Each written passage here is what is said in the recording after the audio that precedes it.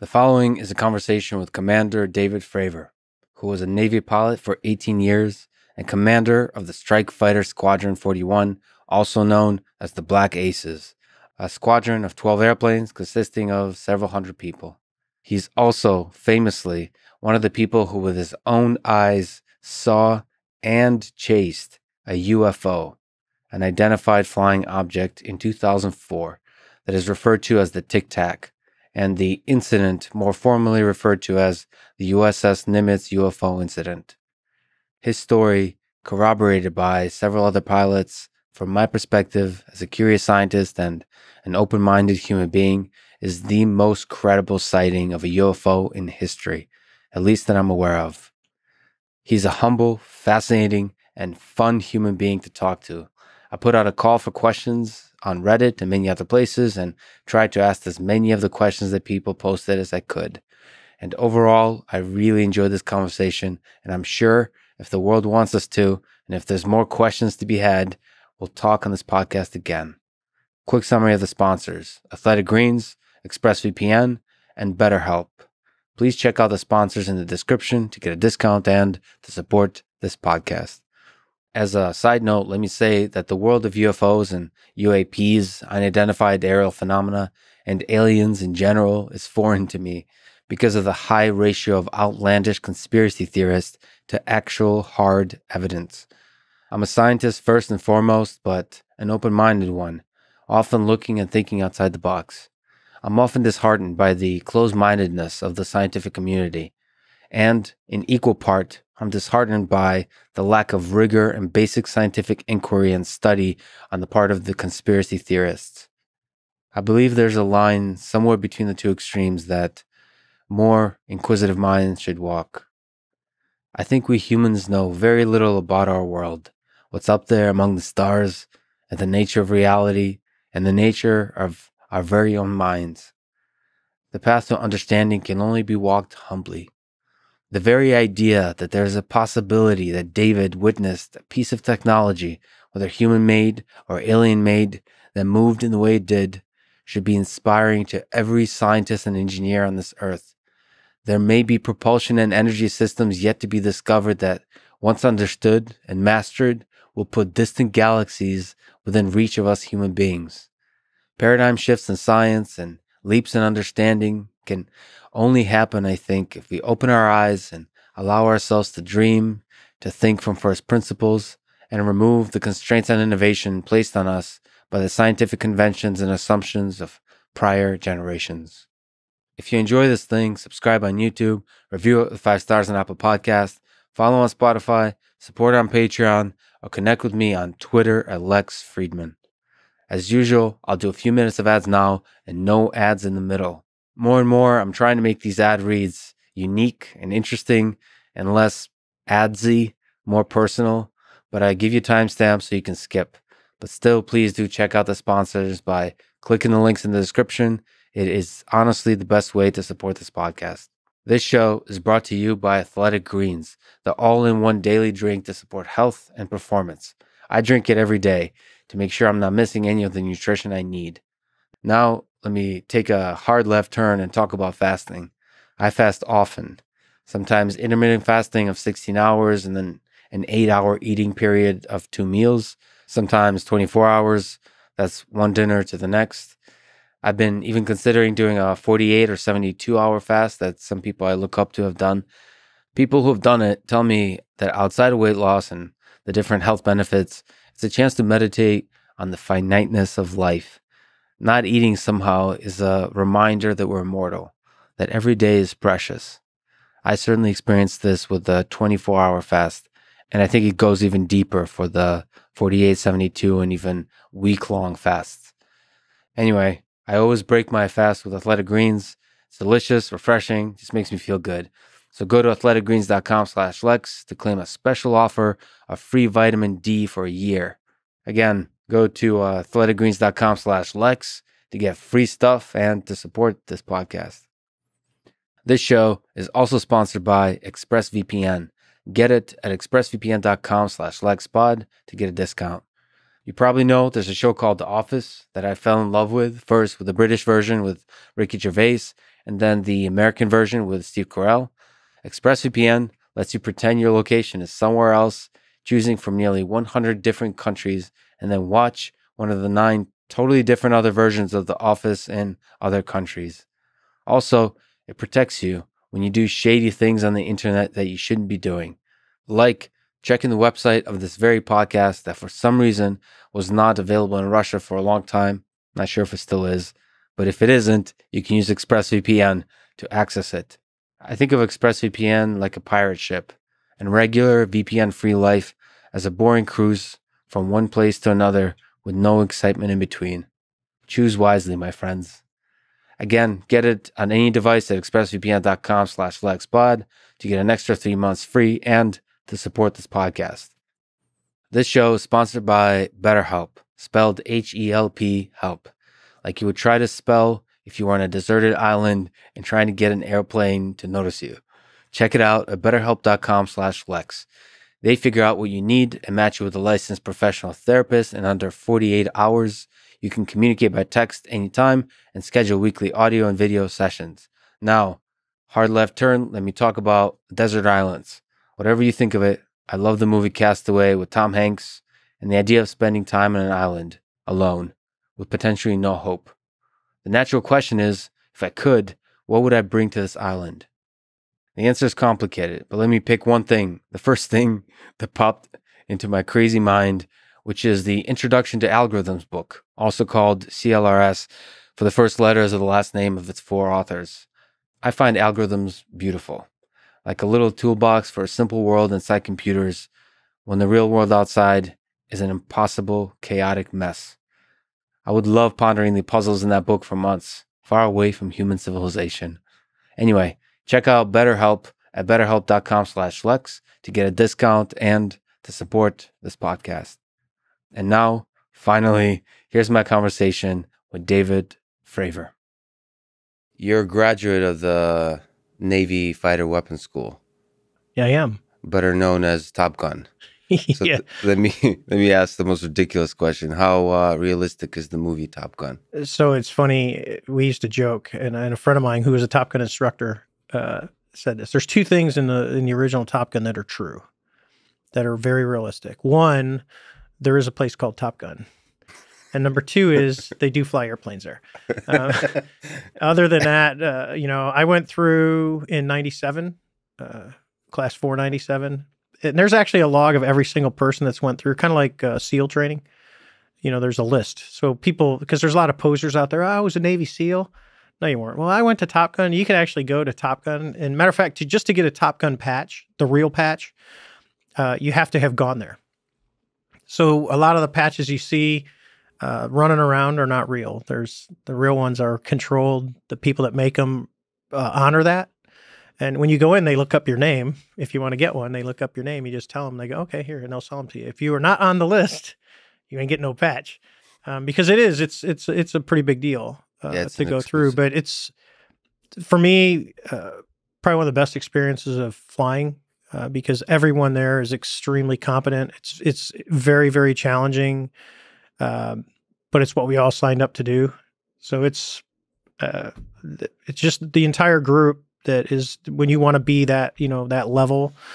Uh, you know where you go everyone really cares and everyone really wants to be good is it competitive like what was it in, in the movie or No, it's when you go through it's you know, it's if anything it's more of the students, you know, and then there's the instructor side. And the instructor sides are really, you know, they're guys that you know. They just chose to stay up in Fallon. And it's extremely uh, difficult job uh, because they have they have a very small tolerance for um, not being good. Uh, so they're briefs, the guys, when they give a lecture. So let's just say there's a fighter employment lecture, which is one of the hardest ones. It takes about two days to give the fighter employment lecture. Um, the guy who gives the lecture goes through multiple, what they call them murder boards, where he's scrutinized by his peers and he practices. By the time they actually stand in front of a class, they pretty much have their 250 PowerPoint slides memorized and they don't even turn around. They just click and they know them in order and they wow. repeat the same thing over. It's and it's standardized. So they are extremely, extremely standardized when you go through the school. And there's a reason for that because what they're doing is they're training So when you come out of Top Gun, you're called a Strike Fighter Weapons and Tactics Instructor. Okay, so you're SFTI. Um, when you come out of that, your job is to go usually to one of the weapons schools on the east or west coast and train the fleet squadrons, and then you visit the squadrons and train and do upgrade rides and all that. So there's a there's a reason that they are extremely uh, particular when you go through the course. It's it, it is literally one of the best things, and it's not it's not a rank based thing because think oh Navy, you can come in as a you know like a an 04 lieutenant commander the lieutenants, the hierarchy, well, used to be, I don't know how it is exactly today, but I imagine it's the same. The hierarchy is actually based on seniority at the school, not necessarily rank. So when the the tactical decisions are made, which are based on fact and and trying things out in the Fallon ranges, uh, they set this, the top X number of folks that have been there seniority wise, and I mean time wise, uh, are the ones that actually make the decision. And when the door, you may not agree, but when the door opens and everyone comes out uh, from the staff, they all speak the same language. It's and it has to be that way, which is why the school has been so effective since it was founded. So it's just a it's an incredible group of individuals. So there's a bar of excellence that uh, that the instructors demand. Oh, very much so, and they're held to it. So it's not a, hey, I'm now an instructor, so I can do what I want. It, there is a standard, and they have to live up to that standard. They have to, and I mean every moment of every day. Uh, so if they go someplace, if they go from Fallon and they come down and do, they're called site visits, where they come down and they'll come to Lemoore, California, which is where the West Coast Fighter Wing is at for the Navy, and they go around and start flying sorties with the fleet squadrons. Um, to kind of pass on some of that knowledge, that's that same high level of standard. It's they can't just drop your guard because you wear the Top Gun patch. And people know that. And they wear light blue shirts. So it's pretty easy to identify them when they're out there. And, and, you know, and then everyone else who's been through the school, including them, have the patch on their sleeve. So there's a standard that's expected when you come out of there. So you were a Navy pilot for 18 years. Yes. Can you briefly tell the story of your career as a pilot? Yeah. Um, so you know, first I was in I was enlisted. I was a Marine, um, and then uh, the Marines actually sent me uh, recommended me to go to the Naval Academy. Uh, so it's always better to be lucky than good. But I got to go to the Naval Academy, and I, I finished.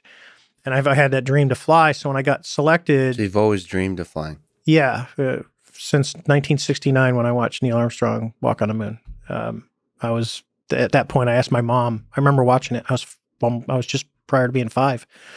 And I said, oh, yeah, it's so cool, mom. And she said, well, you know, they were all pilots. And uh, then and at that point, it was like, I'm going to be a pilot. And if you knew me growing up, because I was a little bit of a delinquent, um, people are just like, yeah, right. Uh-huh. I used to joke, I'm going to fly, I'm going to fly jets and I'm going to drop bombs. Then, and if people that knew me when I was a kid, that. they'd be like, yeah. And they'd be like, uh, not a chance. And then when I did, I actually had a, a is a funny story, and I'll get to it, and I'll, I'll finish my career. But I was at my cousin's wedding, and uh, we all grew up in the same neighborhood. Uh, we kind of that Italian side of the family. That's how we grew up. So it was my house right down the street was my cousin Chad, and then right around the corner is my cousin Ray and my aunts and uncles and stuff. The guy two doors down from my aunt, I was a paper boy in the neighborhood, so they all knew me. And uh, I went to my cousin's wedding, and he and, and Mr. Race looks at me and he says, "David Fravor." I go, "Mr. Race, how you doing?" He goes, you fly jets, Top Gun and all that. I go, yes, sir. He goes, man, I figured you'd be in jail by now. um, and it was kind of a, to me, it was a little bit of a badge of honor going, oh, yeah. you know, I kind of overcame that. But uh, what do you attribute that to?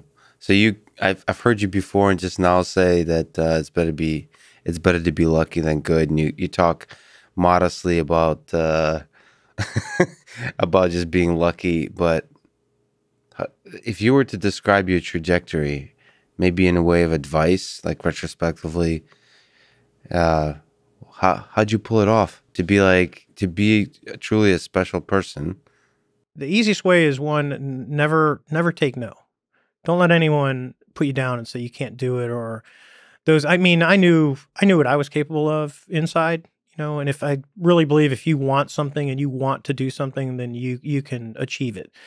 Not in all cases like if I loved basketball and I really wanted to be in the NBA, there's a realism that says I'm five foot eight and I got like a really short vertical leap, but I'm really not that good at basketball. It's probably not ever going to happen, no matter how hard I try and practice. It's just the way it is. Or for me to be in the NFL, I'm not fast. You know, I'm not that big. It's just physically, I'm incapable of doing that. Um, but there's things that don't really tie to uh, a true physical ability as far as size and strength, but it's it's mental. Uh, and I'm not saying you have to be a genius and super smart to be a fighter pilot. Matter of fact, you don't. It really comes down to the ability to think very quickly. Uh, 80% solution is typically good enough because if you overthink it, you're you're behind. Uh, and then in, in, an air to air fight, that's what happens. People try and overthink it. And before you know it, because it's happening so fast, you, you don't have, you can't get to the nth degree, you know, six decimal places. 80% solution is good enough. You build up a really strong gut for the 80% solution. Just Yeah, I'm a big believer in the 80% solution. I love that. If, if you get 80%, you can go and then you can always adjust, yeah. which is exactly what, like if you're fighting in BFM, the 80% solution is it's like a chess game, but it's a really, really fast chess game where you go, I'm doing this. And then I know that if I do a maneuver, if he's going to counter it correctly, he should do A. If he doesn't do A, he does some degree less, like B, C, D, and then I know how bad his his error is, and then I capitalize. So my might I don't have to be perfect. You know, I don't have to go, I need to go to 47 degrees nose high. If I just kind of get above 40, then I'm good and I can watch how he reacts and then I can adjust for that. And and you and you continually work that problem and you chip away. Because if you start neutral, you're just basically chipping away and gaining advantage, advantage, advantage till eventually, you know, and if you're really, you know, fighting, you know, just guns only rear quarter where you got to get behind the guy, kind of World War II dogfighting type stuff, mm-hmm. um, then it's it's literally it's a it's a very very fast chess game that happens at you know 400 knots 300 knots depends so, so to get to be one of the rare individuals that uh, are able to do that you just had the dream and didn't take no for an answer. yeah, well, you know, uh, you know, part of it is family. You know, uh, my dad was. Uh, I used to call him a fire ready aim guy. you know, he'd, he'd, smack me and then ask me what I did wrong. Yeah. Um, Good parenting. Um, it, back then, you know, I, I joke and, and people look because you know at times it was kind of tough, you know, because he can be pretty demanding. But on the other side, you know, I probably needed to be reined in a little bit at times. Uh, but then everyone else in my family, you know, my mom was really awesome when I was a kid. Uh, my uh, my grandfather, who is a, a, big big part of it, my mom's dad, uh, who he taught me a lot. And we'll, you have a question there that we'll talk about uh, about him, but huge huge influence, very very positive, and a lot of the stuff that I do today and decisions are based on things that he taught me. Um, and you know, and I figured you know, it was the first funeral I ever went to, and it was uh, it was about three miles long, and church was overfilling, and people were out. He was a beer delivery guy, dead serious. And you go, someone asked who died, the Pope. Um, uh, so, uh, so a lot of people loved him. So back to back to my career. Yeah, your first go. question because I'm getting down a rabbit hole. Uh, no, I uh, when I was at the, I was gonna I was gonna stay in the Marines. I really wanted to go. Man, I love the Corps. I think it's uh, of all services, it's that one. Everything is in a ball, and they're very, very professional. And it was a great, great organization to join. Uh, but I went out to the Nimitz on my uh, freshman cruise. After your freshman year at the Naval Academy, you go out on a ship, and you you're an enlisted person. You get to experience that half, but I already was enlisted, so it's fine with me. Because it comes up a lot. You mind saying what the Nimitz is, what a ship is, so, what like yeah. Uh, so Nimitz is uh, an aircraft carrier. So it's uh, four and a half acres of sovereign U.S. territory that floats around the U.S. oceans. or the giant thing. Does it have weapons on it? Uh, the air wing is really the weapons. It does have defensive weapons, but for the most part, it's a giant moving airport, is what it is. So I was out there watching the airplanes land and take off, um, and I'm like, oh, and the squadrons that were out there, one of the squadrons was VF 41 and F 14 squadron, VF 84, uh, an F 14 squadron, and then a couple of A 6 squadrons. And we actually ended up part pairing up and hanging out with some of the A 6 pilots and BNs. So it was really a neat experience. And I said, I want to do that. And the way to do it was to not to to go in the Navy because there are Marine squadrons that go out to the aircraft carriers, but most of them are land based, you know, to support the Marines because they're that that unit, that whole unit. You know, the Marine Corps is that one service that has it all. And uh, so when I graduated and I got to, uh, you know, I, I, worked hard through primary, and that's where you know I knew Missy. Mm-hmm. Uh, we were in actually went Missy through together, Cummings. Missy Cummings. Uh, we went through primary together, and then uh, I went to Kingsville. We all selected the same time. I went to Kingsville. There was another guy, Scott Wiedemeyer, uh, the three of us. Hmm. So I went to Kingsville. Scott went to Beeville, and Missy went to Meridian. So the three of us that we had all went through, we got we selected out of primary together. We all ended up going Jets, and that's that's how. Besides from school, I knew her at school too.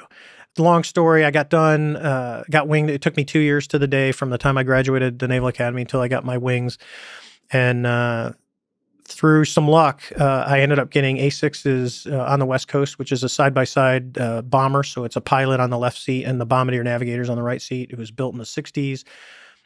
Is all weather uh, and it flies low at night. It's got a terrain mapping radar. How many? I, I guess if, is that a good term to use? Fighter jet as a broad category for for the public. Yeah, that's fine. How, how many fighter jets are side by side like that? That was uh, in the Navy. That was the only one. Uh, the Air Force, the F one eleven was a side by side, but the Navy it was the A six, and then there's the EA six B, which is a derivative of that. And now that those are all gone, the EA six Bs just went away a few years ago, and now the uh, E eighteen G Growler uh, is the replacement for the EA six B. There was never a replacement for the A six uh, that I flew. It really became the F eighteen, which uh, the A six could go quite a bit uh, further distance wise by fuel than the Hornet, and the Hornet so is the, F eighteen. Yeah. Is there usually two people in the plane, but they're usually like in front and behind? In a, the modern two seaters, yes. Uh, but oh. most of the tactical airplanes in the world today are single seat. Single seat, just one person. One person, with the exception of, I'll probably someone will yell at me, but really with the exception of the F-15E Strike Eagle and the F-18F Super Hornet, which is the F is a two seater, and the G is also a two seater, but it's more of an electronic attack by say full up fighter bomber.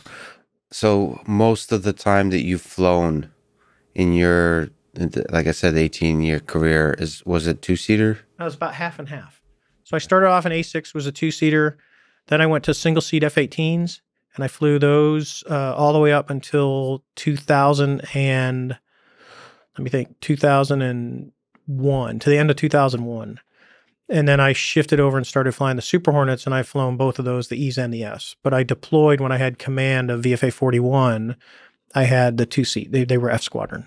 So you eventually ended up commanding the the Strike Fighter Squadron 41. I love the the name, the Black Aces. What uh, is there some parts of that journey that are amazing, parts of it that are tough that kind of stand out? to me, it was one. It was a huge honor, uh, and I got to serve with. Uh, you know, I got pulled up because the the guy who the the people that are XOs, because we fleet up. You go from the number two guy to the number one guy. So the XO becomes the CO. So the executive officer becomes the commanding officer. So I had worked with uh, now uh, soon to be Vice Admiral Whitesell uh, was the he was Commander Whitesell at the time was the XO, and he really wanted because he knew there was a little bit of a, a problem when the Super Hornets came into Lemoore. Lemoore had been a single seat uh, fighter community uh, since the forever. And now all of a sudden you've got the F 18F coming in, which has the weapon systems operators in the back that are not pilots, they're weapon systems operators. And there's a, and there's a difference. Um, and Kenny is a weapon systems operator. And uh, Kenny knew because of my A6 background that I have a switch that I can go one seat, two seat, one seat, two seat. Because when you fly two seat, there's a lot of stuff that the pilot will offload and take the advantage of the weapon systems operator. And it's not that one plus one equals two in that environment, because it really, there's a huge amount of capabilities that the single seat has and the autonomy that comes for the ability to make decisions quickly and how well the airplane flies. But it does it does equal more than one and i would say that one plus one with two people as well is a minimum of 1.5 because you've got an extra head you've got extra eyes you've got someone that can monitor systems the airplanes can do two things at once i mean there's an incredible amount of capability that we add when we do that can we just pause on that just yeah. for me from a, like a human factors perspective and also an ai perspective what's how difficult uh, so there's like when there's two people, there's also a third person that's the AI part. There's some level of automation, like autopilot, maybe even. That's correct. Maybe you can kind of talk about the psychology of like you said, making decisions really quick, eighty percent.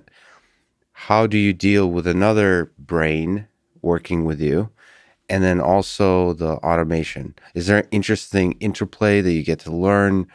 Uh, and also, as that changed throughout your career, I imagine it got it gotten better in terms of the automation, or perhaps not. Well, I can tell you. So that let, us Sorry, there's let's, a bunch let's of start questions This, no, this is this is good. This is Yeah. good, and this is uh, you know I'm I'm enjoying this because now we actually get to talk about something other than a tic tac. So, um, so let's start with the A6. The A6 was really an analog airplane Yeah. uh, that was built in the 60s. All right, and there's been studies done on the crew coordination, which is the interaction between the pilot and the bombardier navigator. So we would fly low at night in the mountains. So the, I was stationed up in Whidbey Island, Washington. So you've got the Cascades and incredible uh, amount of time. And we would get in the simulators because unlike normally people think terrain following, and there's the radars, the 111, the B1 has a system like this, but it'll the radar can see and it'll fly. It basically flies a straight line, so it goes up and over mountains and back down and up and over mountains. Where the A6 was really manual.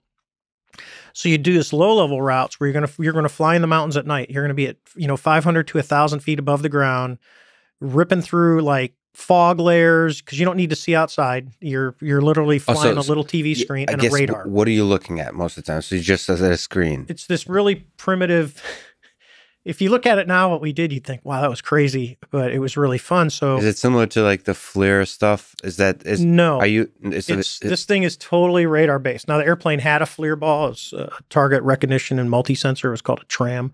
Um, you so you're can- looking at like basically like dots of hard objects. You no, actually, what it is is the the bombardier navigator had a radar, and he was getting raw feed off of a pulse radar in front. Okay, so it's just basically mapping the mountain. So if you look at a mountain on a radar and you're coming up on it, the front side is going to be it's going to give you a really bright return, and then the back side it's just going to be a giant shadow because you Mhm. can't see on the other side.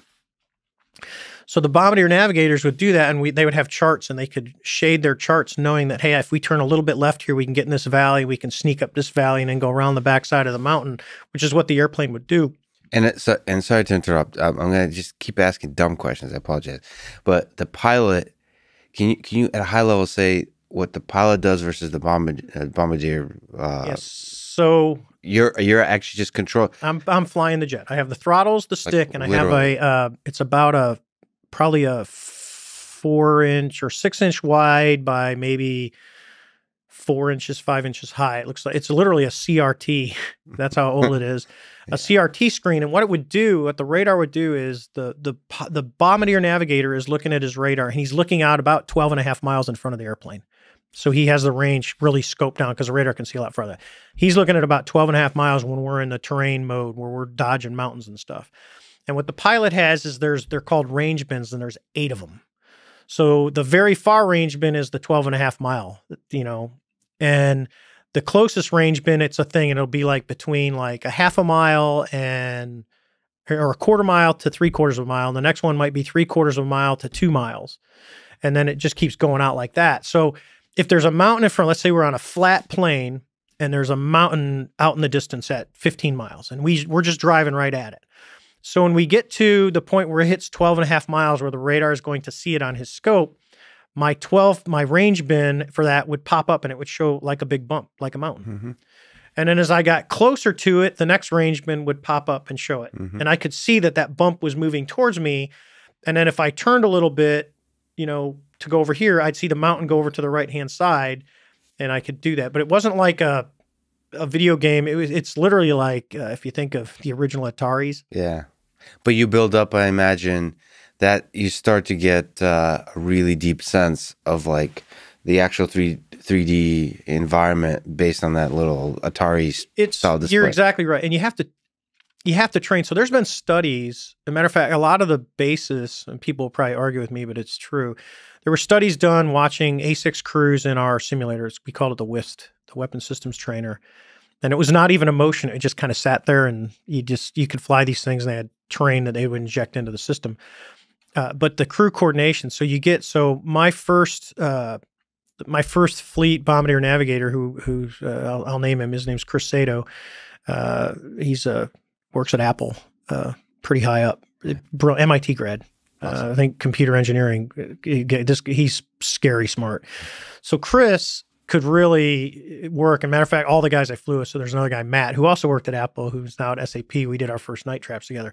The bond between us, I mean, it's one of those things that you just, you're, you're never going to forget. But Chris and I, when we started flying together, and we were actually the most junior crew in the squadron, uh, we'd spent a lot of time training and and and Chris was amazing at how he could work the system uh, one because he was extremely brilliant and he was had that inquisitive mind of oh we could do all these different things and there's all these degradation modes.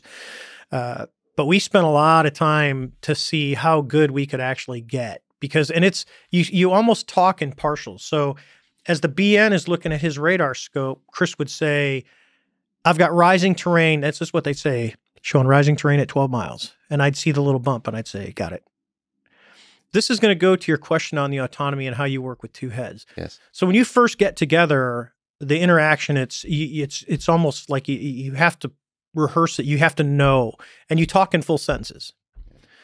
The more and more we fly together, Chris could go, "I'm showing." And he'd get like rising out. And before he finished, I'd say, I've got it. So you end up starting to talk in partials because I have to trust him like I mean, I there yeah. can be no, I can have no doubt that he knows how to do his job because I'm literally looking at this little scope that's not giving me this continuous picture of that mountain moving. Remember, the mountain's here, and then it's going to pop up here, and then it's going to pop up here because there's gaps in the coverage on how the system was set up. Remember, it's an analog system to where he is telling me like I can't see all the way to the left, and he he's got a wider scope on the radar, but mm. my screen doesn't show that. So he's telling me start a left turn. How to avoid or start mountain, a hard right? turn, you know, and we would do that. So my truck And this is all happening quick? Very quick. Well, you're doing we we would typically fly between 420 and 480 knots of Which ground how speed. many miles an hour?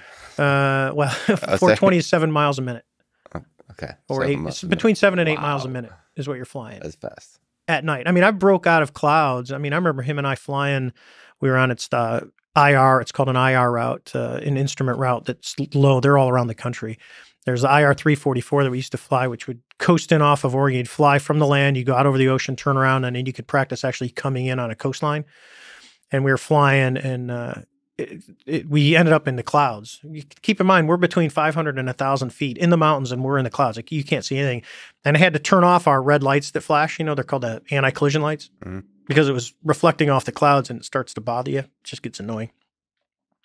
So I turned it off and we were flying, we're flying, we're flying. We break out of that coastal marine layer mm. and poof, we break out. And it's it's a decent night. And this is right by Mount St. Helens. This is kind of where we're coming in. So we're coming in from the east and we're just north of Mount St. Helens is where the route goes.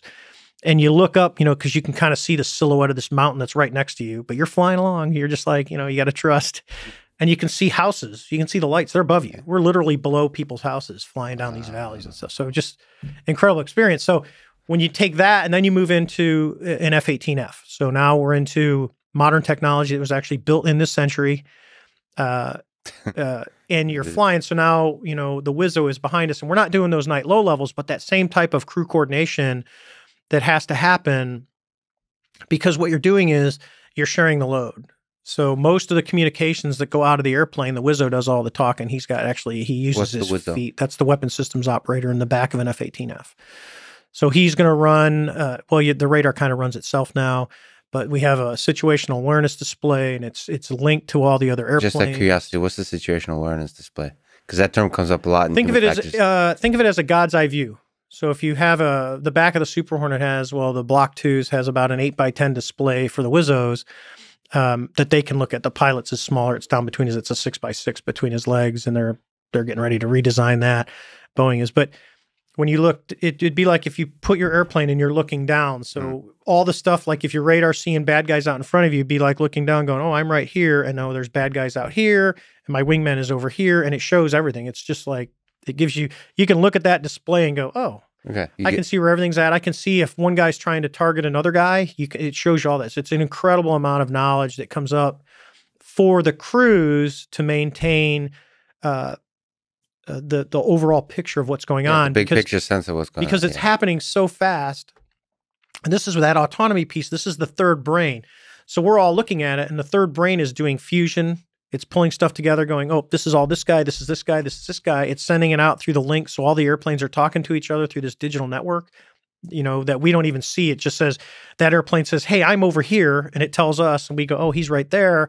And then we can go, oh, he's his airplane says, "Oh, I'm looking at this airplane, this bad guy," and it shows us, "Oh, he's he's over there and he's looking at this guy." I mean, it's an incredible amount of uh, visual intake because your eye you can hear a lot but when you look down at stuff it's all you know you can solve the picture So- really quick The third brain is doing the f- sensor fusion, uh, the integration of the different sensors, and gives you a big picture view. What about the control? Like, is there? And I apologize as, if this is a dumb question, but you know, people use the high level term of autopilot.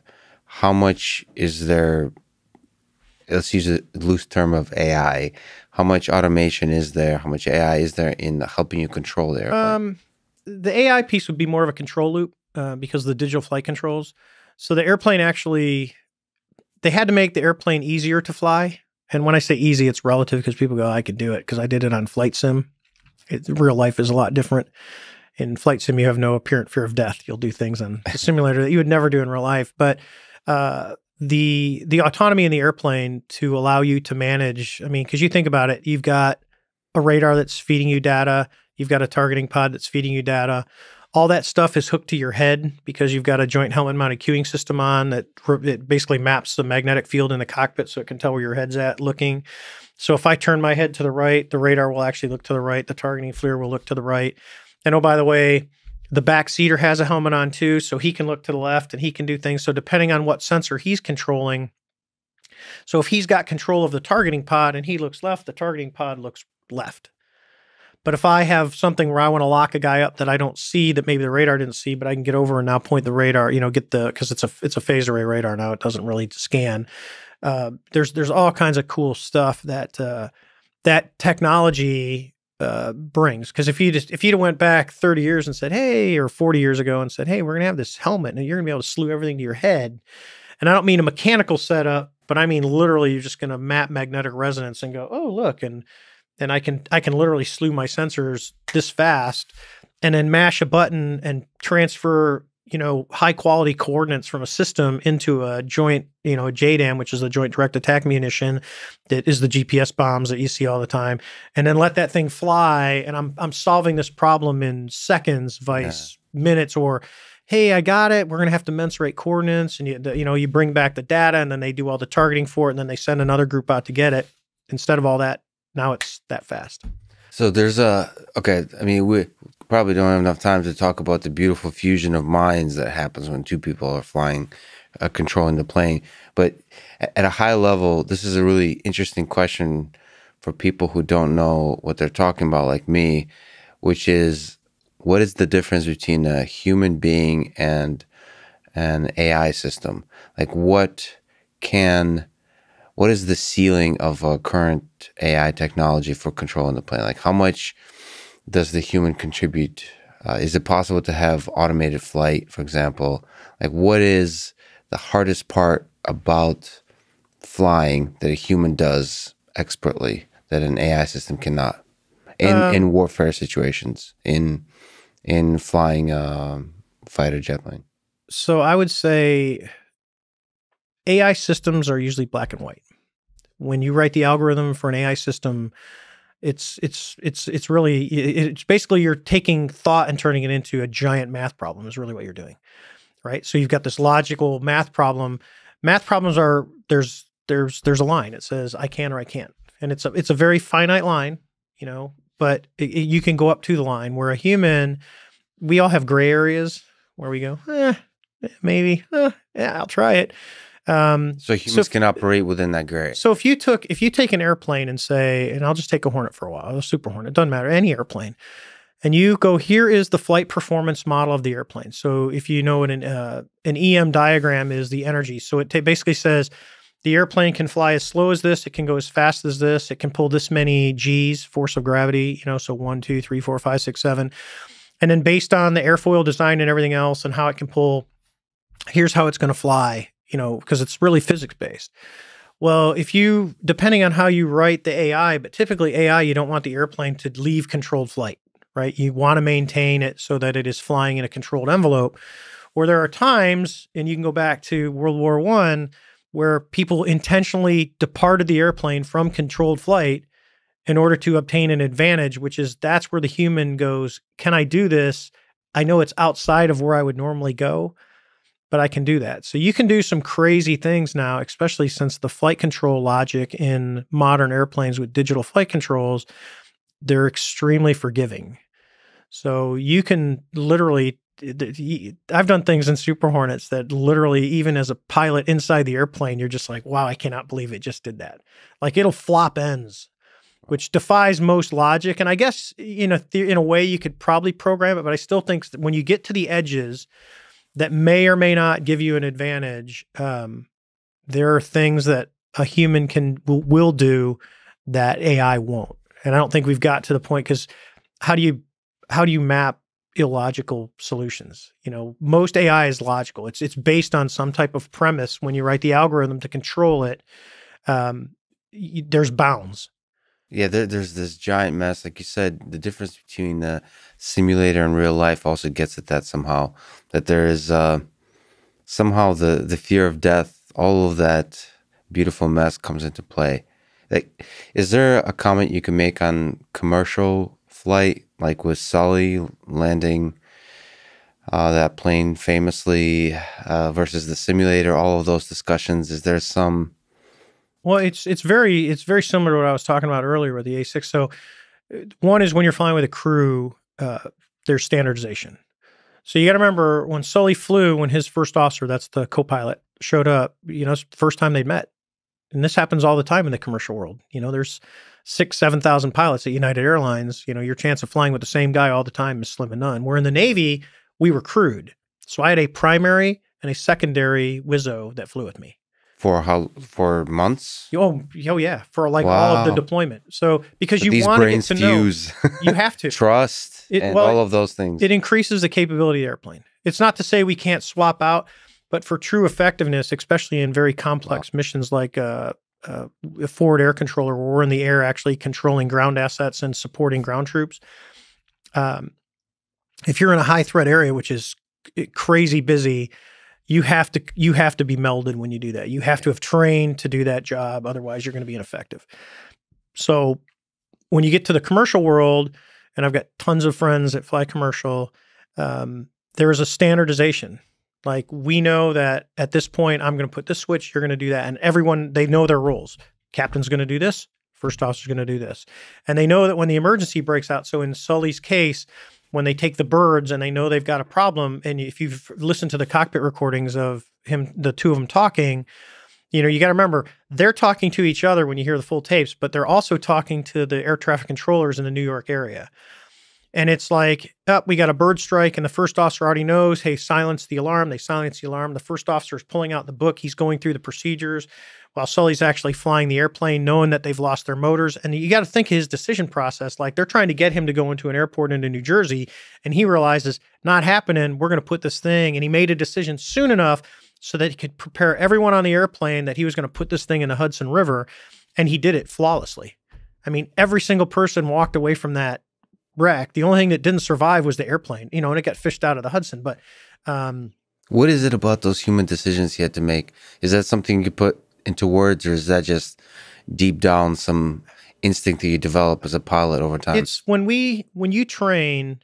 Uh, you know, an aviation is a self-cleaning oven. So if you make bad decisions, you're, you're, and the list is long and distinguished of those who have died by making bad decisions. Oh man. Um, so when you look at what he did or the way we train, because the, the commercial industry and the Navy and the Air Force, for all that, we have what's called, we have emergency procedures that we have to know. Like the engine's on fire, the first three steps, you just have to know what they are, right? So they know. The airline, uh, same type, you know, they go, hey, I know this is, they pull the book out because the airplanes are designed, they're built to have some time. But there's a point where you have to make a decision and you can't second guess it. So when he decided, I'm putting this in the Hudson River, he couldn't all of a sudden halfway through it go, well, maybe I can get over to that airport. He he looked, he made a quick assessment. This is that 80% solution where you go, these are not, I'm, uh, you know, it's it's like a multiple choice test when you go, oh my God, I don't really know the answer, but I know A and D are wrong. Yeah. Gone.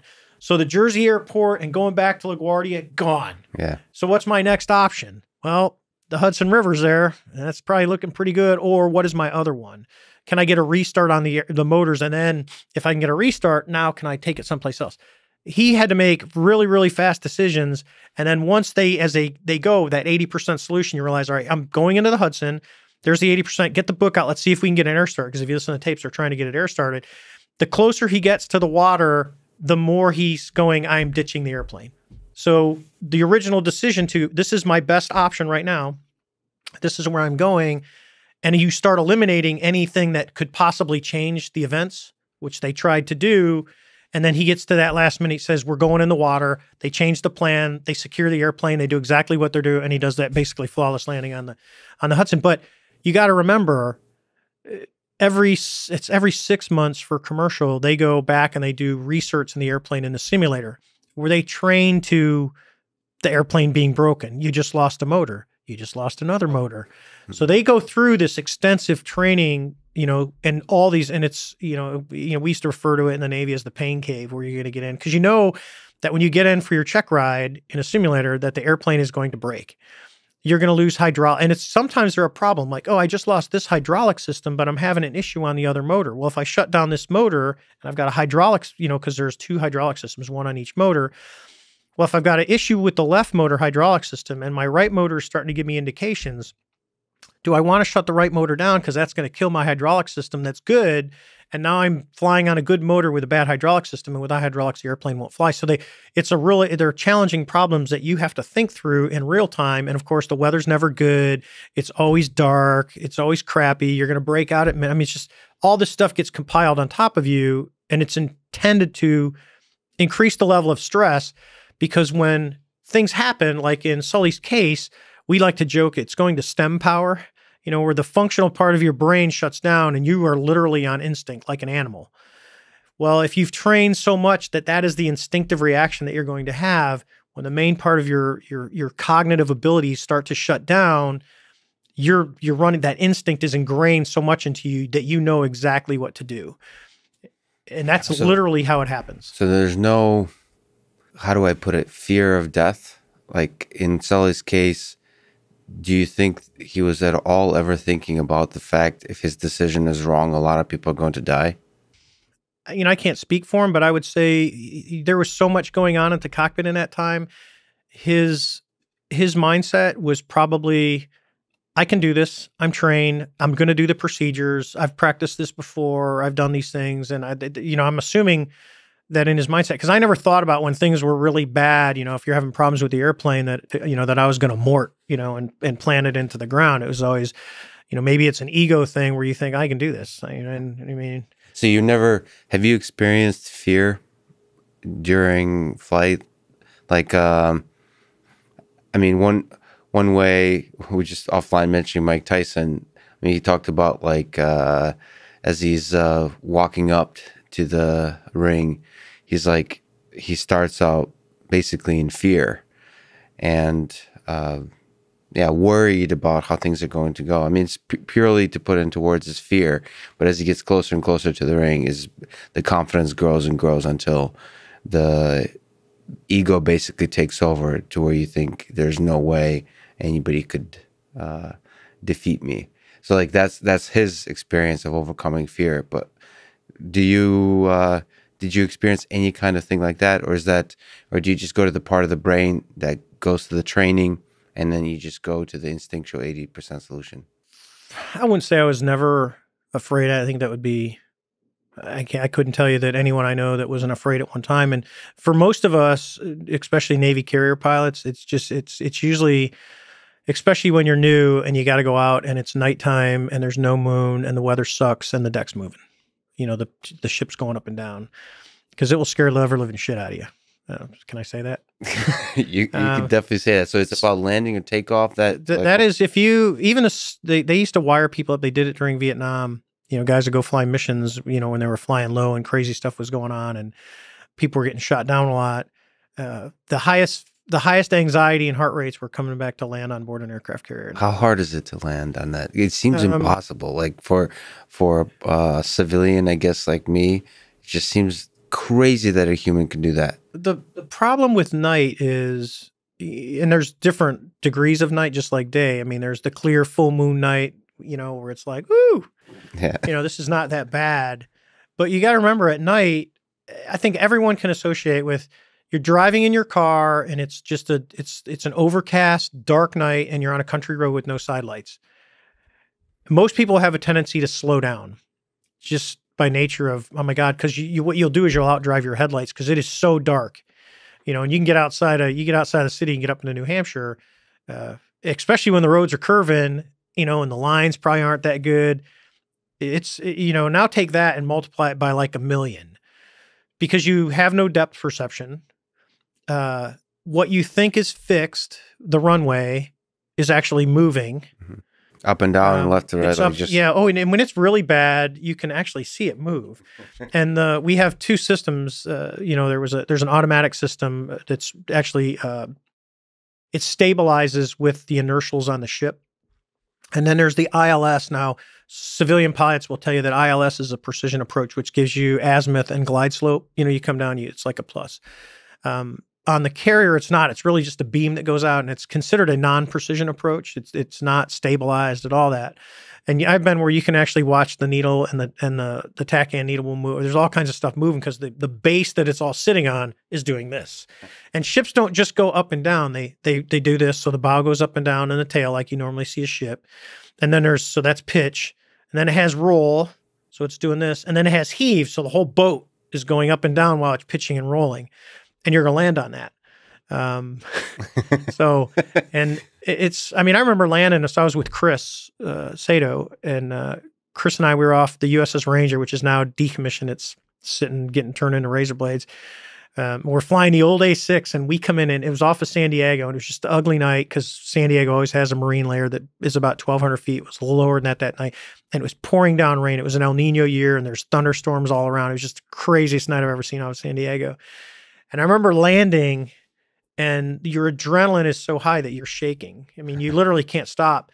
And we had spun around out of the landing area and we parked, we- call it the six pack. So it's right in front of the island. So if you see an aircraft carrier with the island and the number of the ship on it, we're sitting right in front of that and we're looking at the landing area. So it's like you, you get front row seats to the concert.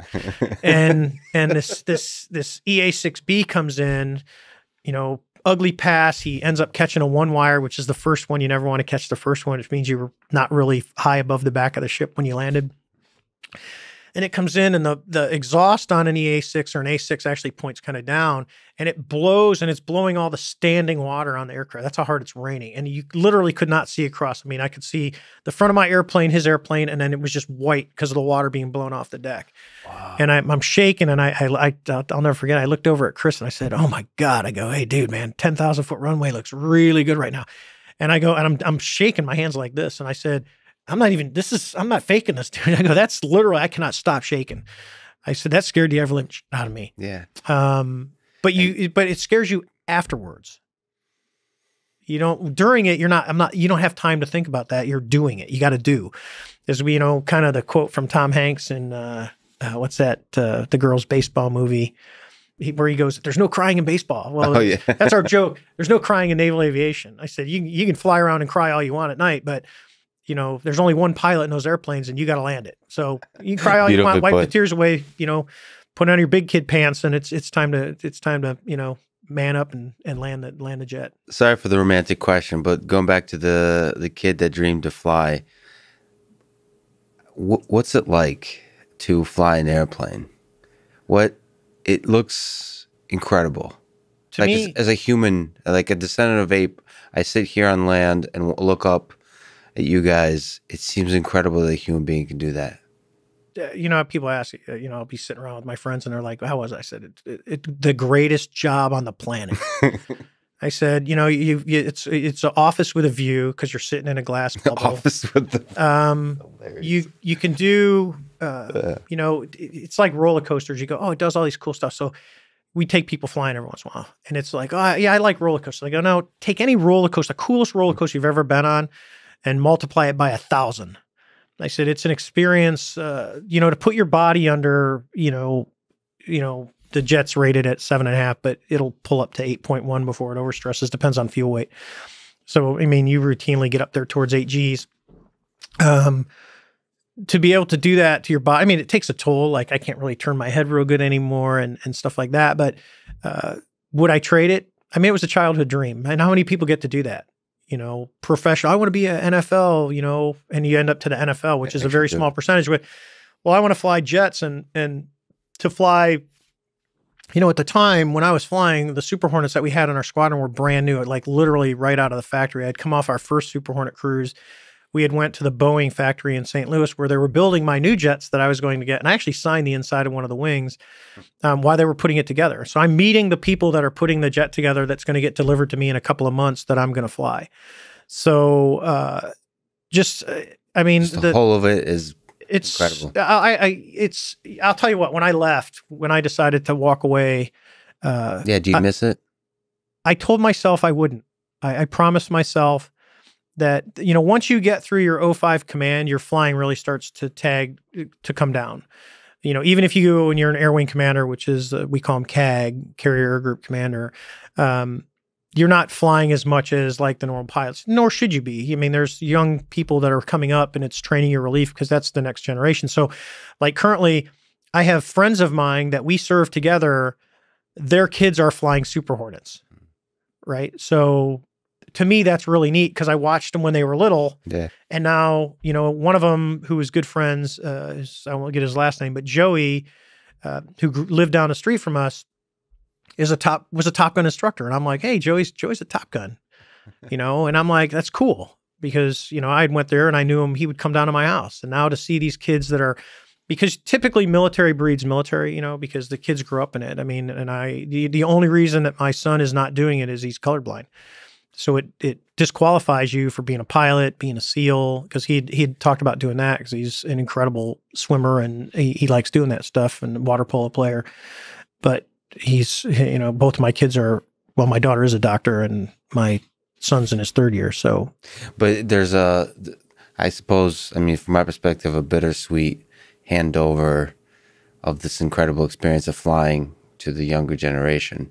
So you don't, you told yourself you're not going to miss it you miss it? Uh, there are days I do. When I hear jets, like if I'm around a base or a jet flies over, but I have all the memory, so I can look yeah. at it and go, it can't go on forever. You know, Tom, Tom Brady can't play football. There's going to come a time where he well, has to stop. Know. He seems to have done it for a long time. but you know, typically when you look at it, you go, I had the opportunity, uh, and I think as automation moves on, especially with AI, that you know when will when will the last man fighter be oh, built? man, you know and that's that big question. You know we just did f-35 it's over budget. It's seven years late. There's all kinds of issues when we try and do it. And then you look at some of the new stuff that's coming out that the air force is working on with smaller cheaper uh, attritable platforms that you can go oh we can because if you don't put a man in the box or a, a, person because there's a lot of incredibly talented women that do this too um, so I'll just say that as person. Yeah. So we say uh, man and he, we mean both men and women. Because offline, you've told me about a lot of incredible women that flown. So is, is I had I had three three female, actually four. One of them didn't fly anymore. She actually lives right around here. she she's uh she ended up going into aircraft maintenance when she couldn't fly anymore. Uh, one of the girls uh, who everyone knows is incredibly she's one of the most gifted people I've ever met in my life. She is the vice president of Amazon Air. You can see her on TV. Her name's Sarah. Uh, incredible. And then I had uh, Paige, who ended up taking command. Uh, she got out of fighters and went into other platforms, um, and she was a commanding officer. And then the other one is a um, teaches leadership, and she is uh, all three of them. Actually, all four of the women that were direct. Uh, I'm I'm not forgetting. I don't think I'm forgetting someone. Incredibly, incredibly talented. Uh, and a great addition to the ready room. So anyone who gets into the oh, you know, women can't do it, that's all total horse crap. And, you know, we can talk about the original integration and stuff, which was not done well by the military nor the Navy. So women can fly as good as the guys. Yeah, you can't tell if you pass another airplane. You can't tell if there's a man or a woman in it. It really comes down to uh, stick and throttle, the ability to uh, extrapolate where the vehicle is going to be, where the airplane would be if you're fighting another one. You have to be able to think fast. Anyone who has those characteristics uh, can do it. And then I think most important besides that, there has to be a desire. Yeah. And I'm not saying that everyone, if you took, because we used to track. So when I ran, we call it the RAG. It's the Replacement Air Group. It's where so the the Super Hornet Training Squadron. There's two of them. There's one on the East Coast, 106, and there's one on the West Coast, which is VFA 122. 122 is the first one. So I ended up going there, and I ended up being the operations officer and training officer. Okay. So we track the last hundred students right? So everyone goes, ah, it's funny to hear students talk because, oh, he's awesome. He's super. If you took the hundred, there's three at the top of the list that are just naturally gifted aviators. They're well, well, well above average. It's like the person in a math class that sits down Yep. in complex math and they just get it. Yep. You know, at the bottom, there's the three at the bottom that are going to struggle, and there's a good chance they won't get out. And if they do get out, they're going to have to work really hard to just maintain kind of average. Sometimes it's just the way your mind works. Not everyone is good at everything. If you took the 94 of them in the middle, they're within one mean deviation of, you know, it's there. They're all, you know, it's a, the bell curve doesn't look real good. It's just a big hump and it comes back down and everyone's right there within one Yeah. mean deviation. And then you have the outliers, usually not on the high side because they're going to get through, but the outliers on the low side that don't make it through. Um, so for the most part, the Navy does a really good job, as does the Air Force, of screening. So now what, what they do, when I went, you just showed up and you started. Now what you do is you actually go fly uh, Piper Warriors, low wing, to see can you are you adaptable to this? And there's an evaluation that goes through, and then if you hit a certain mark, then you're good to go, and then they put you into primary. It's kind of like a it's like a pre-check, you know, like the pre-SAT, the pre-SAT to go, hey, how am I going to do on the SAT? It's it's it's very similar to that, but it's more of a hand skill. Can you adapt? Because although we live in three dimensions, like this table is not, you know, we this is you know this is all has depth, width, all that. Uh, we're it's really relative to aviation. We are two dimensional, very two dimensional. Can you can you explain that? So, So here- our perception is actually more limited than the than that of an aviator. Very much. And here's why. Yeah. So we look at, uh, let's look at a tall building. Let's look at One World Trade Center in New York because that's the, everyone knows what it looks like. Big, tall building. Um, it's what maybe eighteen hundred feet tall. Even the Burj Al Dubai, which is like what twenty some hundred feet tall, it's not that big. So a Super Hornet to do a, what a split S is, which is I'm flying, I'm just going to roll the airplane upside down, and then I'm going to do basically a C, the letter C. I'm going to go in the top and out the bottom. So, and I'm just it's basically a vertical displacement of the airplane. So I'm going from high to low. It's very, very tight and it doesn't in about roughly about 2,500 feet, give or take a little. So you go, that is, that is a really tight vertical turn. Yeah. For example, the A6, in order to do that, was about 9,000 feet. And we look at a building that's 2,000 feet high and think that is tall. Right. All right. So in in aviation sense, when you're starting to do vertical displacement maneuvers, going from 35,000 feet down to 20,000 feet in a matter of seconds, and maneuvering the airplane, because the human brain thinks we we, we really are. We like to be 2D. flat. I see what We you mean. we think 2D. So if I'm fighting, how you really get an advantage when you're fighting another airplane is to work in the vertical. Because most people will do like one move in the vertical and then they want to start to flatten out because that's where we're comfortable. yeah, it's really if- profound. Do you still think in like stacks of 2D layers or no? Or do you do you truly start to think in that third dimension, like the rich 3D world of uh like of, of fighting? Like do you start to actually be able to really experience the 3D nature? You do because you have to project where you're going to be. So you have to know the performance of the airplane, knowing that hey, if I do this maneuver, that I am going to go. It's and it's kind of like when I when I talk about when we were chasing the tic tac. So the tic tac's coming up, and I'm at about you know, and I've been doing this for at the time 16 years. So I'm looking and I'm going, hey, I'm here, he's there on the other side of the circle. I'm going to do a vertical displacement. I'm going to go like this. I'm going to cut across the circle, and I'm not going to him. I'm going out in front of him. I'm going over here because I know that by the time I get through this maneuver, that's where he's going to be, and I'm trying to, you know, basically join up on him. But I also I also had to look at it to go, do I have enough altitude to do this? Because what I didn't, if we're here and I do this, I'm going to end up over here, and he's going to be above me, and then, mm-hmm. you know, I have to get that energy back to get up to him. And when you're doing a max performance, it's a trade. So you have th- this is this is really important when you're when you're fighting airplanes and you're really max performing. So when you go to an air show and you see the air demo, he's literally playing with it. He's got a finite amount of energy, right? He can add some with the motors and stuff, but you're what you're really doing is it's a trade off, and you can trade off kinetic energy, speed for altitude, which gives you potential energy. The other piece is, is I can trade some of that kinetic energy for performance because I know if I do a nice easy turn, the airplane will make it and what doesn't bleed energy. But I know if I do a real tight, that 2,500 foot split S, that it's going to cost me energy. So if I enter the split S at 200 knots and I do it right, I'm going to come out at the bottom at probably 200 knots. Although I lost 2,500 feet of potential energy, I converted that to the, that to kinetic, and that kinetic was transitioned and bled off the wings in order for me to get that high performance turn.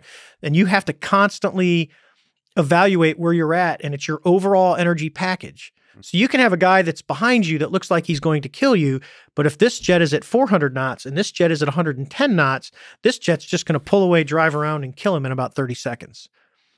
Right? It's it's overall energy package, and that's that you got to be constantly evaluating where you're at. And this is that 80% solution. Can I afford to do this or not? Yes, no. And you have literally a split second to make the decision. the most incredible dance of human decision making is just incredible. I know a million people want me to talk about Tic Tac, and uh, I, I definitely will. But let me ask the one last uh, ridiculous, uh, uh, uh subjective question: What's the greatest plane ever made in history? You don't get to from, like from uh, pure speed. I would say SR seventy one. I think it's an engineering marvel that was actually developed in the fifties by Kelly Johnson. You know, Skunk Works. Uh, for what that was able to do, and then when you get into history of it, you know how they actually built. Uh, the CIA actually made like six companies in order to buy the titanium from Russia to bring it back and build an airplane out of titanium that we would fly over Russia. It, to me, that's it's an incredible engineering thing. marvel. I think that like the X15, you know. By the, the way, this runs. this uh, SR sorry to interrupt. The SR seventy one still holds the the speed record for of any plane, as far as I can understand. Yeah, what's funny when you get into it is it's remember fast is relative, and when I say that, I mean so if you're going three thousand miles an hour, hundred feet above the ground, you're going three thousand miles an hour through. You know that's how fast you're going when you get up to altitude, there's an indicated airspeed and there's a, you know, your ground speed. So your indicated airspeed is really how fast the air is going past your airplane. Well, the air is so thin up there, you may only be showing like 300 knots. But at 300 knots, you're really doing 2,500 miles an hour over the ground. So, mm-hmm. uh, you know, like we would take the airplanes up to 50,000 feet when we had to do full the maintenance check flights on them. So when you're doing 200, you know, and you know some mod knots, you're it's actually slow for the airplane. It's you know, you're getting, you know, it's kind of like it's not, you know, there's maneuvering speeds. You know that if I hit a certain speed in a Super Hornet, that I have the full capability of the airfoil. If I'm below that speed, I'm going to stall the airfoil before I get to the maximum G. Okay. So when you look at something like that, you go, well, is it really going fast? and when you look at an SR 71 that's flying upwards of, you know, 70 plus thousand feet, the air's so thin, you know, just like the X15, you can get to a much higher speed, but the relative speed of the air going over you is actually relatively low. So the stresses on the airframe are not like they would be if you were down low. But because you're going fast to get enough air over your pitot-static system to show that you're going 300 knots, you're you're screaming. I mean, the fastest I ever got was I was with the uh, well, soon to be Vice Admiral White. So we had taken a check flight and uh, and I got it up to 1.78. I got a Super Hornet up to Mach 1.78, and it was and we were right by Pebble Beach too. And then it, what's that feel like? Or is, is it gets, like... when you get that fast, it started to me. It got a little bit weird because you realize in your brain, and I did, that there's no out if something happens, I can't eject. Yeah. Uh, the ejection would kill me. Isn't that kind of liberating in a way? Or um, no? or no, that okay, you, maybe you not. You always want to push the limit. You know, it's like yeah. how fast I could have got it going faster. It was it was literally still accelerating when I stopped, but I had it was fuel limited and space limited. Because I, you know, I'm I'm off the coast of California, Big Sur, and I'm going, and I'm, i can see Pebble Beach out in the distance. Uh, you know, the whole Monterey Peninsula. You're just going, and you're fast. doing almost 18 miles a minute. I mean, you're screaming. Yeah. I mean, that's and then you have to turn. Well, the airplane didn't have anything on it. It was a slicked off Super Hornet, so it was basically just the airplane. No pylons, no pods, no nothing. And then we had to get it turned around because we got to go to the exit point for the area. And I'm trying to get it down below to subsonic. And there's a bunch of things that are disabled, like the speed brakes that normally we pop out when you're going that fast. They don't because the Super Hornet really doesn't have speed brakes. It it deforms the flight controls. They don't function. So you really you're trying to maneuver, and when you're going that fast, you can't turn because a 7G turn at Yeah. 1.5 Mach is a pretty big turn. Um, so it's uh, just it's crazy. It's incredible that a human can do this. It's- and uh, a human can engineer that the system which allows another human to control that system. That's it's to me so it's beautiful. it's uh I think it's just it's it's one it's a great experience. was it sad to see the SR seventy one go? I think it was during your career. I mean, the- the- do you do you guys romanticize the different planes? Um, we would see it flying when I was flying Hornets because we I, West Coast flies in. It's called R twenty five oh eight, which is covers the Navy China Lake area and Edwards. It's a huge area. It's it's actually I think the we had a guy from Switzerland come out because they were they had Hornets and he's like this is bigger than our whole country because it's a pretty big area in California that you fly. Um, but you would see the SR seventy ones. They had a loop because NASA was flying them out of Palmdale, and they would take off and they'd go up towards Washington State and Montana, and they do a loop. And so you'd see them coming back down. They descend out of you know above sixty thousand. You'd see them. They get contrails, you know, the white lines behind airplanes, and it'd come down and hit the tanker, and then they'd go back up. So it was cool to be able to see them in my lifetime flying. Uh, but uh, you know, I think with money, age, um, the advent of satellites, uh, you know, because they're everywhere now. I mean, you've got commercial companies putting satellites up. Uh, how much of that need was really there? Because you got to remember when those things started in the '50s, Sputnik wasn't flying around. You know, Right. it was it was the U two and the SR seventy one that were out there doing that work. Um, so at the time, it was needed. It, it was at the if you think about it, really, it was an incredible feat of aviation for that time. yeah, I mean, literally, we have yet to pass that. And then you also ask, well, is there a need to pass that? I go, I don't know. We got stuff in space. So do we need to make an airplane that goes that fast? I think the next one is you get into the hypersonics where you don't have to put a person in. It does all kinds of crazy stuff. you know, the work with automation, all that kind of stuff. Yeah. So one of the reasons I wanted to talk to you is you happen to be one of, at least in my view, one of the most credible witnesses in history of uh, somebody who's uh, witnessed uh, a UFO, literally an identified flying object, and not only witnessed but got to how do you put it like chase it essentially Chased it. chased it. so let me just lay out. I think it's easier than you telling the story. Maybe me and my dumb simpleton ways trying to explain the story stories I understand it, and then Mhm. maybe you can correct me. Uh, so on uh, November tenth, two thousand four, the USS Princeton, which is one of the uh, the carriers, That's a cruiser. It's a it's a cruiser, It's a cruiser. so you can't land on a uh, No, a- helicopter It has a helicopter pad on the back. But Gotcha. So and it has weapons on it. Okay, gotcha. It shoots the missiles up. but it has a nice radar. Just Got an incredible Spy One system, phased array, four panels. So it looks in quadrants.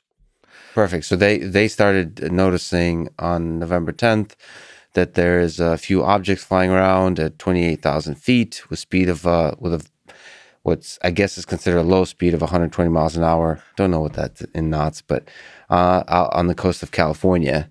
So and they kept detecting these objects for just about a week. Then comes in like your part of the story, which is on November 14th th- from the, I guess it's from the USS Nimitz. Uh, you flew and witnessed a 40 foot long white tic tac shaped object with no wings, flying in ways you've never thought possible. And uh, in some interview somewhere, you said, I think it was not from this world. So there, there's a mysterious aspect to this object, to this entire situation. Uh, there's videos involved. The video of a FLIR forward looking infrared Receiver. Receiver. There's also the visible light, so you can switch. Yeah, it I has mean, you- TV mode. It's a TV mode, so that gives you visible light, and then it has an IR mode. And uh, Chad Underwood recorded that video. So, and those are the videos that were released by the Pentagon later. One of the three videos. The two other videos, uh, Go Fast and Gimbal, were recorded in 2000 something, 14 and 15 15, yeah. uh, on the east coast of the United States that had different kinds of objects, but they were weird in the same kind of way in terms of at least the videos and the experiences that people have described were similar in in the degree of weirdness. But uh, the difference is is actually on the the East Coast, the 2014 case. Very few people have spoken about it, and even in your situation, very few people have spoken about it. So there's a mystery to it, uh, but it's in some sense it's a quite simple story without much resolution to the mystery, and it's fascinating, and there's a lot of opinions. There's division of opinions because uh, it's a mysterious. I mean, it truly is a UFO in the sense that uh, UAP. Uh, what is it? I, I unidentified Aerial aerial phenomena. phenomena. So, can you uh, maybe correct me on any of the things I've gotten wrong? Elaborate on some key things and describe that experience in general. So here's what I know. So yeah, we went out uh, on our mission to go train, uh, and they canceled the mission, and they sent us. And there's all kinds of rumors out here. There's all kinds of after this has come out. So originally it was the four of us. There's two jets, two people in each jet. They're F-18Fs. Okay. There is no video from our event. It was all four sets of eyeballs staring at this thing. And then when we came back and told it, when Chad and his pilot took off, that's when Chad got the video of it. And we're like, that's it. That's exactly that's it. And um So, when And- you say eyeballs, you mean literally your eyes are seeing a thing. yeah. So so as we're flying out, we get we get vectored. They come up and tell us, hey, we're gonna cancel training. This is a USS Princeton. So this is a Aegis cruiser.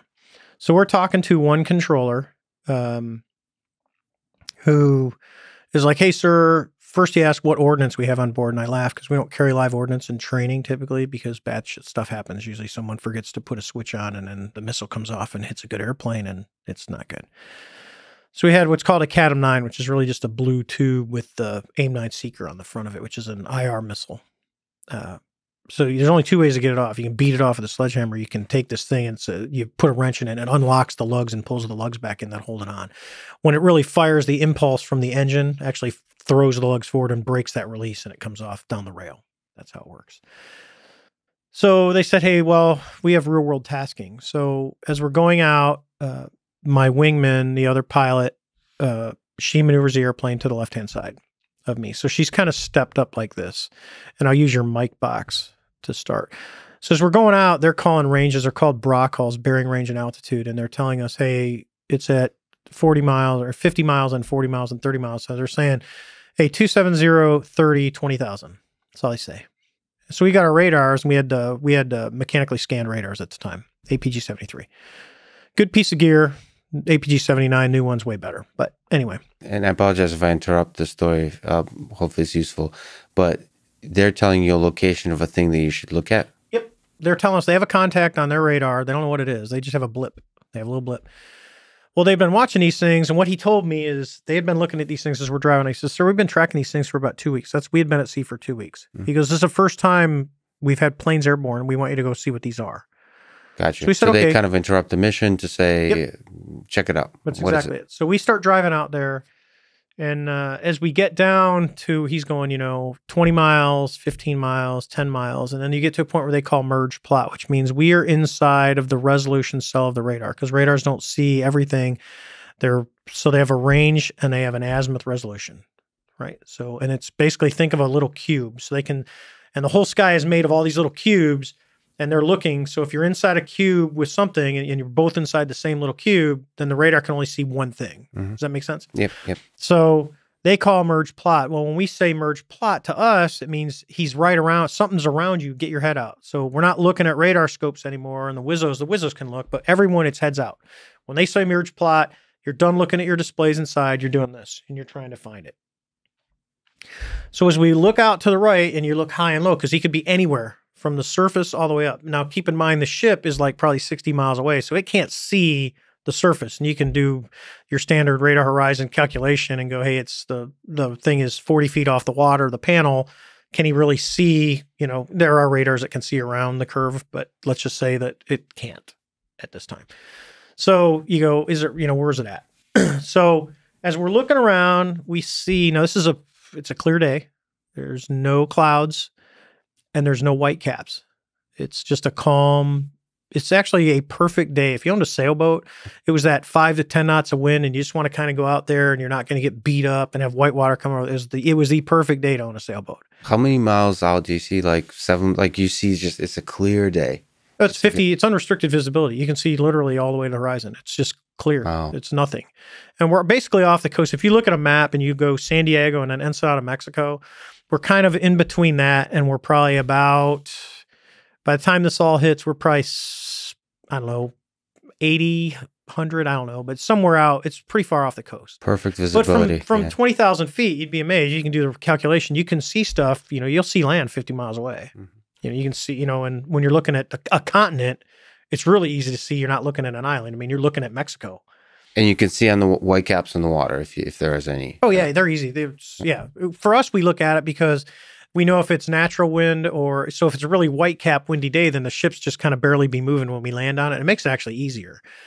If the ship has to move where it's got a big weight because it has to make its own wind when we land, which is the day that it was this day, you go, oh, okay. And it creates what's called, we call it the burble, but when the air flows across the flight deck, it drops behind the ship, you know, Mm, yeah. and then it kicks back up. So when you're coming board to land, it's going to make you go up a little bit, and then you're going to fall, and you got to con- you got to anticipate that to stay on glide slope. So we're, we're pretty we're pretty conscious of what's going on out there with the waves and the wind. So we look. There's no waves. There's no wind. There's no white caps, and we look down and we see white water.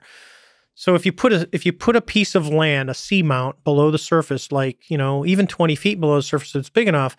As the waves come in, you know waves have height and length.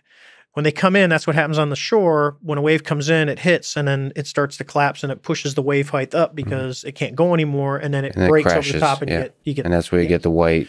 so what happens is at sea, when you get a seamount, you'll see stuff come in, the wave will crash, and you'll get whitewater. You can go out when it's high tide in, in any one of the coasts. You can go out here off of Boston and go, hey, at low tide, I can see those rocks, and at high tide, I can't see the rocks Mhm. are covered, but there will be whitewater around those rocks. You'll be able to tell there's something underneath the surface. Does that make sense? Yep. So that's what it was. We see, we don't see an object because there's all kinds of, oh, they saw this, they saw another craft below the water. We didn't see anything below the water. We just saw whitewater. But the white water, and I like to shape it, you can say it was a cross. I say it's about the size of a 737. So it looks like if you took a 737, put it about 15, 20 feet below the water, so the wave's breaking over the top, and you're going to get white water where the plane is at, you'd see this this kind of shape. So it looks like a cross.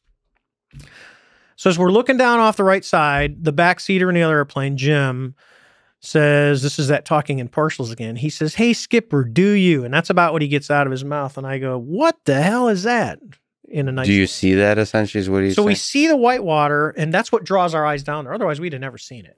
So we see this, this I would have loved water, to see the look on your face when you see that. Like, and then we what? see this little white tic tac because Yeah. we're about twenty thousand feet above it, and it's doing, it's going basically north south and then east west north, and it's, it's abrupt. It's very abrupt. So it's not uh like a helicopter. If a helicopter's going sideways and it goes once, it's going sideways left and it goes right. What it'll do is it'll go. It's got a speed. It slows down because there's inertia Yeah. and it stops and then it goes back the other way. This thing's not. It's like left, right, left, right with no So moving in ways that doesn't doesn't feel intuitive to you At like, all. of the things you've seen in the past. So as a pilot, the first thing you think is it's a helicopter, Right. right?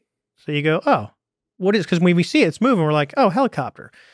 So the first thing you look for to see if it's a helicopter when they're doing that, because usually when they get down there towards that 50 feet, you'll get rotor wash. You see it in the movies when the mm-hmm. helicopter's by the water, it kicks, it, the water comes up the sides because the downdraft, you know, like a thunderstorm will do that. It pushes the air down and then it has to come out the sides. So you see it and you go, well, there's no, there's no rotor wash. What is that thing? Hmm. So by this time we're driving around. So as we're if we were at the six o'clock, we're driving around towards that nine o'clock position, and we're just watching this thing, and it's just it's still pointed north south, and it's going left right, and it's kind of moving around the object. And if it had, if I had to say it biased itself, it was biased towards the bottom half. So if you've got the east west and then the north south kind of across, it's hanging out on the southern thing that's hanging out. It's just kind of moving around up, down, left, and it's crossing over it, and it's going up. It's just kind of. So now we're like, "Oh, what the hell is that? So then I go, hey, I'm gonna go check it out. And the other pilot says, I'm gonna stay up here. And I said, Yeah, stay up high, because now we get we get a different perspective. Mhm. So she's up here and I'm down here as I'm descending. She can watch because right now all I'm watching is the tic tac.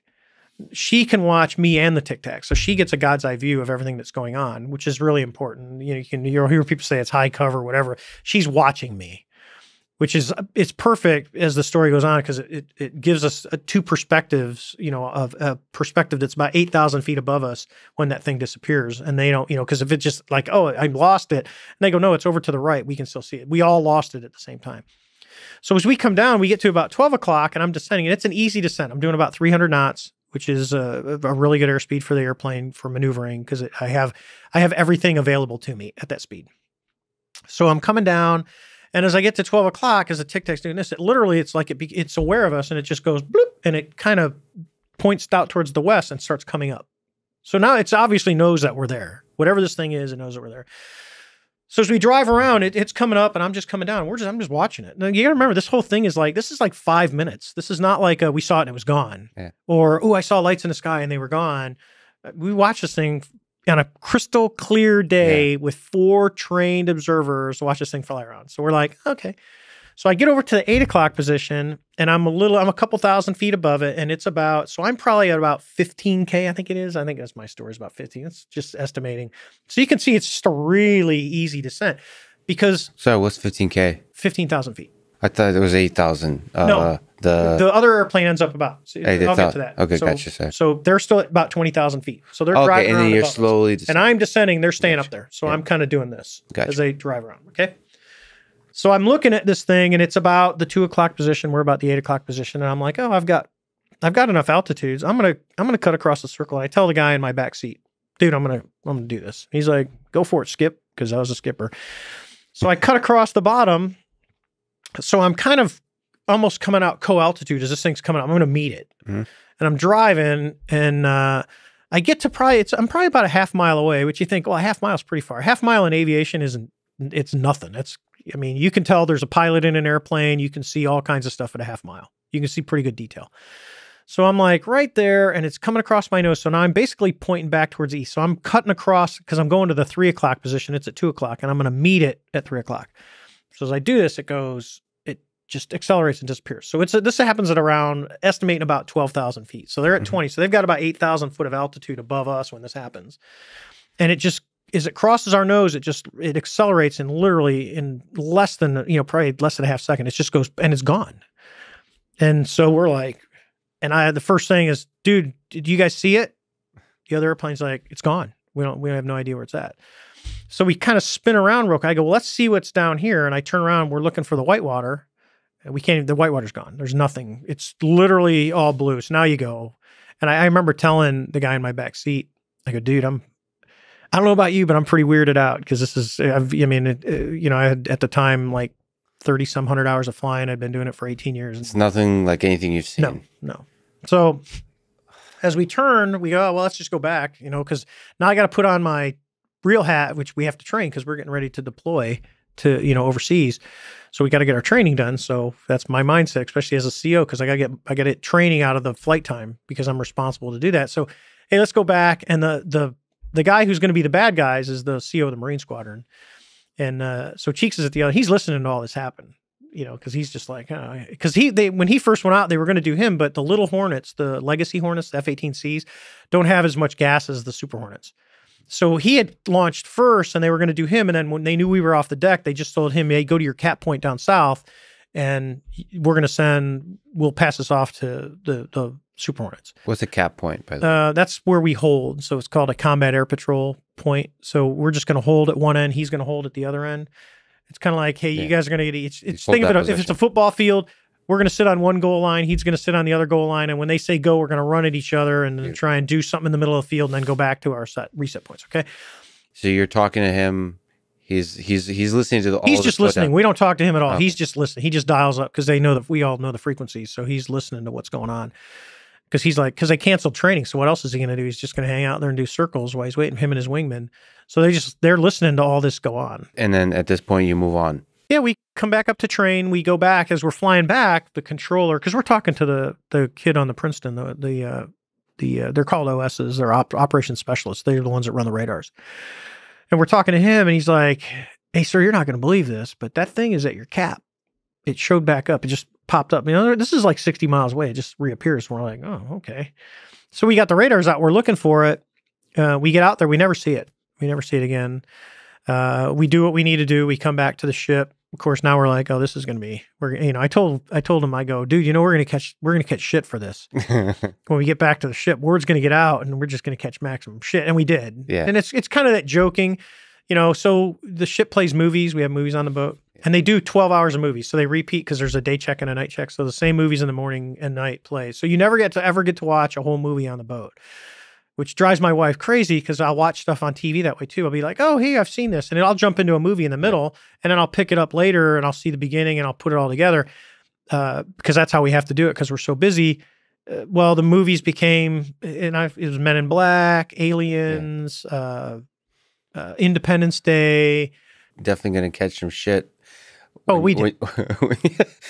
but let let uh, let me just ask some dumb questions. So just taking because it's whatever whatever the heck you saw, whatever the heck happened, it's you know one of the most fascinating things, um, events in recent history.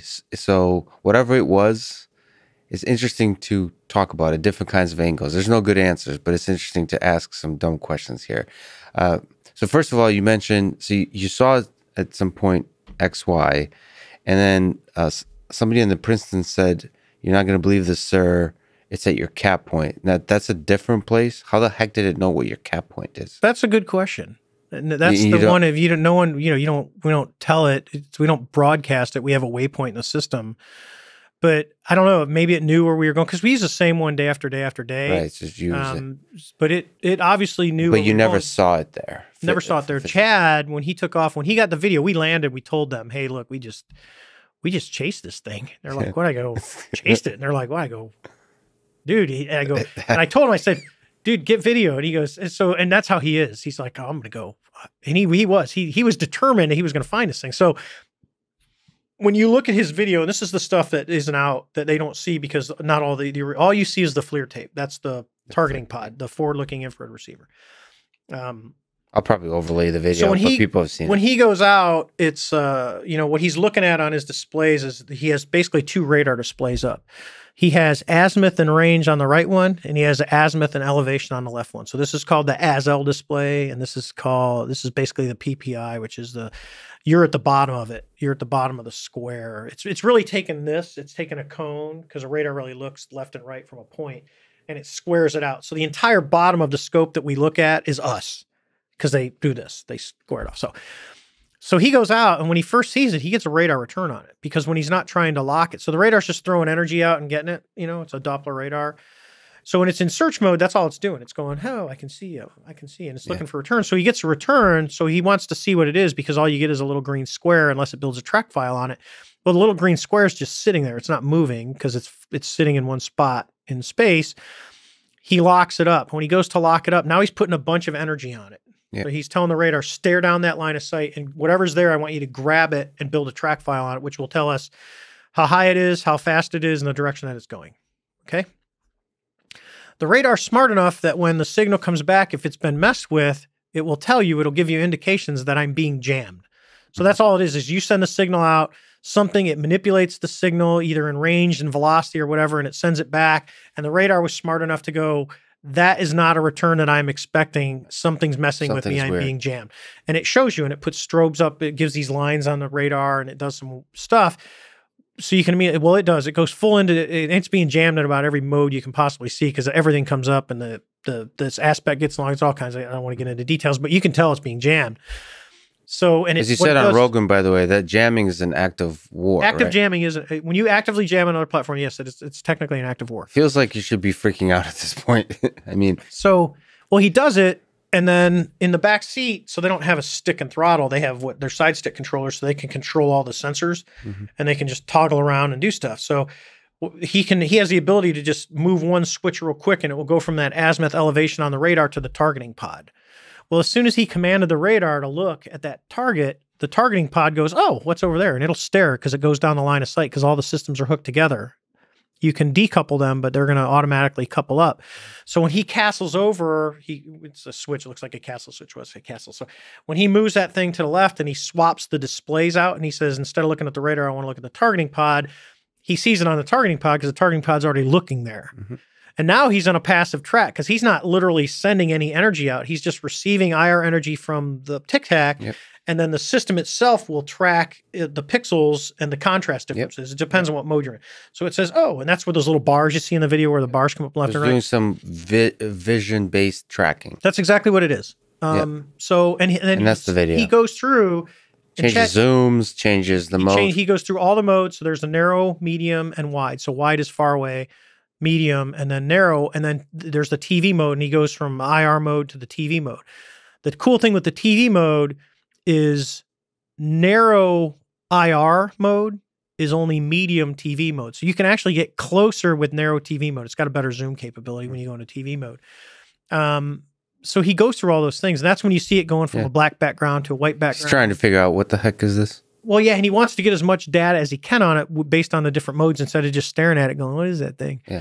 Um, granted, the so the the video has been out. It actually was on YouTube for years And no, before the government released it. it Someone was leaked uh 2000 what 7 about no, I got a the guy that was in my back seat sent me an email, and I had retired. So this is about no, because I was working. I was working down in San Diego. So this is about 2008, early 2009. He sends me a link to strangeland.com, which Great is not suitable for work. Oh, yeah, it's top notch. Yeah. Um, and he says, Hey, I can remember the email. Hey, Skip, does this look familiar? And I look at it, I'm like, how the hell did that get on strangeland.com? so next thing you know, it ends up on YouTube, which was cool because you can send a YouTube link to someone. You don't send strangeland.com Yeah. to someone because you don't know what you're going to get. Yeah. It's like Googling kittens. Yeah. Um, so, so uh, it ends up there somehow. so it gets on YouTube, which was cool because I would go out with my friends and we'd be drinking, and they they go, "Dude, what's the coolest thing you ever saw flying?" You know, it's kind of like you were asking what it's like, and I go, "Oh, dude, I chased a UFO," and they're like, "Get out!" And I'm like, "No, serious." So this is literally how it happened. So I was sitting with my friend Matt. So Matt and I did our my he was the guy in my right seat of the A6 when I did my very first night trap, right? And we were friends to this day, right? Because when you do stuff like people like that, you know, you I had to have faith in him. He had to have faith in me. You know, it's they're they Close. become like your brother. Close. Yeah. Um, and these are guys that literally, you know, I don't talk to him on a regular basis. Like Chris, who works at Apple, if if Chris called me up tomorrow and said, "Dude, I need help. I need this," I'd be like, "All right, let's figure this out and let's do it." Because it's Yeah. they're like family. You you do it, and most Navy guys, we don't we're not we don't send letters to each other weekly. You, you know, I have friends that could I haven't talked to in ten years. If they showed up on my door, we you know pop a bottle of wine, grab a beer, right shoot the to it. shit, take about first 10 minutes to catch up, and then it's it's like old times. And it's it's amazing how fast this happens. So Incredible. so I'm out to dinner with Matt, eh, um, and I'm telling him this story, and he's like, "Get out of here!" So he goes back and he tells our friend Paco. Um, Paco has uh, FighterSweep.com. It's a blog site. So Paco's obsessed. Like he is way into UFOs. Yeah. So Paco calls me up. He says, "Dude, I was talking to Maddie. That's what we call him." He goes, "I was talking to Maddie." He goes, "Dude, you you got to tell me this story." So I'm like, "All right." So I spend a chunk of time, and so he calls me one day, and I'm like, I get a voicemail. Hey, give me a call. So I call him up, and he answers the phone, but I can hear people in the background, and I go, "Hey, dude, what's going on?" He goes, "Hang on, hang on. I got to put you on speakerphone." I go, "What are you putting me on speaker?" He goes, "You got to tell the story. I'm having a dinner party." You got to tell the story. So he's literally having a dinner party with his cell phone in the middle of the table as I tell a tic tac story. Yeah. So he calls me up again. He says, Hey, I got this blog. And uh, he just writes about fighter stuff. Like he wrote about that we call him the shit hot break. That's a guy that when you're landing on a carrier comes and turns and gets ready to land really fast, like breaks it off right at the back of the ship. And uh, uh, one of the guys when we were junior officers on the USS Ranger, one of the department heads of the other squadron is a guy Nasty, and Nasty was notorious for coming in in a Tomcat and cranking off the shit hot break. Mhm. Right. So he he'd writ- he literally wrote a thing about the shit hot break with Nasty, and there's another guy, our Mav was our uh, one of our landing signals officers for the air wing. It just it was it's just it's a good article on how this was and how you know it it kind of forms you in naval aviation. It's kind of being kind of part of the club. So he's like, I got to write about this thing. I'm like, what? He goes, I got to write about it. I go, all right. I go because at first I would say no. I'm like, dude, I don't want this out there. Just So you haven't really before then talked about it much. no. My, I mean, my you- wife didn't even really know the whole story. What? Just as a comment, is it just because you caught some No, uh It was just, eh, I'll tell you what, three days, we, we had the incident for about two days. They played the goofy movies. There, there there's a comic on the back of the Air Wing schedule Yeah. that they would put. It was like, first one was a Far Side, and the second one was me and the guy in my back seat, and it was Men in Black, but it had our names, you know, protecting the Yeah. world, protecting the Nimitz battle group type stuff. It's Gotcha. just funny shit like that. Yeah. Um, so, Yeah. So that- no, that just to me, it wasn't that big of a deal. It was like, okay, that's weird. We're never going to know what it was. I want to get out because this is important. Yeah. Because there's all kinds of rumors. There's a group of folks that no one ever came out in suits to talk to us. N- nobody looking like me No, came out No. on a, on a uh, no, no so one came out on the a hel- helicopter. No one came out on an airplane. You know, you get, oh, I, I was told to turn over this classified. What's funny is all the COs, and, and several of them are still in the Navy. Uh, there's one that is a, he, I think he just finished up. He was a captain of an aircraft carrier, Yeah. you know, so he'll end up making admiral and all that stuff. Uh, th- those guys are all my friends. I talk to them Yeah. daily. just just to clarify so just for people who don't know there's a story that both on the nimitz and the princeton uh, folks in a helicopter landed. They showed up they took the data quote unquote so all the sort of recordings associated with this incident and they took it and presumably deleted it. Uh, there's a kind of story to that. And then uh, from what I've seen, you said that you believe, just like we were talking about offline, that jokes spread faster than, uh, any, or just rumors spread faster than anything on on, on these ships. Uh, that it was it might have been a joke that started, and uh, Well, they did. So here's the here's the joke. Yeah. So they had come down, right? We had the tapes. Um and they were Chad's tapes. So we use those tapes over and over again. You know, they're they're consumable, but remember I have a budget as a squadron, so I have a budget. So I have to buy those tapes. I have to all that stuff that we use, I'm accountable for. Yeah. And the tapes are actually classified secret because of the data that's on them. Okay? So we had the tapes. So the the secure the intelligence guys, the intel officers came down from what's called Civic, it's CVIC, which is Carrier Intel Center. Came down and said, "Hey, we need the tapes. These guys are going to come. They're going to come and get them." So, so, so we're like, uh, I'm like, oh, whatever, you know. So we hand them the tapes, and then someone, because I have, you know, you know people. Uh, Shortly after they came and got the tapes, someone came to me and said, "You know, they're they're messing with you. They're playing a joke." So I said, "Oh, well, let's see how well that goes, because you know, I'm I'm a CO and they're not." And uh, so I went down to Civic, and uh, it was a I think he was a lieutenant or a lieutenant JG, so he's way junior to me. And I said, "Hey, uh, I want my tapes back." And th- he looks at me and I go, "I know you guys are pulling my leg. I know you. There's no one came out." And I go, "And you have about 30 seconds to get me my tapes before I start tearing this place apart." That's literally what I told him. And I said, "And if your boss has an issue, he can come and see me because it's not going to go well." I said, "Because this is bullshit, and I need those tapes." Then he literally walked right over to a filing cabinet, opened it up. They weren't in a safe. He opened up a filing cabinet and pulled them out and handed them to me. Mhm. I said, and I basically said a few things to him, like, don't ever fuck with me again. Yeah. And I left. I had the tapes. So this, no one came out. There's no flying going on when all this is happening. And I took the tapes back and then I copied the tapes.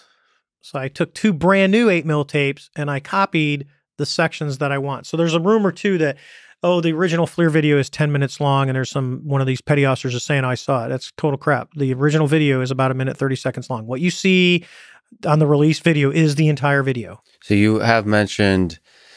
Uh, I apologize if I say stupid things. Please correct No, me. But you, you you have mentioned that, uh, like on Rogan, I think that you watched it on you know on a bigger screen. It felt like it was higher definition.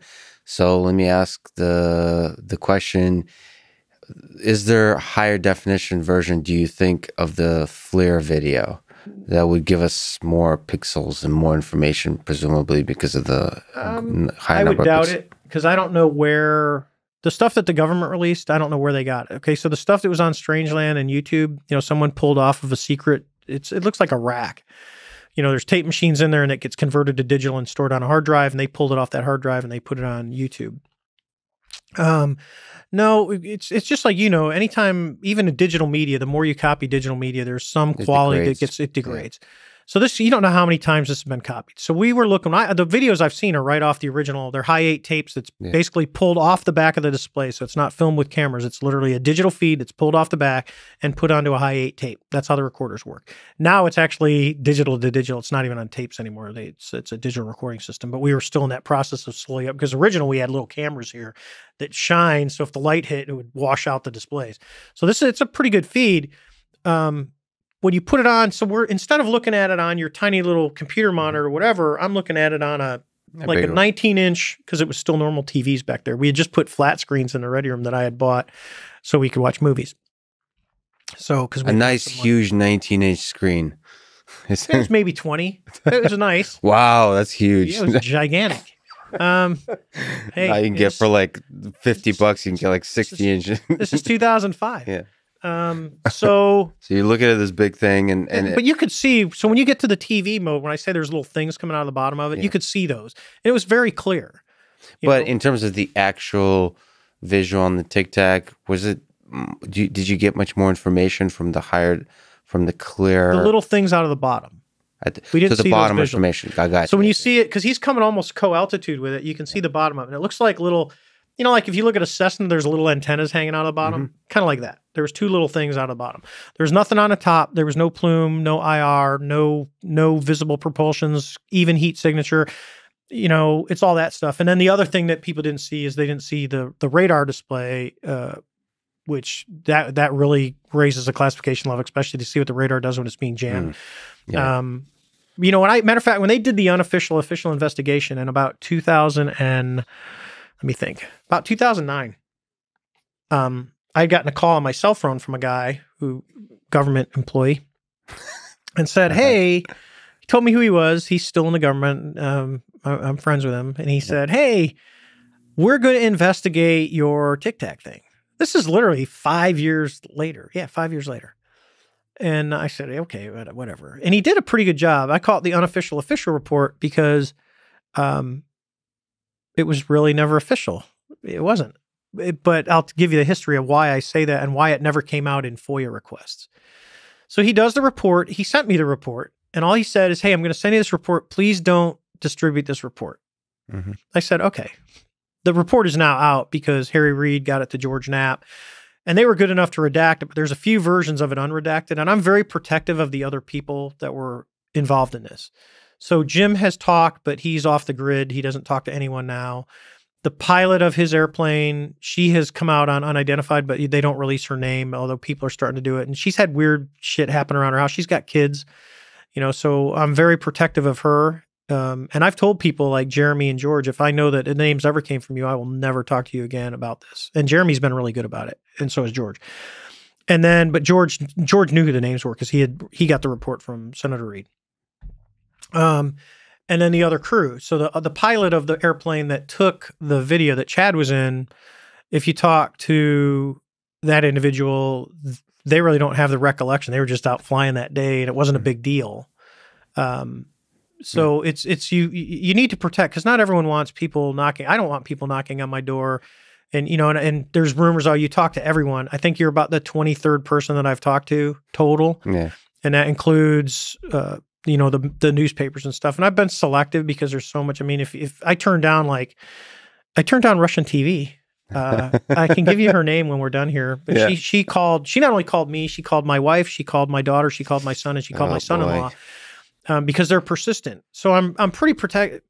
I'm, I'm very particular. I mean, the reason I'm talking to you is because I knew we would have a conversation that wasn't based just on the tic tac and the incident, but we Yeah. could actually talk about some of the science and some of the theoretical to get into to get more people involved to go Yeah. because I think there's you know and when you talk to you know Lou Elizondo or Chris Mellon you know the group at TTSA you know the that whole What's thing was TTSA? that's to the stars uh, academy Okay. yeah. that's the Tom DeLonge group that got started. So, and, and you go, well, uh, you know, because I think Tom has caught a lot of crap for this, but he's actually, when you talk to him, he's he's he's very smart. And I asked him, how'd you get into this? And he goes, oh, when I was traveling around with Blink 182, he goes, you read a lot of books when you're laying in a van as you're driving to your next gig Hmm. before you make it big. And he goes, and he read, he was reading books and he read one of them on UFOs. I'm trying to think the title. It's one of the big ones that's out there, real popular. And so he started just he started asking more, and through his fame with Blink 182 in the band, he got more and more connected.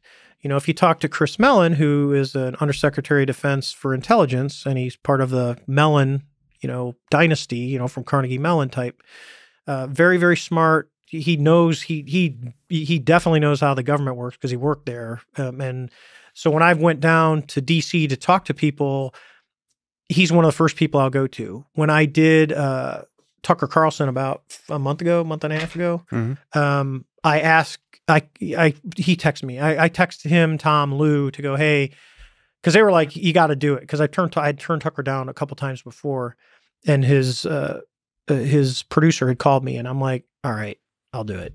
Because those guys like, you got to, you got to do this for us. So, from my perspective, just to give you some context, so um, to me, there seems to be some stigma. So, I come from the scientific community, and I really appreciate you talking to me today. And I think the people who listen to this include, um, you know, uh, fac- fellow faculty at MIT and major universities, and it feels like there's some stigma to the subject from from the scientific community. I, it, a lot of people, especially when they hear your story, are like, "Wow, this is really interesting," but you you don't even know. You one, you're afraid to talk about it, and two, you don't know what the next steps are. Like, how can we seriously try to think about what you saw? How to think about how we further look for things like it? How we develop systems and plans for how in the future we can immediately collect a lot more data and try to react uh, properly you know to try to communicate try to uh, interpret this in, in the best way possible from a scientific perspective and i i just would love to remove stigma from this subject uh, Well, I think that's the first step. We have done in this country an absolutely terrible job with these things. So you go, and I, I joke, uh, you know, go back to Roswell. So the first reports that came out of Roswell was we have this crash flying saucer. That's literally what came out. And then magically the next day, it's a weather balloon and they're showing you pieces of mylar. And you go, well, that doesn't look like what they showed us yesterday.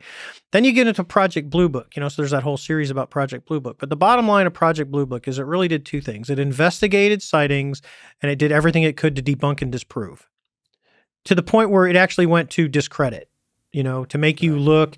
So there's always been this, uh, this, I don't know if you'd call it an aura around it or a mystique about UFOs that if you're talking about them, they're nuts with ours because I'm not a I'm not a U I'm not a UFO guy. I'm not a junkie. If you ask me, do I believe that there's life outside of Earth? I would say you probably have a better chance of winning the mega ball lottery than we're the only planet that has life on it in the universe. It just the odds are against it. I Yeah. If you're a, if you do just do the math, you have to accept because it if there only has to be one other planet that has life on it, and then I win and you lose. And then more, more and more science is showing that there's habitable planets out there that yeah it, it, everything we've learned so far and we know very little but everything we've learned so far about the planets out there exoplanets uh, earth-like planets it seems that it's very likely that there's life out there. Intelligent life is another topic but uh, life Well, we we as humans, you know, and even more as Americans, we have this hubris about us that says, ha, ha, "We are it," and you go, "Eh, eh, "Not so much." I maybe go, we're not so intelligent um, because we are. It, it's just how we learn. So you know, our main mode of transportation and what people figured out, you know, years ago was the internal combustion engine, which led us to jet engines and and solid rocket fuel. What if you're in another planet where you didn't, you figured out uh, the ability to create a gravity field or you used, you know, because electromagnetics are becoming bigger and bigger and bigger. You know, catapults on ships were steam powered and the new Gerald Ford is electromagnetic. Roller coasters used to use a chain to get you to the top of the hill. Now you, they shoot you with electromagnetics and you're going. So there's a whole new realm of propulsion that, you know, sometimes it's our ability to develop the technology to support the theory. Mhm. You know, we are just now proving, you know, recently theories that Einstein had where Yeah. people actually joked about them. And now we actually have the technology to prove that gravity can bend light. You know, we have proven that. So you look at that way and you go, well, does that mean that, you know, 70 years ago Einstein was wrong or 80 years ago Einstein was wrong? Or do you go, we just didn't have the ability to look that deep into space to actually find something that we could to actually measure. And you know, and I've seen, and that's just a hundred years, and and the kind of things that can happen in a few Look centuries. at look what we've done in the last twenty years. Yeah, it's crazy. I let me direct because it's such an interesting topic from a career perspective, from a science perspective. You're, I mean, you've spoke, you've been brave in, you know, telling your story, not some dramatic thing, but just telling the things you've seen. Did it encounter? Did uh, did it impact your career? Is that why more people haven't come out? Like uh, you've mentioned uh, Roswell. Like how what advice do you give to people to the community to me as a scientist for ways to go forward about this topic and still have a, a you know not being put in a bin in society that he's a loon or she's a loon or that person Mine is to get away from the little green men. Just d- d- divorce the two little green men. And you know, and I've talked to Lou Elizondo about this, you know, and and the group that they're working with, which is incredible. I mean, they've got Steve Justice, who used to run Skunkworks, where they built, you know, projects. now Lou Elizondo, we should mention was a program director He ran the ATIP program at the Pentagon. and ATIP was a program that was tasked with investigating any kind of uh, un- uh, UFOs, UAPs. So what's funny is the unofficial official report that I joke about. Yeah. The guy who wrote the unofficial official report was actually an original member of ATIP. And the original stuff that ATIP did was FOIA exempt. And people go, How do you know that? I go, Because I stood there with the memo in my hand that said these are it, it literally I watched the DOD memo that said it and it was signed.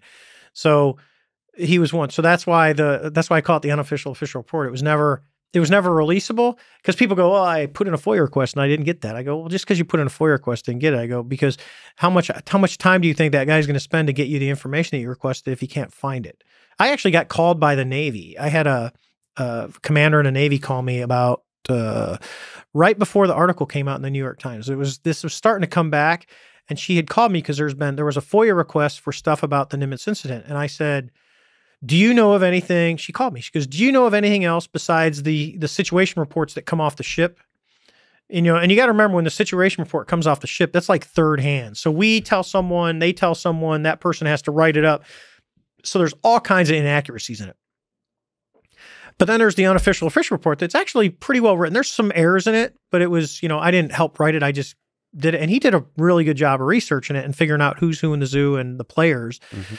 um so she called me and said, Is there anything out there? And I said, Officially out there? She said, Yes. I said, I don't know of anything. I knew of the unofficial official report, which is that one, but I'm not, you know, if you don't know about it, I'm not going to tell you because it's not my job. And nor did I care. I mean, did in that whole situation you, you mentioned Lou? I mean, did you think about your impact to your career? Like, just to get back to the question, did do you think others, other pilots, other thing, other people like in uh, Roosevelt are thinking about this kind of thing? Why aren't they talking about this? Why are people afraid Uh, to talk about this? Uh, well, honestly, the, the military and the press, there's a distrust. I'll just tell you that right now. Uh, we typically don't like talking to the press because if I talk to you, you know, especially when I do uh, even the TV shows, you know, because I've been on a couple of shows. When you look at it, you, you know, they come to my house and they film me for two hours. Yeah. And And- then and what you see on the screen something. is five minutes. Well, and the and the other thing with the press, let me give you my perspective from autonomous vehicles is the clipping happens, yes, but also the incompetence. Let me just call out journalism. they they're not thinking. de- they're- I mean, so so here's the thing. I've uh, I have a PhD and I've taken painfully too many classes from uh, like physics and math and I also have a deep curiosity about the world. I read a lot. That seems to be missing with journalism. So you're talking to a person who is not going to push the story forward in an interesting way. Not the story, but the actual investigation of uh, perhaps one of the most amazing things that humans have witnessed in history. Like you, it might have been nothing. It might, who knows what you witnessed might have been from a sort of debunking perspective, might have been some kind of trick of mind. You've, you and others have hallucinated something. There could be some simple explanation, but possibly it was uh, something not of this world. And to not do justice to this story from a scientific perspective, it, it seems at, at best negligence. And so, yeah, Well- that's true for journalists. That's true for other scientists. We, it's just a, it's human nature.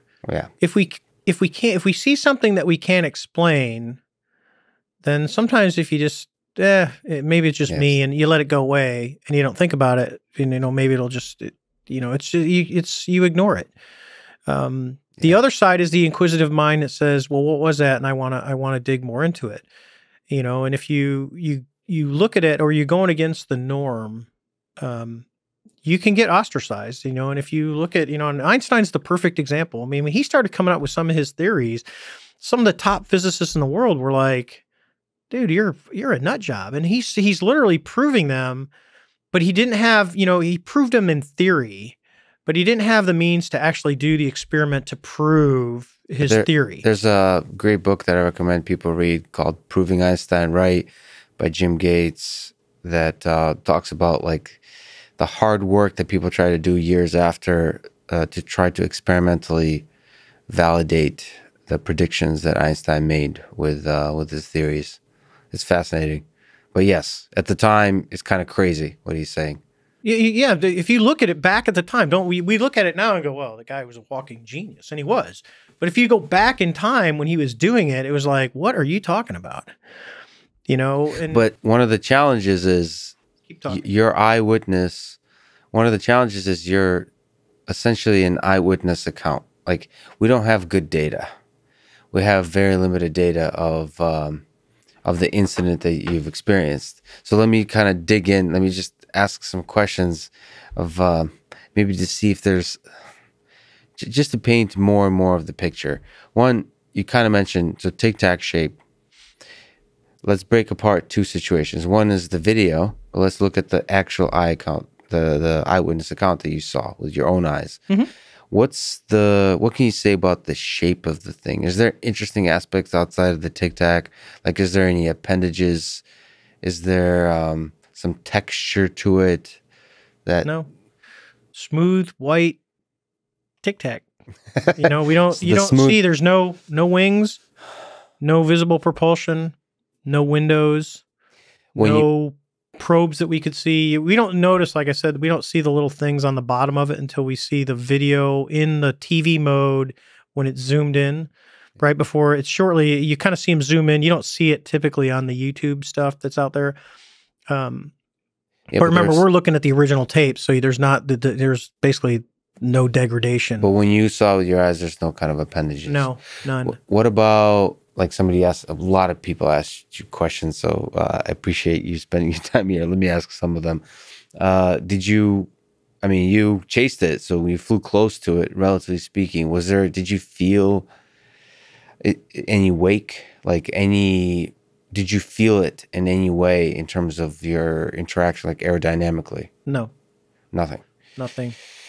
so uh, another aspect of it, there's an interesting thing. You've developed a feel for for objects in the air.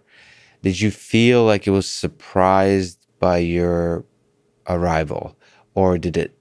Let me ask a few questions around it. So, did you did it feel like the thing was surprised? Did it feel like it wanted to be seen, almost to show off its capability? did uh, and did it what did it feel like relative to if you were doing a um, uh, an air fight against uh, sort of like a I don't know a, a foreign jet? So one, I think it. I think it knew we were there when we showed up. Uh, it's just it's me. Uh, it's kind of like an animal. If you've ever been around deer in a field, you know the deer will look up, and if it sees you and you're on the other side of the field, it'll actually go no threat, and it'll start eating. You know they don't put their tail up. As you move closer to the deer, then it goes, oh, it's there, and I'm going to react or I'm going to move. So as we were up high and it's down doing whatever it was doing, um, you know, which I don't know. Someone asked, "What do you think?" I go, "I don't know. Maybe it was communicating with something." I joked on Good Morning America. Maybe it's like talking to the whales, kind of like Star Trek, you know. and I actually used that clip. It was kind of funny, but yeah, um, we're a little human centric. We think like it would it it show up to talk to us, but maybe it's Yeah. talking to the dolphins. maybe it was yeah, it was to whatever you know because it was hanging around that white water, and I don't know if was there something there, was there seamount? We just didn't find it again. I don't know. But once we started to descend and it actually reoriented its, its longitudinal axis and it started mirroring us coming up, then it was obviously where we were there and it was really coming up. Just, you know, you figure I'm at 20 and it's coming up and it ends up getting up to 12 uh, where I cut across the circle, I think it was very aware that we were there because it interacted. We call it a two circle fight when you're fighting another airplane. Um, but, uh, you know, was it, was, were we afraid? I don't think so. I mean, and to me, I was more curious. You know, the What- curiosity overcomes any fear that you would have. And I always felt, to, to be honest, if I was inside the airplane, uh, especially as long as much time as I'd spent inside the airplane flying and doing stuff, I felt totally. It was like a safe zone. I mean, Yeah. I I felt totally comfortable inside the airplane as most. pi- You can't if you're in the airplane and you feel scared. It's not the job for you. Right. You have to feel that because the airplane is part of you now. You know, I am inside. I have the stick. I have the throttles. I've got my Wizzo in the back seat. He's running all the displays. We are a team. We're in the state of the art airplane, you know, brand new. You feel pretty good. And then you get something that, you know, can climb from the surface up and then accelerate like it did, like it was like no big deal. You know, for an airplane, if, if you just put me from a standstill, let's just say slow flight, just get me at 100 knots above the water. And for me to, you can't just start a climb. I'd have to lower the nose, I'd have to accelerate, and then I'd have to start coming up. And uh, this thing just like, just did it like it was like no big deal. Yeah, you mentioned that, like, you, kind of your reaction to it was, uh, it, like, it's something that you would love to fly almost. Uh, so this object, just the curiosity you experience is like, like what it almost like, what the heck is that piece of technology, and I want to fly it. Like, what made you feel like it's something that you could fly? Do you think it's something that a human could fly? like in terms of interpreting what you saw as a piece of technology because another perspective on it is it was uh, not it, that the thing under the water was the key thing and what you were seeing is some kind of projection or something that like I don't think it was a projection. I think it was a real object. it was an ob- a physical hard object that Oh, yeah. you, could be f- flied Oh yeah, yeah. I think all, all four of us will tell you the same thing. It wasn't. It wasn't. This was not because you go. Okay, let's just go on a. Th- it's a light projection.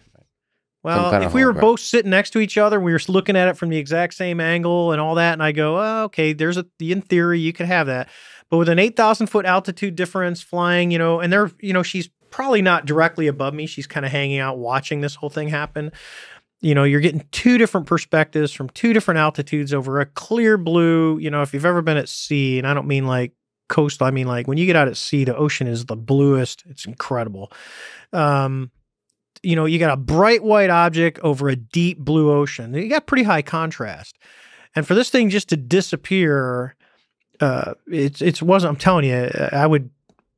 I mean, I know we we all have the same uh, recollection of what Yeah. happened. You know, there's So some details because it's so long ago, but for the most part, we know what we saw, and we all came back and looked at each other like, "What the hell was that?" What if, I mean, do you think about the thing under the water that's not often talked about? If there's something under the water, couldn't have been something gigantic.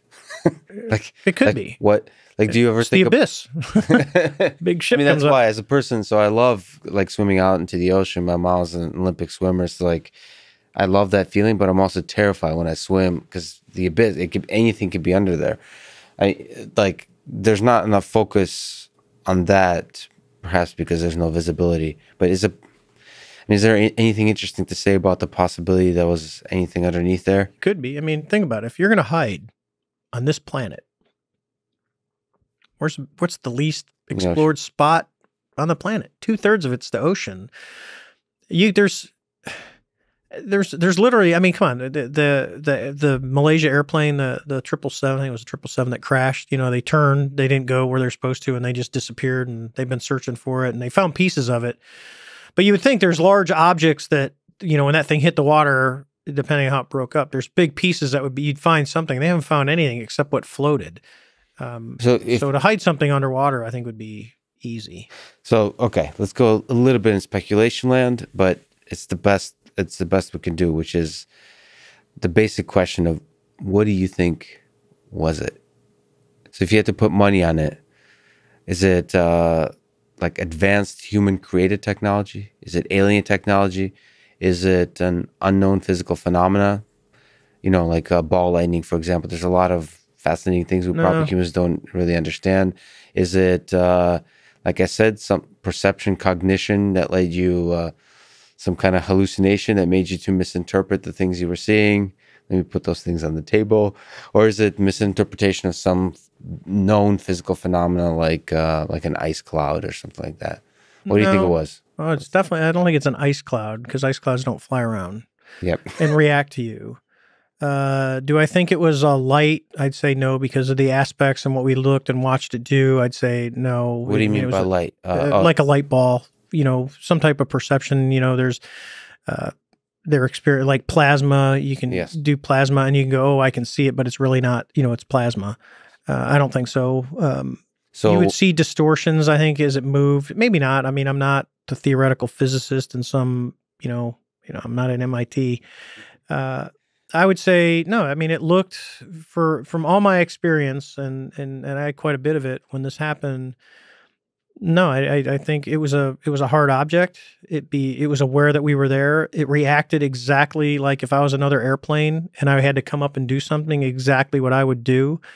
You know, it mirrored me. It did, wasn't aggressive. You know, there's talk. Oh, it flopped behind us. and never. It was never offensive on us. It never did that. It just mirrored us. So as we're coming down, it's just like you know, you're you're kind of, you know, you said you do martial arts, you know, or wrestling. You know, you see people out on the the uh, when they get into the ring, especially with collegiate wrestling, because my roommate in college was a collegiate wrestler, so I de facto became a wrestler because he he beat me up every night. yeah, We joke. I talk to him literally probably three, four times a week. Yeah. Um, but you know, you see wrestlers when they get out, they kind of you're kind of Yeah. feeling each other as you walk. And boxers do the same thing. It was doing that same thing. It's like what's going on as it comes around, as it comes around, and then it was like, hey, we're gonna get here. And when I got too close to it, it you know, it decided I'm out of here, and then it it did something that we've never seen. The other question is, what if I didn't cut across the circle? What if I just kept going around a circle? we just keep going. Could like I that. could have just watched it? I mean, my one regret out of the whole thing is uh, we have a camera in our helmet, in the joint helmet. There's a little camera, but we never use it because it's nauseating to watch. Because if you've ever put a GoPro on someone's head where they're looking around like this all the time, it'll it'll nauseate you. So we never turned that on, and all you know, it's the one thing I didn't do is reach down and hit the switch Yeah. you know and then we didn't go back and because our tapes didn't have anything because we didn't get it on radar um because i tried to lock it up because i can move the radar with my head but i couldn't it wouldn't lock the radar wouldn't lock and so So then the question is, and this is unanswerable, but let's try to get some hints at it.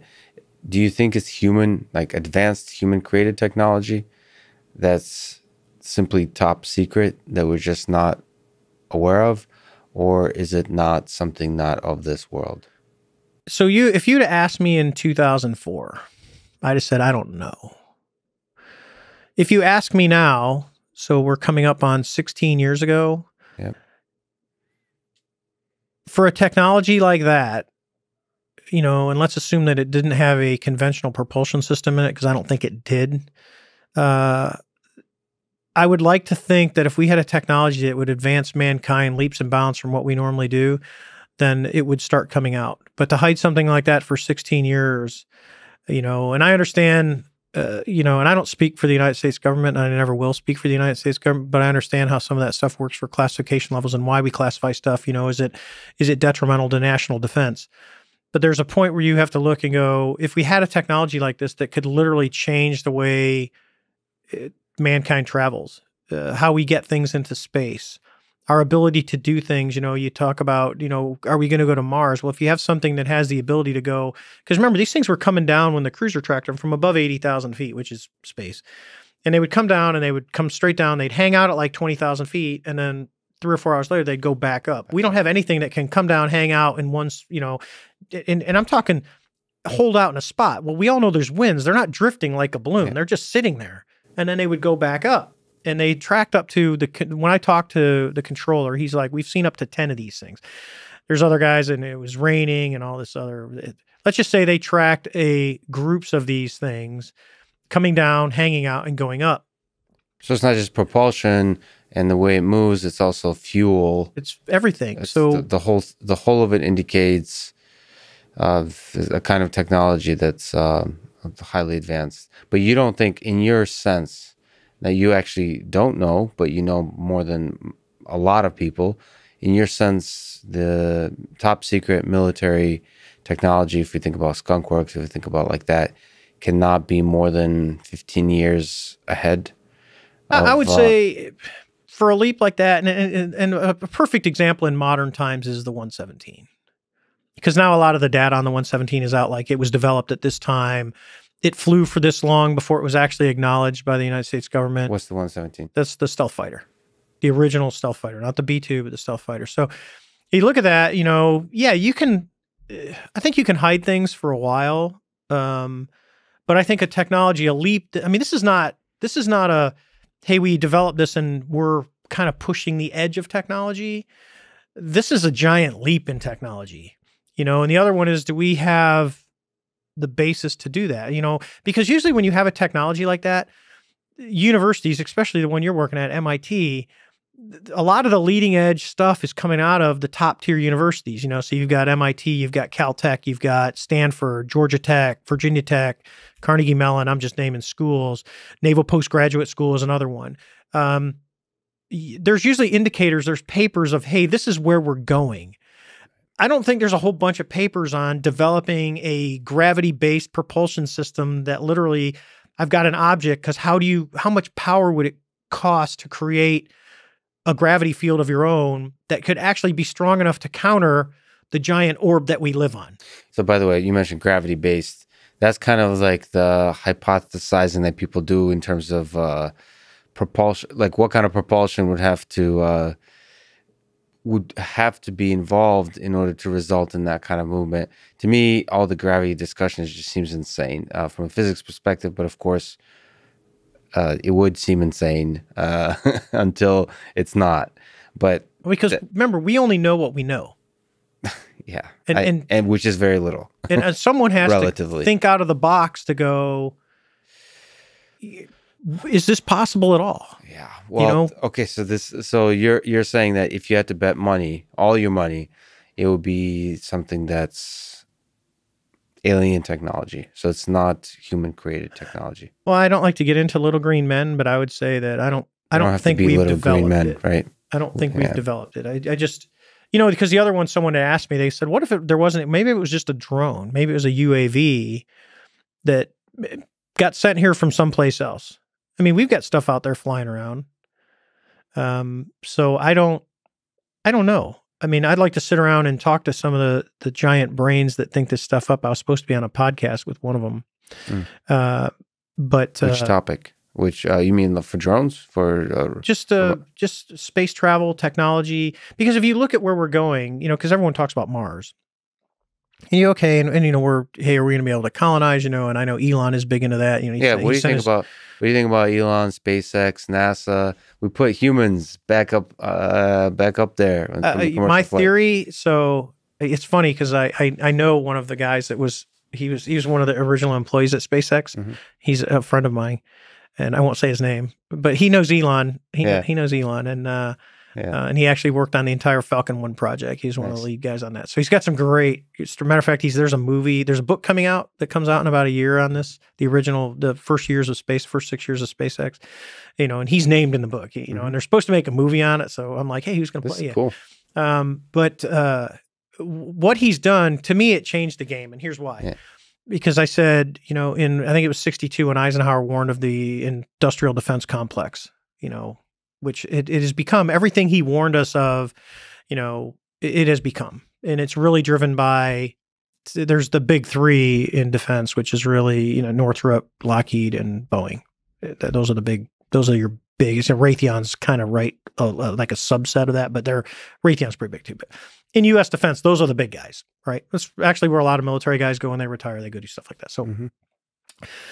um, when you look at that and you go, and the way government contracting is working and how we charge and you know why things cost so much, and then you go, you got Elon, who's got an ego, you know, and he doesn't like to do things a certain way. And I've talked to the guy that worked there on, you know, because the government likes to have oversight of contracts where he was like, no, just tell me what you want. I'll build it and I'll give you a bill when it's done. Mhm. And then if I do it for half the price, I make a ton of money because he's money driven guy, Yep. which I like capitalism at its best. so now you look at the two things. So you got the the SpaceX, which is the Dragon capsule, right? And then you've got Boeing. So Elon did what Boeing is contracted to do in less time for half the money. Yep. And oh, by the way, because he can reuse the boosters because they come back and land, and you don't have to like Morton Thiokol. We reused them on the space shuttle, but they had to take them all apart and do a bunch of stuff because they landed in salt water, and then you had to put them all back together. Where Elon gets him down because I was joking with this guy. I go, well, what do they do? Do they like re rehaul, you know, overhaul them? He goes, no, actually, they clean them up and they can use them again. They're reusable systems incredible leap in technology that no one thought of, but here's a private company. So being able to put people on and the capsule and the spacesuits, I mean, it's literally like sci-fi when you watch when they went up. So I'm a huge fan of what he and his company have been able to do because you know the fact that we were paying huge amounts of money yeah. to the Russian government, you know, and oh by the way, if you didn't know, because I have some friends that are astronauts, uh, they all have to learn Russian right? yeah. They have to, and they have to do it's what level five where the test is a phone call. Yeah. Where they call you up and they, you know, because they would go. So I went to the pinning and two two friends of mine. The one actually had a mission date. The one got one later. So it's cool when you're watching your friends doing a spacewalk. Mm-hmm. You know, because I would pull up because if I knew it was going on, I'd pull up the NASA thing. I was in a meeting one day and I've got NASA on, and and makers out there floating around, you know, doing his stuff. And I saw one he's in the space station while they're doing a spacewalk. So it's kind of cool when you go, oh yeah, I know that dude. He's up there in space floating around. Um, so when you when you look at what those they're capable of doing, and then you go what Elon is bringing to the fact that now it's back in America. It's actually to me it's it's cost effective for us to be able to do more stuff I think it opens the door to do we go back to the moon? Is there a reason to go back to the moon? Personally, I think if we're gonna if they're really gonna go, you know, in years from now go to Mars, I think that the moon is the stepping stone to go back to start proving some of the technology to go, hey, we can build this, we can get on the moon, and now we can get back off the moon. Uh, because we did this on a less than a compact computer in the 60s, which is mm-hmm. the whole reason that I flew, because I'm obsessed. Matter of fact, I have the giant Lego Apollo at home uh, and the lander. And I have one that my dad built me in 1969 right after that.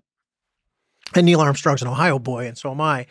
Matter of fact, I have a picture of him in nice. a car in Wapakoneta, Ohio at the parade after he walked on the moon because his parents didn't live far from my aunt and uncle in Wapakoneta and they were out at the parade. So I've been obsessed with this since I was a child. Uh, do you hope to, uh, do you think, do you hope that you'll go out to, to space one day? me if they, if I had the opportunity, I'd go in a second. You know, I am not. Because I mean, that's one of the hopes of the commercial space flight is that, you know, uh, like people like, I mean, it would be to, uh, tourism, but you certainly wouldn't want to, in terms of you're now kind of a civilian, right? I mean, in a sense that you're just a normal person. You're not a fighter jet pilot currently, but it seems like if we send a civilian up there, it would be somebody like you in the next like 20 years I'd be, uh, you know, if Elon wants to throw me on one of those things, I'd be all over it. I don't know what my wife would say, but you know, sometimes you gotta gotta get your kicks while you're alive. I'd love to hear that discussion um, with your wife. Listen, there's the pros and cons. uh, she's she's. I mean, I've known she's her since board. high school, so she, yeah, she knows how I am. You yeah. know, most people that know me are like, yeah, you're pretty much the same person you were in high school. You know, I was I was a class clown, and I still am that way. Um, so let me ask you this question yeah. about. So I'm talking to Elon again soon I'm curious to get your perspective on it.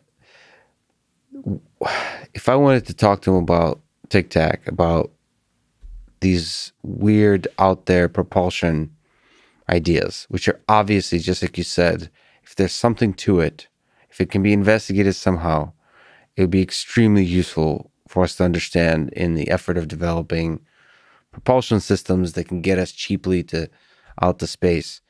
What what should Elon think about this stuff? What should he do? What should people like him? I think people do? need to open their aperture up and stay off of, uh, take the next step and go, you know, we are tied to fuels and either solid rocket or liquid or, you know, whatever we do, but it's, it's a thrust generated where we rapidly expand gas to create thrust. Just really in, in layman's terms, you know, we can get into what, but it, that's what it does. Um, if you have something that you can contain that is a is a fuel source that would last a significant amount of time. You know those rocket boosters go, and when they're done, they're done. There's enough to get them back down. That's it. There's not a huge, you know, not coming back and go, oh, I still got three quarters of a tank. Let's bolt them on and do it again. His system's not doing that. Um, but you know the way the way contracting, especially in the government, the government has tons of money, but you got to remember the, the government has to justify how they spend our tax dollars for the most part. There's times where they can hide money in the budget to get stuff done. But then when you look at, and I'm just going to throw a few out there, but if you look at uh, what Amazon, you know, does with Bezos, and you've got Elon, um, there's some there's some big money out there Yep. I mean, you're talking, you know, Bezos alone could buy companies like big companies. Apple's another one. These these companies got huge, huge amounts of money, and then just go over to the Gates Foundation, and uh, they've got gazillions and gazillions of dollars. We've got universities. There's so much money out there. If we really wanted to do it, aside from what the government wants to do, because we do live in a free society, I think there's enough to go. How do we do this? And because when you work outside of what the government would want to do, let's so let's not we're not working on this necessarily for the United States, although I am a huge giant. I will be American. I, I would never. Yeah, I am an American. You're talking to somebody born in the Soviet Union. So- I can't believe you agreed to this. um, but but when I y- no haven't killed me yet. no yeah well you're here What? Yeah. Um, you've, and you've been here for a while. Uh, no, no, no. I'm, I'm joking. I'm, I mean, American citizen. I'm actually pretty much American. through But see, when you do point. that, so you look at let's just look at American universities. yes. So there's some brilliant minds, and we'll just use MIT because you work down there. Yeah. There's some brilliant minds, but there's a huge chunk of those brilliant minds that are not American citizens. So if you want to get into government stuff and you are not an American citizen, it gets really, really, really hard. But if I take money like Bezos money, Elon money, and they, let's just say they want to work together, they can split it up 50 50, the two of them, when the technology gets developed. But now I'm not constrained by who has to do the work. I just want to make sure that I try and keep it in the United States because technology is technology. And if it gets developed and gets over to where, you know, uh, a country gets a hold of it and then just basically uses it for their own because you save them all the research time, uh, you don't want to do that. But if we can get to the point where we can, we do it on the International Space Station. We realized that space was too expensive for one country to do alone. So we made the International Space Station and we have a conglomerate. It's the one thing that the Russians and the US actually work together on. Mhm. Think about it. That's it. We work together on space because we realize it's way too expensive for us to do alone and effective. So we've got this thing that's been out there floating around for God now, what is it, like 20 years that thing's been up there floating around? So it's getting old. We're going to have to replace parts and do stuff. But if we can pool the money together and come up with a something that would literally change mankind and change travel and allow us to actually do a, a more effective thing of exploring, because if you develop that technology, I'm not. You don't even have to send a man person. If you can develop a technology that's so, and with our automation and where we're progressing and our our, our computing power, to send something out that's not just floating around when you know that can react a lot quicker. Something that could actually go down to the surface and come back up. So right now, everything we get out of Mars, it goes down there and then it just sends data back. It Mhm. analyzes. But if I've got a technology that can go up there really quick, I'm not worried about man. I don't have life support systems and all that, but it can go down, it can go, it can cruise around, it can hover above, it can take samples, and it can actually take Martian soil and then bring it back Yeah. so we can analyze it here. That, that's a game the game, changer. yeah. It's a complete game changer So- because it opens up all the planets. Exactly. So in a sense, the the the Tic Tac is a symbol. So uh, whatever you think, even from a debunking perspective, there's a non-zero probability that it's alien technology, and in that sense, it serves as a uh, beacon of hope and an, a reason to, like you said, widen the aperture and to invest big amounts of money into thinking outside the box. Like it's almost a, a hope to say we can do better propulsion. We can overcome physics in an order of magnitude better way. And it's worthwhile to try. I think, and I don't think the money, if you look at the big picture with the amount of money, some that's out there floating around these private companies, you know, I think if you said, hey, I've got, let's just say $100 million, which really $100 million relative to Bezos has got what, 100 and some billion dollars in net worth. yeah. So if he said, hey, 100, $100 million, you drop $100 million, and I go, and I'm going to put a, you know, like the government will send a, a broad area announcement out that says, hey, we're looking for this technology or a DARPA program. But what if I just said, hey, who, who's to stop Bezos and Elon from doing that on their own to say, hey, I want to go pool universities because they have fewer restrictions because it's not tax dollars. They don't have the checks and balance. They can do whatever they want. It's their money. Oh, sorry about that. Mm-hmm. Um, to go, hey, I'm going to put this out and I'm going to get the best physicists that are working at CERN, that are at MIT, that are at Caltech, at the schools I mentioned. And, and oh, by the way, a few of these guys are propulsion experts. And I'm going to basically, I'm going to fund you guys for 10 years. So you get $10 million a year and I'm going to give you your salaries and we're going to do that or whatever the amount works. So let's cut it down to five so we can pay you well, right? To do the research. But oh, by the way, the research is, it's not classified, but it's controlled. So we're not going to publicly just put this out in journals. But if we make a leap that we think would advance, because although those, let's say there's 10 of them, those 10 scientists come up with something and they put out a paper, mm-hmm. there might be another, a, a number 11 at another university that reads that paper and says, Hey, I kind of had this idea.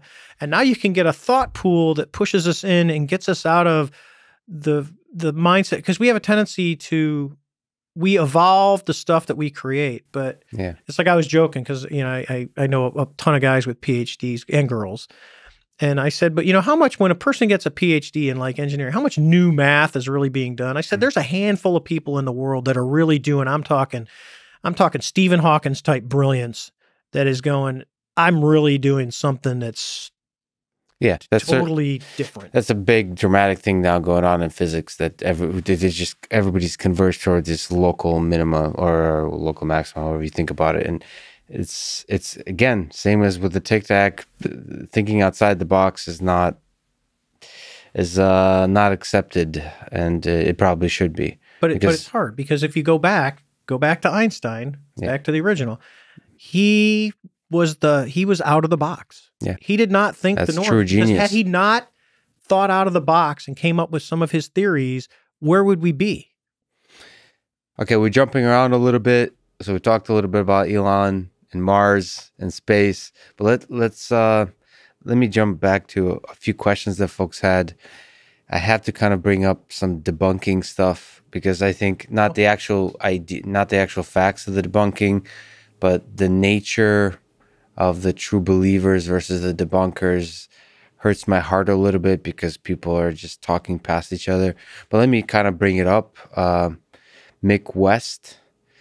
I've just recently started paying attention just in preparing to talk to you about this world. And Mick West is one of the better known people who kind of makes a, a career out of trying to debunk. Sort of, he's a his natural approach to all situations is that of a skeptic. I think it's it's very useful and powerful, especially for me coming from a scientific perspective, to take the approach he does. It's valuable, and uh, I think no matter what, I think there's. I hope that people, quote unquote, true believers, are a little bit more open minded to the work of Mick West. I think it's quite useful and brilliant work. So let me ask. Uh, he has a bunch of videos, a bunch of ideas where he kind of suggests possible other explanations of the things that were out there. Uh, he has some explanations of the things that you've seen uh, in, um, in, with the tic tac, like with your own eyes. Like he says that uh, it's possible that you miscalculated the size and the distance of the thing and so on when you were flying around. I don't find that as. Uh, I mean, maybe you can comment on that. No, let, let, me do it right okay, now. Sure. So, because that comes up, like how how did you know it was about forty feet long? I go, okay, so sixteen years flying against other airplanes, know what stuff looks like. You know, I've looked down on things. So if I know, I I know. Here's the known things. I know when we saw the Tic Tac, I was at twenty thousand feet ish, right around there. So when I look down, I know what a hornet looks like looking down on them because I've done it for all those years. I mean, I got a good idea. So that's that's why I said 40 feet because it's about hornet size. So, and as I go around, you know, you get to the point where you have to be able to judge uh, distance when we fly out of experience, and you can tell if something small or big, you know. Um, so I would argue the fact of you know pure experience. There's you know yeah. Uh, professional observers, which is what we're actually trained to do. Um, and having done it for so long, no, it was, and everyone came back with the same thing. They're like, yeah, it was about the size of a hornet. From a human factors perspective, how often in your experience of those 16 years do you find that eyes, what, what you see is the incorrect state of things? So, like, how often do you make mistakes with vision.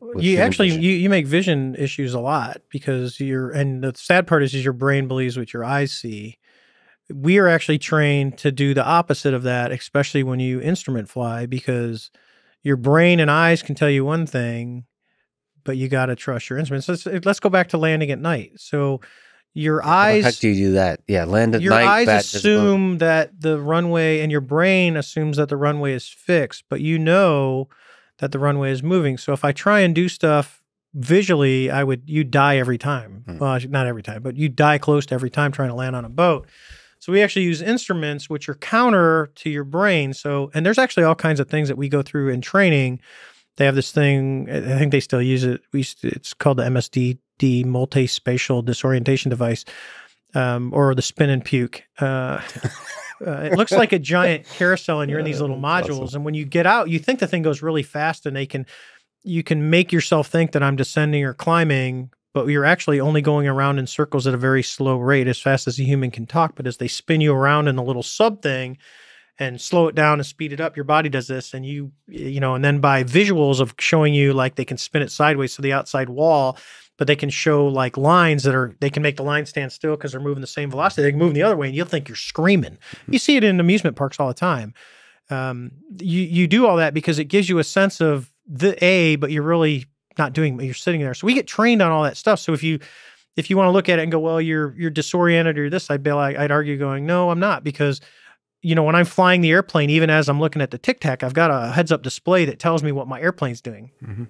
so i've got i know what i'm doing i can look outside i've got a sense of what i'm doing but i'm also looking inside to cross check of what i'm seeing is in reality what i'm So doing you actually, your brain gotten good at combining almost adding extra sensory information. you have So to You have like supervision. So you're combining what you're seeing and adjusting what the sensors, what you call them, the instruments are giving you, and that that in turn is a loop that adjusts the perception system. That like that ad, that adjusts your brain's interpretation of what you're seeing. Yeah, you'd be amazed at how good. So here's a, here's another example. So if we go out over the water, so there's no land in sight, and we're going to fight. So when we fight, you know, two airplanes, we're going to dogfight. Um, as an instructor, and I was for all most of my time, you have to come back and you have to recreate it. So we we call it drawing arrows. So um, you have to recreate that stuff. So you get pretty good at going, you know, like I would take off and say, all right, we're starting heading due east. Uh, and I note where the sun is at Hmm. because in this short couple minutes that we're going to fight, the sun's really not going to move much. It's going to be in a relative. So now I know that the sun is at, you know, let's just say 195 degrees, right? So I'm starting going east and it's actually be down off my right hand side. So now I know as I'm fighting, because in the water you don't have any reference, like, oh, I pass land, I pass land. No, you don't. And you can't use clouds because clouds do move. But you got to come back because you go, here's where I started. And then you, when as soon as you end, you go, all right, I ended heading uh, 355. And then you recreate the turns and the amount of turns and use the sun relative. So you can create this entire battle that went on with arrows so that you can come back and debrief the guy that you were teaching on exactly what happened. And you get really, really good at that. So when you come up and go, Well, Dave, how do you know you were at six o'clock and you went around and he came up here? I go, Because I'm trained to do all that and I take all the notes. Why I'm flying, you can do it. And but usually it's you memorize it all and you get done and then you read you as soon as you're done, you knock it off, you look at the other airplane, you get set and you start writing all your notes down Yeah. and you're writing it really fast on your card, and you go out with a stack of cards and you stick the new one on your kneeboard card, so you're ready to go. And here's the next setup. Um, it's kind of it's in some way similar to what uh, like at the at the highest level chess players do. I mean, you're. I mean, they they they recap the games, but the the richness of the representation that they use in remembering like how the games evolved. It's not like it's much richer than the actual moves. It's like these a bunch of patterns that are hard to put into words like like all the richness of thinking they have about the way the game evolved it's more like instinctual from years and years of experience so they try to put it into words but they really can't it's it's just no, I understand that. It's because for us, if we don't come back with anything, then there's no learning to be had. Right. Because the whole thing is the debrief when we get back and we talk about that's really where the learning is.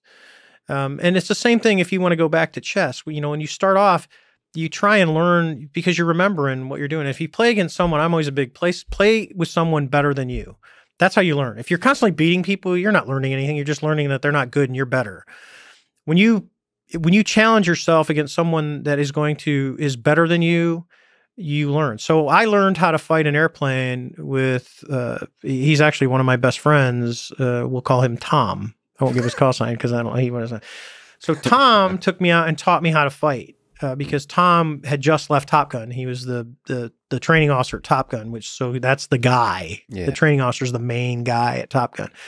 So Tom was the training officer at Top Gun. So Tom, when I learned, because I come out of A6 and we really don't fight because it was a bomber. So I get in F-18s and I want to learn how to fight because it's a whole other side of the mission. It's the F and F fighter attack. The FA-18 is fighter attack. So I had, to, I had to learn how to fight. So now I got one of the best fighter pilots in the world who's going to teach me how to do it.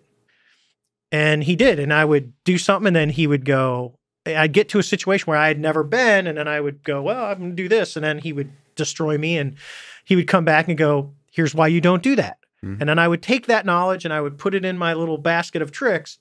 And over time, because you know, no one walks out into that world. I don't care how gifted of an aviator and go, I, I am the man Yeah. or the woman. I am it. Yeah. No, it's a learning process.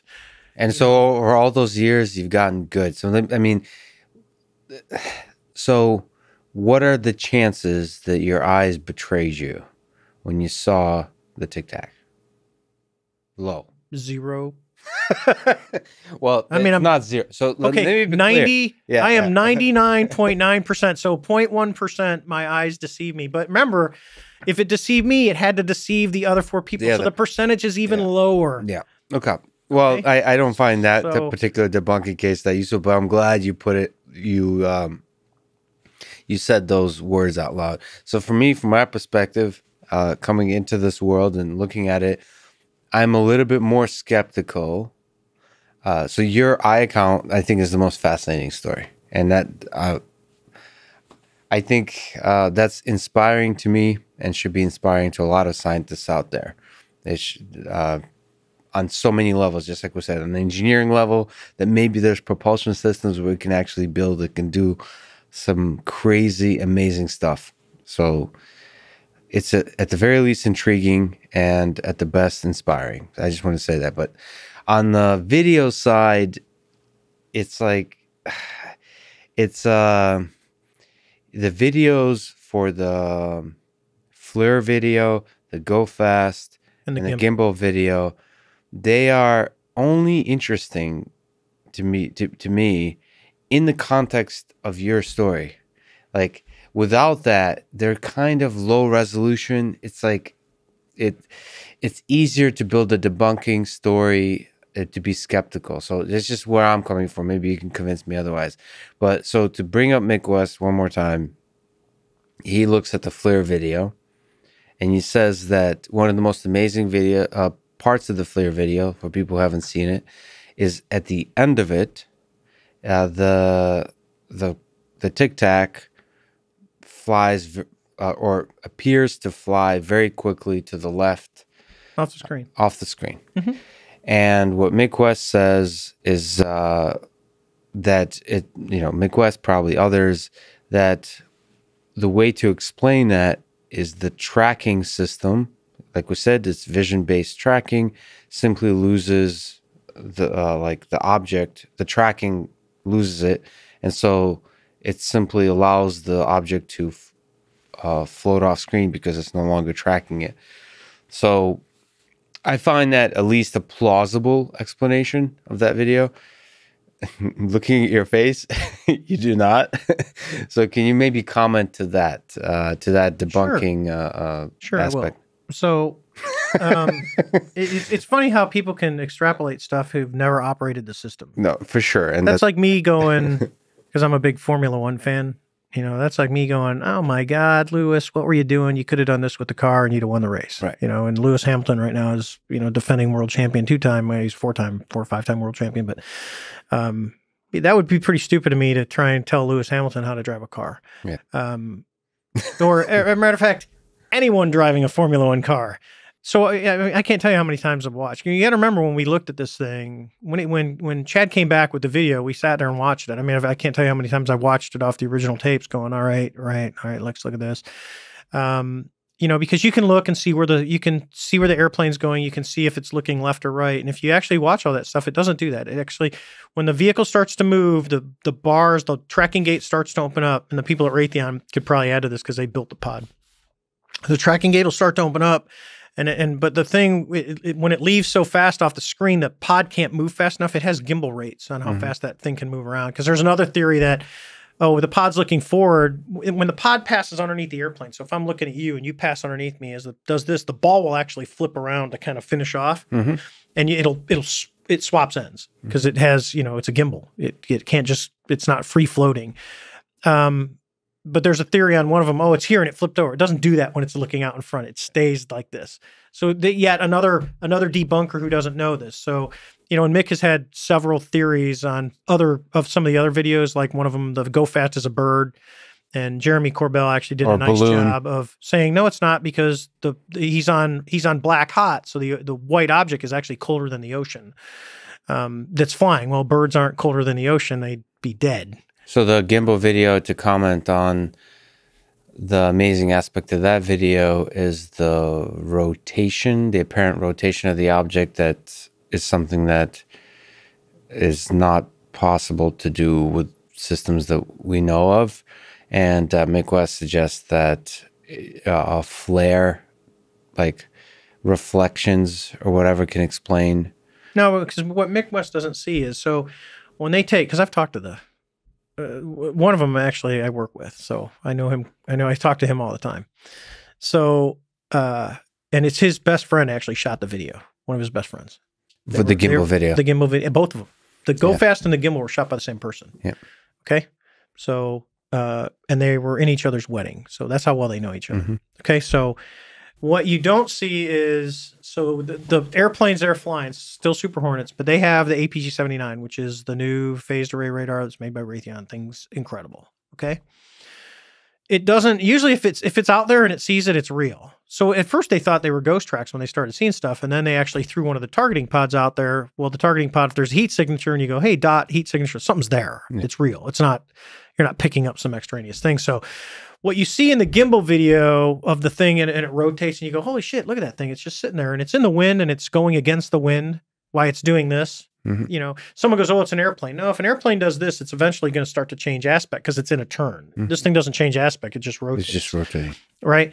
The other thing that you see when you talk to them is so they're on their radar. There's an object that they identify as their number one priority or their launch and steering. So when they designate that, that's where the targeting pod's going to look. That's what you get in the gimbal video.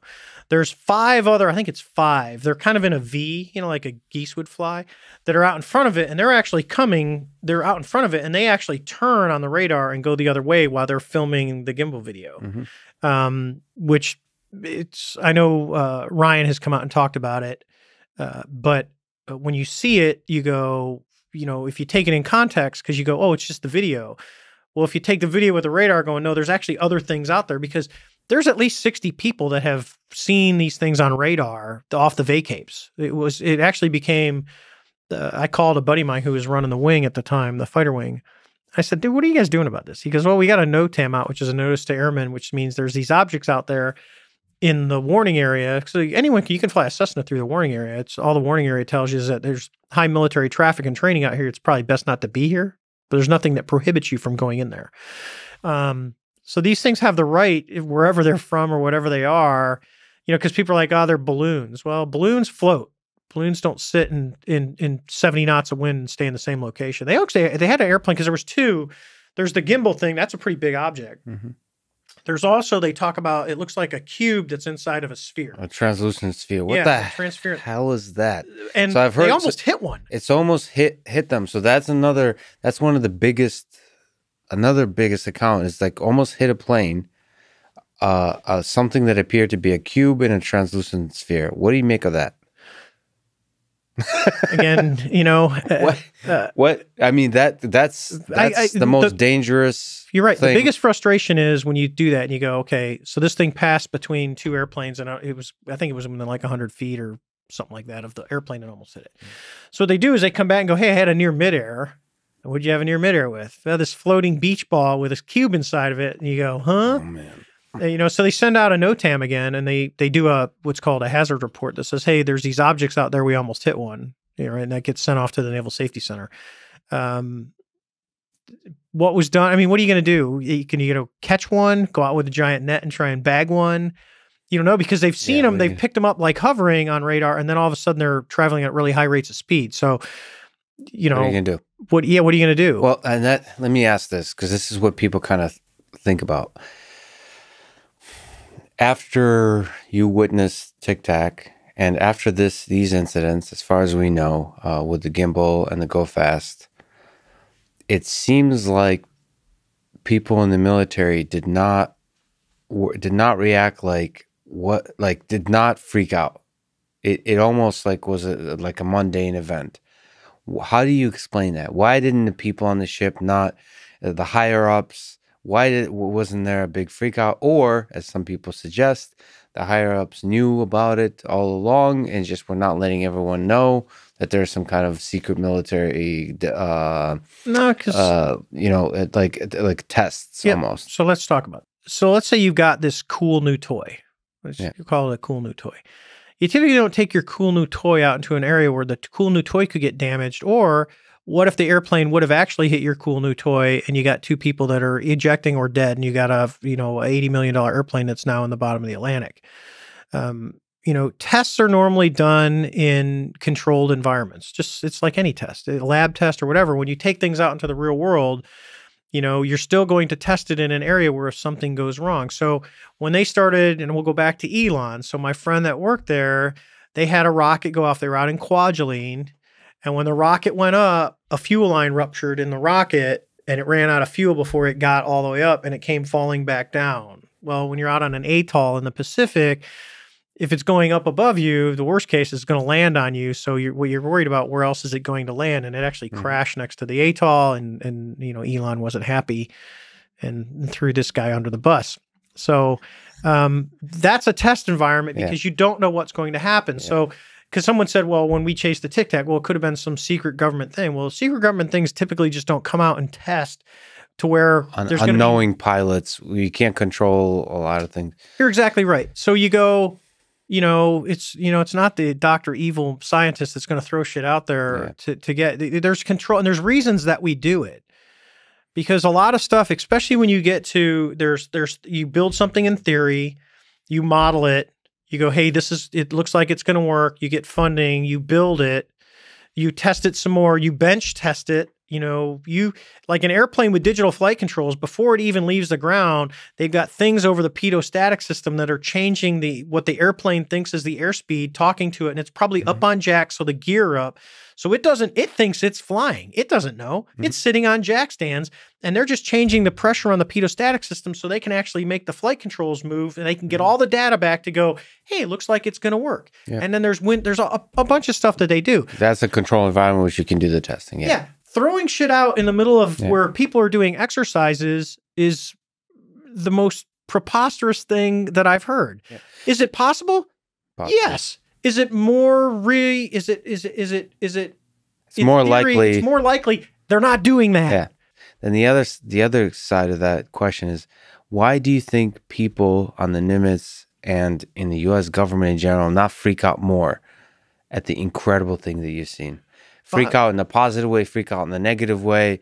Like, what are the Russians up to again? Or or more like, what is this? Like, so more turmoil. So the if, ranks. if you would have put a Chinese flag on the side of it or a Russian flag on the side of it, and I said, yeah, it had a big Russian flag on the side of it, dude, then it would have got a lot of attention. It would have went high order. Yeah. right? If it was a, you don't have to say Russia or China. Just say if there was another country's emblem on the side of this thing that we saw and said, "Oh, it belonged to them," then it's a big deal.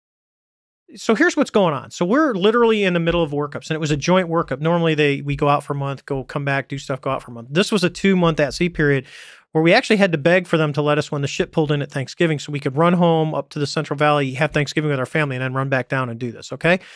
So, you know, and I had just taken over, I had had the squadron for a month. Right. So I'm a, a brand new CO. I'm the most junior guy on the, as, as far as a commanding officer goes, if, for time in the Navy. And actually, at the time, I think it was the most junior CO for 05 Command in the Navy. Right. So you go, okay, so I'm out here. I got my squadron. I'm running it. I see this thing. You know, we catch shit for it. I have a squadron to run. I have the the the the tic tac was over here, and although an extraordinary event, I have 17 air crew and 300 sailors that I'm responsible for. Right, their well-being, making sure they're fed, making sure they're happy, they're berthing. You know, and I'm working with my master chief, and I'm working with my XO uh, Snap, and and we're going through all this stuff. I don't have a lot of time to worry about the tic tac. Yeah. If people need Yeah. to talk to me, so you got to remember, you got the captain of the ship, you got the air wing commander, and you got the admiral. Those are the top three. And you got the CEO of the the Princeton, who is a major command guy. And that's really your big major command. And then everything else is you got all the squadrons, which are 05 command, and you got the small boys that are out there, which is 05 command. So in the hierarchy, as far as rank and responsibility of what's going on, I'm pretty much in the top 20 with all my peers. And then I've got obviously the captain uh, and the admiral, right? And then he's got some post command guys on his staff that we were friends with. I So talked to you're them. responsible for a lot of things. yes. Oh, yeah. Busy This, schedule. yeah. There's missions. You have to do a lot, get the job done, and there's no time for silly things. That's exactly right. So, and we're the we're the integration. You know, when a when a when a battle group deploys, especially when you go to the Middle East for what we were doing, the air power is the key. It's Yeah. we take our airport with us. We can park it anywhere we want, and we can do what we need to do. So we're kind of key players. So when you get the theory that oh, all these men in suits showed up, so the captain of the ship never said anything to me, the admiral never said anything to me, the people on his staff that I was friends with never said anything to me, the other COs that I talked to on a daily basis never said anything to me, and no one ever came and talked to me, and I'm the guy that chased it. So in all the theories and all the debunkers and all the stories, because I don't know if people think they're going to get rich on this, because I made a big donut on this. I can tell you what I got paid for. I got paid to go out and spend 21 hours of my day going to LA and do a five minute talk for Mhm. someone, and I'm like, and it wasn't for the talk because I'll talk for free because you're not paying me. I said.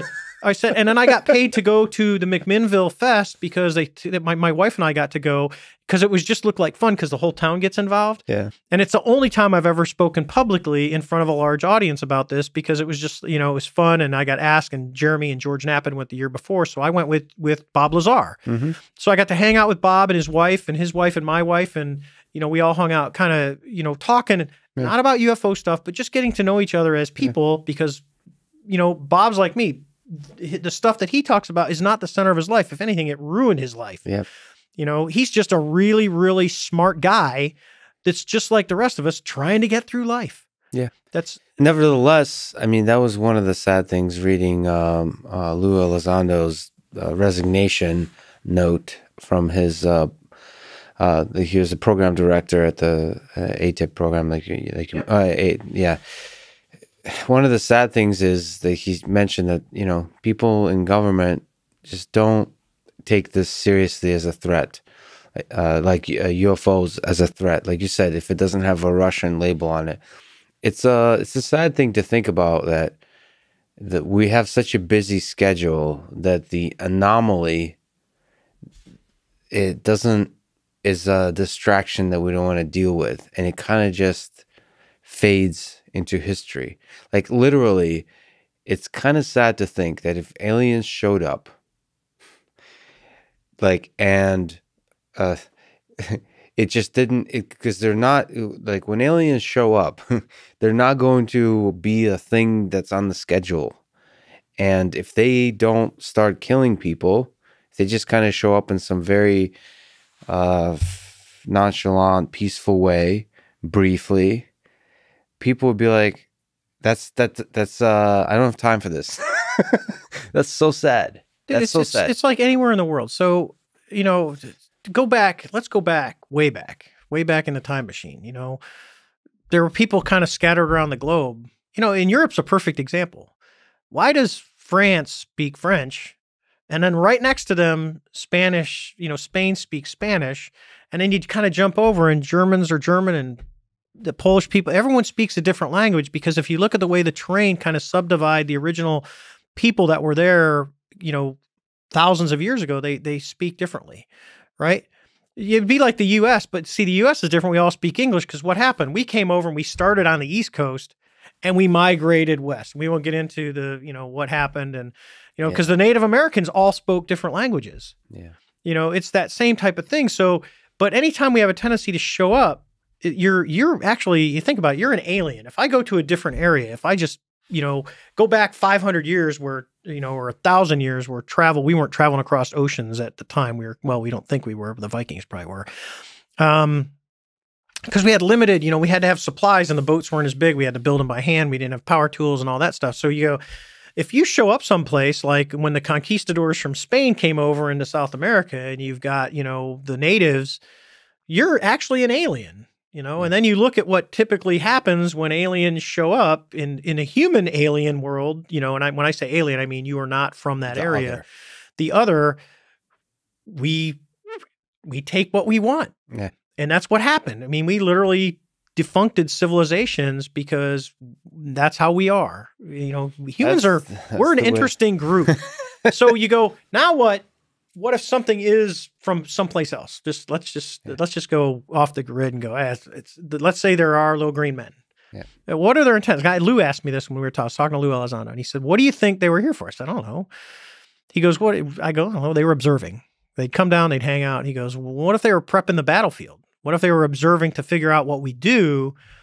And you go that's interesting. The other theory is maybe there's a more advanced civilization out here and they just check in on us.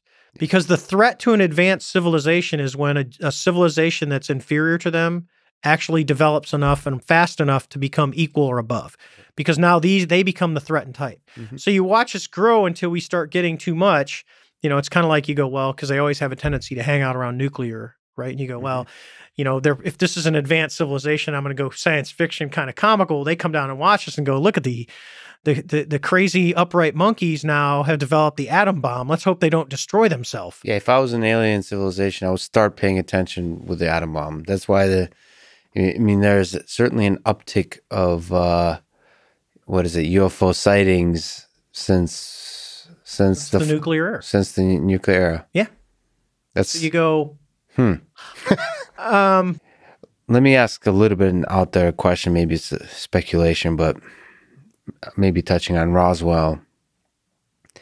Do you think it's possible that there is out of this world aircraft or uh, beings that are in the possession of one of the governments on this earth, like the US government? Is it possible? So, the one perspective of that, if it's possible, is it possible to keep a secret like that? I would say this. I think it's very, it's highly possible because if you go, if you just look at all the sightings, and let's go, just look at Project Blue Book. Go, there was what I forget how many thousands of sightings. There's a percentage. It's like ten or fifteen percent. They they still can't explain.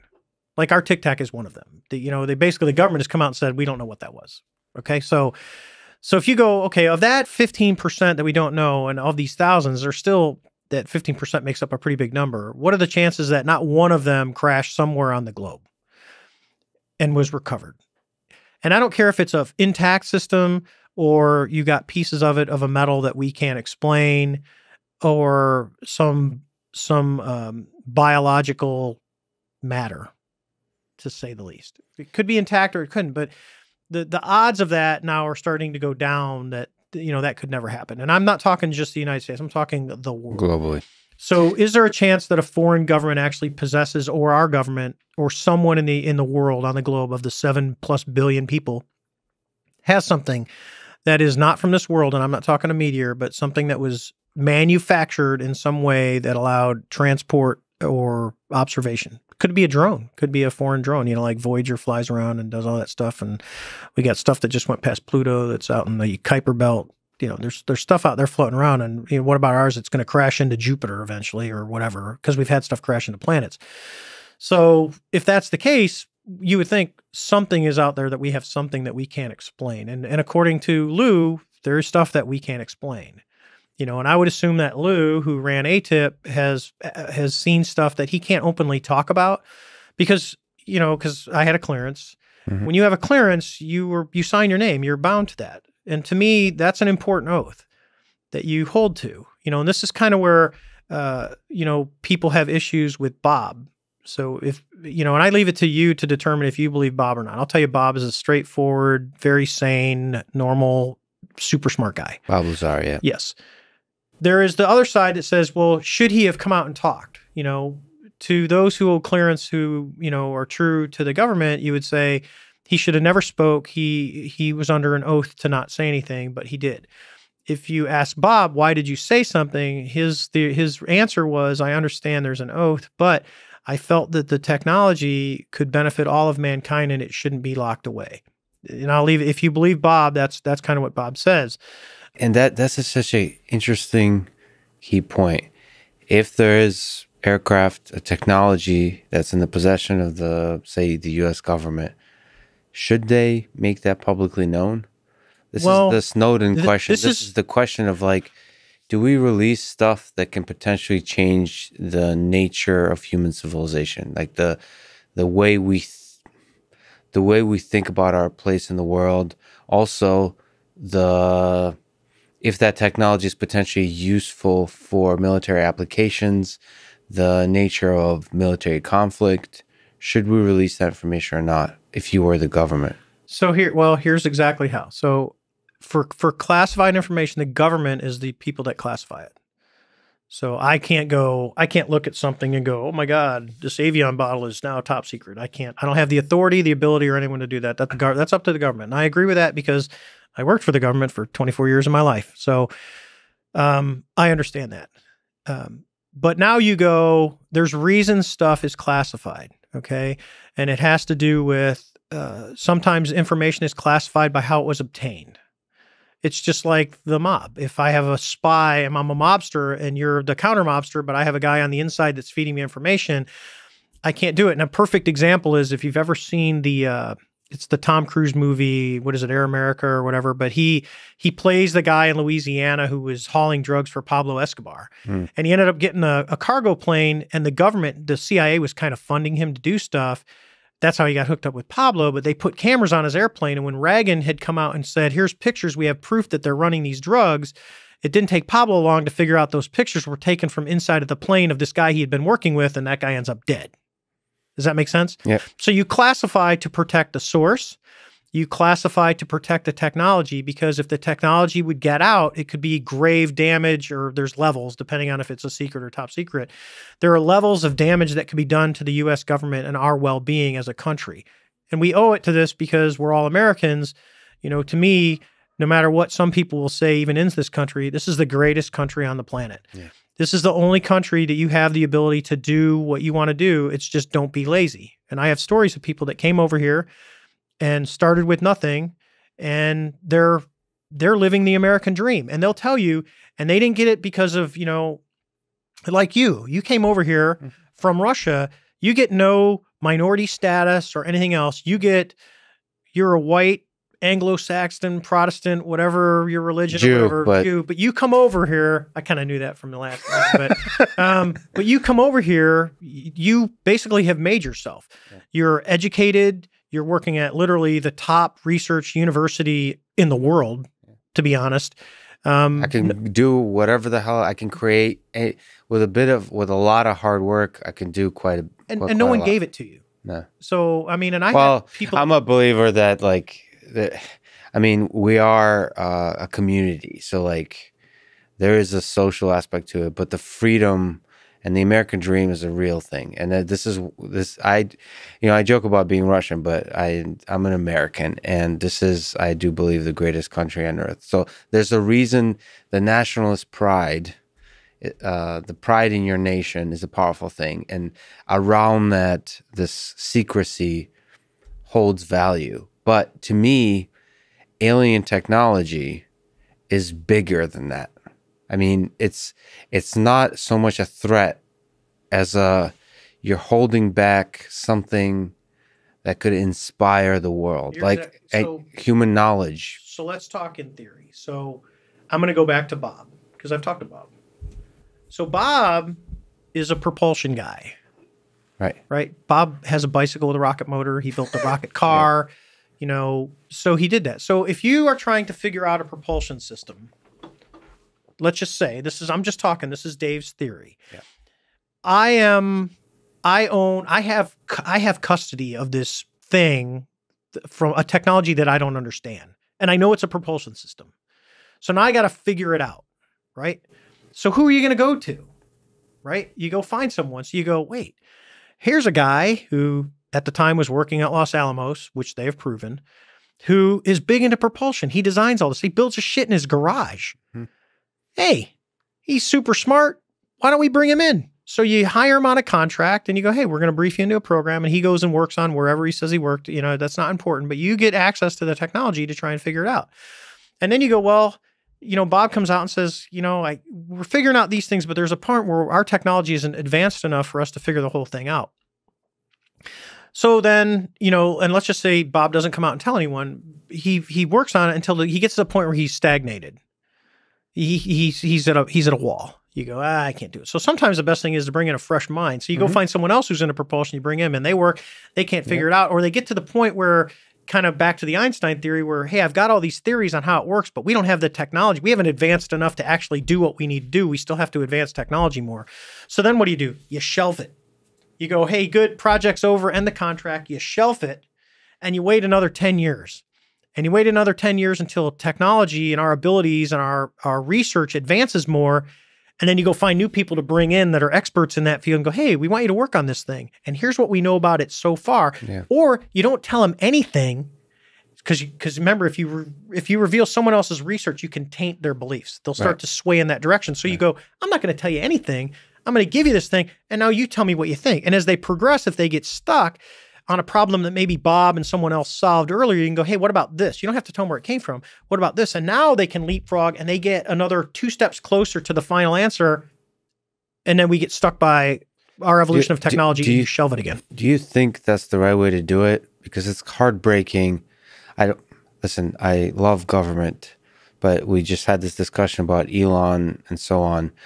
The The alternative approach is to release this to the world and say there's a mystery here, and then the Elons of the world, the Jeff Bezos. We talked about money, but it's also not just money. It's like this engine that's within we talked about the american dream to say i'm going to be the one that cracks this mystery open and like that's within a lot of us and like money aside people in their garage just will But you're thinking like a scientist. Now let me let, now let's shift to let me think like a country. So we have country A, B, and C. And, and you can look at the nuclear arms race. So we know that Germany was really close.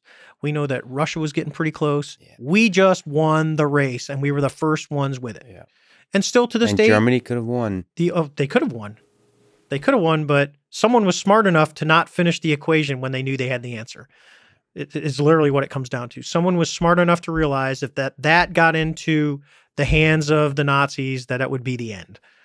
And and that's that's, that's a tough call to do that, knowing that you have the answer and you can't solve the problem because it will go into the wrong hand. And that's kind of the fear when you look at this. You go, okay, so if we do this, if we put it out there, we've got this technology. eh, If we don't work on it, kind of international space station like, where we're all going to work on it together, in a you know, like Antarctica is really supposed to be treaty free from any weapons or anything. We're supposed, you know, we got the international thing down there. We're all going to work together. If you did it in a in the confines of that, and you could control the flow in and out, uh, because what you don't want is the someone stealing information and getting it back to where and countries are notorious to do this. Hey, we're doing it internationally, but we're secretly doing it ourselves to see who can come up with a solution first.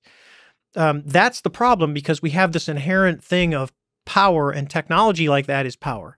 Mhm. It would it would literally change the game of the way the world operates, and from not just a transportation or mankind, but from a military aspect, it's got huge, huge. Uh, Yeah, yeah. I uh, so beautifully, beautifully presented, and there's I feel like there's a tension between those two places: the scientist view of the world and the national security view of the world. Let me let me get to this kind of Yeah. interesting point, which is a lot of conspiracy theorists kind of paint a picture of government as an exceptionally as a hierarchical system that's exceptionally competent and good at hiding secrets. And then I mean, I tend to not subscribe to almost any conspiracy theory uh, to the degree, at least, that the conspiracy theorists do. Uh, I agree with you. But the there does seem to be, and I tend to think of government as unfortunately uh, incompetent, at least the bureaucracy. It seems that the communication, like the three videos that were released, and just the way of DoD in general talks about the things we've been talking about, it's just confused. It's contradictory. It's not inspiring. It's it's uh, suspicious it's just not even the way they release the videos. You know, the Tic Tac, if presented correctly, could just inspire a generation of scientists. It's like uh, the, you know us going to the moon. Uh, it's inspiring. I mean, it's incredible. Uh, you know, yep. and and the way it was released it was suspicious. It was like low resolution video on a crappy website, like with some crappy documents, and uh, I mean, why? What? I, I don't know how to ask this question, but can government do better? Why are they doing it this way in terms of communicating the things they do know to the public? Because I don't think they know how. Especially in this topic, it's been hidden for so many years, and I don't think because uh, I don't buy off on the conspiracy stuff. I just think that you know when it comes in, like I said, you know the government has a right to classify stuff.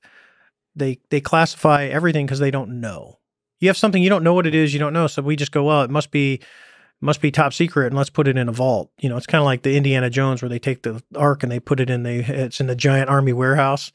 Um, you know, we don't even know what we have. So, but I also believe that you know, and I'll say this openly, I don't think that the American people know, need to know everything. I think there's a reason that stuff is classified for the protection of this country. Uh, and I totally believe in that. So, you know, uh, and we, I was joking with Joe when he was talking about the Storm Area 51 stuff. I'm like, yeah, you know, that's probably the worst idea you could possibly have yeah. is to just storm a military installation. It's just stupid. Yeah. There are reasons. There are reasons that we have things that we don't just let out to the public because if we do, as soon as you do let someone know that you have something, they immediately try to counter it. And perfect example the US in the 60s developed a bomber. It was a Mach 3 compression lift bomber called the XB-70. Okay, there was 3 of them built. 3 of them ever built. It was a like 60,000 foot high, you know, Mach 3. it was an incredible airplane when you see it. And there's actually the last one remaining is in Dayton, Ohio at the museum. You know, it would go, the wingtips would fold down. It looks like a Concorde, but it's way faster. Um, when that got out that we were developing it, the Soviet Union developed the MiG 25, literally a high altitude interceptor to counter that bomber. And they built an entire fleet of MiG 25s, right? We built three XB 70s and we scrapped the program, right? Because now you go, well, it's it, the technology is cool. We proved it, but now it becomes obsolete. So it's not even worth building a whole fleet of these things. You know, it's constant. It's a chess game. We do something, they do something. We do something, they do something, and it's we do something, and then they counter it. They got to. You got to figure out how to defeat it. So you go, oh, we'll do, build something. So the more we keep uh, quiet, especially from a defense standpoint, the better. We actually, I personally, I think we talk too much, and I think the the military and the DoD is starting to see that, you know, we're too open. You know, uh, you know, you announce, hey, we're building this because there's a budget line and we live in a free society. Um, but you don't have to release all the specs and you don't have to put everything in open source. But that's a problem when we go to universities. If we want to go do work with MIT and you want to partner with MIT and you're a defense company and you want to partner, you know, you guys have a rule that if you create it, then it yeah. can be open source because the university yeah. owns it and we are an institution of learning. Yep where the defense side might go, we don't we don't really want that published in a paper in Scientific America or it's, it's so heartbreaking. I talked to CTO of Lockheed, uh, Keoki Jackson, and just just Skunkworks, the some of the best, if not the best, engineering and science, but engineering really ever is done in secrecy, and it sucks because it's so inspiring, and they can't talk about it. It is, but some it's of so, it's due to funding the U.S. government has deep pockets. You know, some of this new technology that you develop for an open source, unless this is, goes back to the original conversation. We now there's enough money in the private sector that individuals control. Bezos, I'm not talking Amazon, I'm talking Jeff Bezos A single individual. is worth over a hundred billion dollars. He has the ability to do stuff. I'll tell you what, the Gates Foundation, with between Bill Gates and and and his uh, his wife and Warren Buffett and some of the other money, because I think uh, Bezos's ex-wife actually donated a huge chunk of her half into the the, Gates Gates, Foundation, Foundation. yeah. So, I mean, what's the Gates Foundation worth these days? You know, if and, and these are guys, you know, brilliant, brilliant. I mean, some of the greatest minds that we have to go. You know, what are they doing? Because they have the ability. To, it's a nonprofit. They can go, hey, I want to fund this. I want to Yeah. fund this research. They can look beyond the conflict between nations. You can and- look beyond the conflict of having to have, uh, you know, classification. You can do what you want.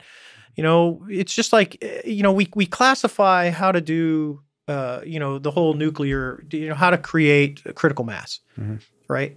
But there's really smart high school kids that have figured it out That can do mathematically, it, and they yeah. do their science project, and then the government comes in and says, "Hey, we got to classify your government because we just don't want this out in the public domain." Which I understand, but they never stop them from free thought and developing that. It's just eh, we really don't want this out there. Okay, so I understand that. I, I totally understand that. But if they, you know, if if Bill and Melinda want to do this and go, hey, we want to do this, and they're going to work with Bezos and they're going to work with Elon, and we're going to, I mean, you think about it. There's a significant amount of money that could be available to R and I'm not talking just science like this. I'm talking medical research and all this. But then you go, well, who gets it? Because now you're competing against the, the companies that actually do it. And you go, is that well? Are they the greatest greatest minds? I'd say, you know, the the we have a tendency to go, these are the best that we have. And I'd say, well, no, that's the best that we know we have. But there's probably people out there that don't want to work. There's brilliant minds that don't want to do anything with defense because they just disagree with what it does. So they go to another path. They go do something else. and that in a sense, like uh, the Elons of the world, the Jeff Bezos, are actually, in a certain sense, much better than uh, DoD at finding the brilliant, weird minds out there. because they're not tied to the government. So when you work a government contract, the government writes, they tell you what they want, and then they work with you on the requirements. And they usually have a an end in mean. You know, they have an idea that this is what I want it to be. Where if you go to like SpaceX, where you know they come up with, why don't we just land these things on a pad and reuse them? Yeah. Well, if the government scientist, if you're on a government contract, says no, that's not the requirements. We're not paying for that. We want you to do this. You're you're kind of controlled. Or when Elon does it, his company, he, they can do whatever the hell they want to do because they have no bounds. The only bounds they have is the liability if it doesn't work and it lands on something. So what do you do? You go out to Kwajalein and you test it. And if it crashes and it lands in the ocean, hey, we clean it up, no big deal. We lost some money, but we'll move on. It's you know, money makes the world go round, contrary to what everyone thinks. But you know, there's a lot of money that's sitting around that you can do a lot of really cool stuff with. And I don't know. I mean, I'll guarantee that uh, what is it, Blue Origin? Isn't that Blue Amazon? Origin, yeah. You know that they're doing some cool stuff because they have funny and i, I joke with uh, the guy i know that worked at spacex and he was funny because they were building the first test thing and they they were limited and elon found this like 400 acre thing i think it's about 400 acres down by waco texas. And he's like i go how? He goes he goes dude i worked he goes i worked with he goes because he's done government contract he goes there's government contract and then there's working at SpaceX with Elon money. And that's what he refers to it as is Elon money, where it was like, don't I'll throw them and he would throw the money at it and make it happen. And it's I'm talking this fast. Yeah. I mean, he talks about he has a great story about this. I mean, this is Elon. This is how fast you can do in the private sector, vice the government, where there's the bureaucracy is. They had a company that was a basically a tool and die machine shop that did a lot of their high precision parts for the rockets. Mhm. They had went to the guy, but he had contracts with other companies, and when the economy was down, uh, the guy was actually looking at going out of business. So the guy I know, he's telling me the story. He he was talking to the guy. He had to go over there and get something, and he's like, "Holy shit!" He goes, "Hang on." So he calls up on the phone, SpaceX. He says, "Hey, is Elon there? Can you get him in the boardroom? We'll be there in 20 minutes." So he grabs this guy who's literally going to fold his company. They go over to SpaceX, and I may be getting some of this wrong if people are going to fact check me, but this is Yeah. pretty close. They go in the boardroom, and and he said literally within like a, you know an hour or two, Elon has bought the guy's company. That guy is now a senior VP running the his company, and they're going to pull all the stuff into the SpaceX thing so they can actually build the parts, and they can still contract out to make the money outside. And they, it happened like that fast. and it's not just money it's because i've seen i witnessed it too with elon i think it's uh whatever the whatever the forces of capitalism that that uh allow a person like Elon Musk to rise to the top, but like because I've also worked for DARPA, like for, for research for uh, in terms of a source of funding. I, I there's a weight of bureaucracy when I was working, uh, like being funded by DARPA, and with Elon, like I was literally in the presence of like anything is possible, cutting across all the bullshit of paperwork, of the way things were done in the past, of the bureaucracy, the rules, the constraints, the all of that stuff. Just you can cut across immediately. So how much money and time do you waste dealing with the bureaucracy when you could actually be doing real work? That's the difference. This is why I honestly, when I went back to the industrial defense complex that we were warned about, when you look at it and go, SpaceX can do something for half the price ahead of schedule that what Boeing we're paying Boeing, and you go, oh, well, this just came out. And you go, well, then why are we even dealing with this side when we can deal with this side? Yeah. Because you've got a fully automated capsule that has a manual mode that they got to fly around in. It worked like a champ. It went up, it hung out, it came back, it splashed down. It worked perfectly. You know, we're going to dust it off. And oh, by the way, unlike the Apollo capsules that were used and then put to museums, they're going to reuse that Dragon capsule. It came down, they're going to dust it off, put a new coat of paint on it, slap it on top of another rocket, and away it goes. Holy cow. It's amazing. It's a shift, it's a complete shift in mentality. And for us as taxpayers, we can explore at half the cost. Yeah. It's exciting, especially given uh, putting the tic tac in context. Like, then the sky or it's limitless the possibilities we could do with this kind of mechanism. I, I think it's exciting. Yeah, I think we live exciting. in an exciting time right now. Besides everything that's messed up in the world right now. Well, this is a this is a hopeful. Like there's so much conflict going on, so much tension. Uh, that's to me space exploration at the moment is a reason to uh, get up in the morning and have a hope for the future. To look up to the sky and oh, we're we're humans. We can like solve so many we can solve all of this. I was talking about when I was doing the Tucker thing, and I said, uh, "Is this would be great?" You know, because when the government had come out, you know, a month ago and said, "Hey, this does exist. We're doing this, and oh, but we're going to release more stuff." Mm-hmm. And I was texting like Lou and Chris Mellon and those guys before I went on because they had called me up to be on Tucker's show, and I'm like, "Hey, I go." You know, this would be great. You know, just come out with this, find the the the relic of a spaceship, like pull out the Roswell wreckage if you have it Pull out the Roswell wreckage and do it. God, it would be so nice to not have to deal with the the riots in the cities and the, I mean, I know it's an election year and all that, but God, it would be something. It would be refreshing to not have to turn on my TV and see everything that is just depressing in the world. To begin, holy cow, we actually do have this, and we're working on this technology. Yeah, imagine if there is a Roswell aircraft and they pull it out. Imagine the innovation that happens in the next ten to twenty years without any more information than that. Just the, the innovation that happens, the look on Elon Musk's face, the look on Jeff Bezos's face, and all the brilliant engineers. It would change that, the game. It would change the game. It would change the game completely. Let me ask the big question. I apologize uh, yeah, yeah, for the absurd romantic nature of it. Uh, outside, I mean, one of the things, the fact that you've laid your eyes on a UFO probably opened your eyes to the possibility that some of the other sightings there there could be other sightings that have legitimacy to them. What to you is the outside of your own sighting is the most interesting sighting or UFO related event in history? Uh, I think there's several. What is it? Rendlesham Forest in England. Uh, the U.S. guys that saw stuff and actually got radiation burns. One guy was medically disabled, but they weren't going to give it, and he got help from Jim or uh, John McCain his office helped get the guy's uh, uh, disability reestablished. I think that's a big one.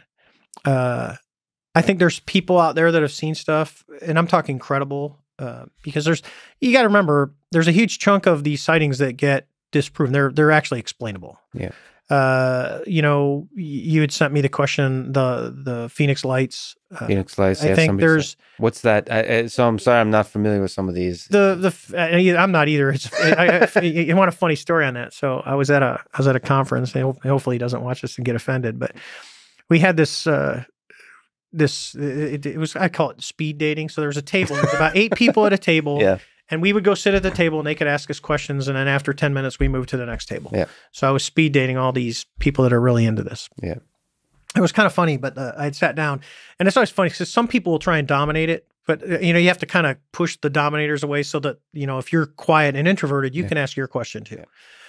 so we got into this, and the guy starts naming all these. Well, what about this? What about the Phoenix Lights? I'm like, I don't know about the Phoenix Lights. What about this event? I don't know about that. He goes, he looks at me and he goes, Well, you're not a UFO guy. I go, No, I'm not, but I chased one, so I'm an expert. Have you?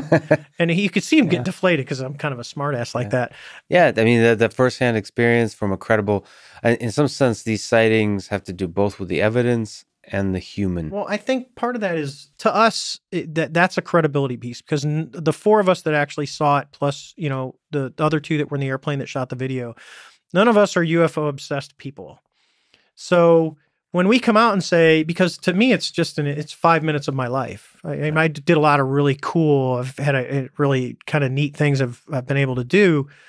Um, but when you look at it and go, uh, we don't it, to me it wasn't it, it's not the pinnacle of my life you know to other people that they live in the ufo world and they, it's like they you know if you talk to people they'll go that are really into it who've never seen one it, it kills them that they didn't see one. When here we are because and what's unique with ours which kind of adds that level is it wasn't we just didn't see it. It wasn't like oh look something in the sky and it was weird.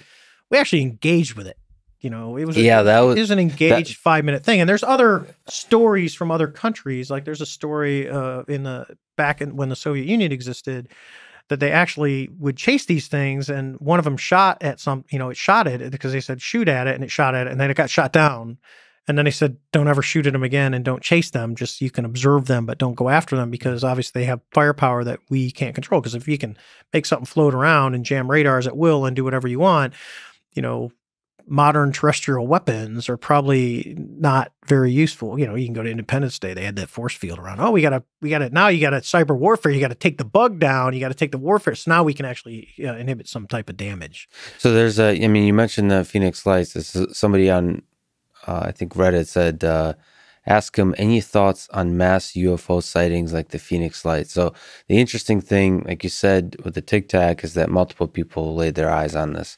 What What are your thoughts about the Phoenix Lights, where many people So have seen here's the deal with massive sightings. So the Phoenix Lights is unexplainable, although I know the Air Force had said something about it. It was an A-10 drop in flares. No, I don't think so. Let's see. Oh, flares don't burn that long. They just come out and they, you know, they detract and they go away.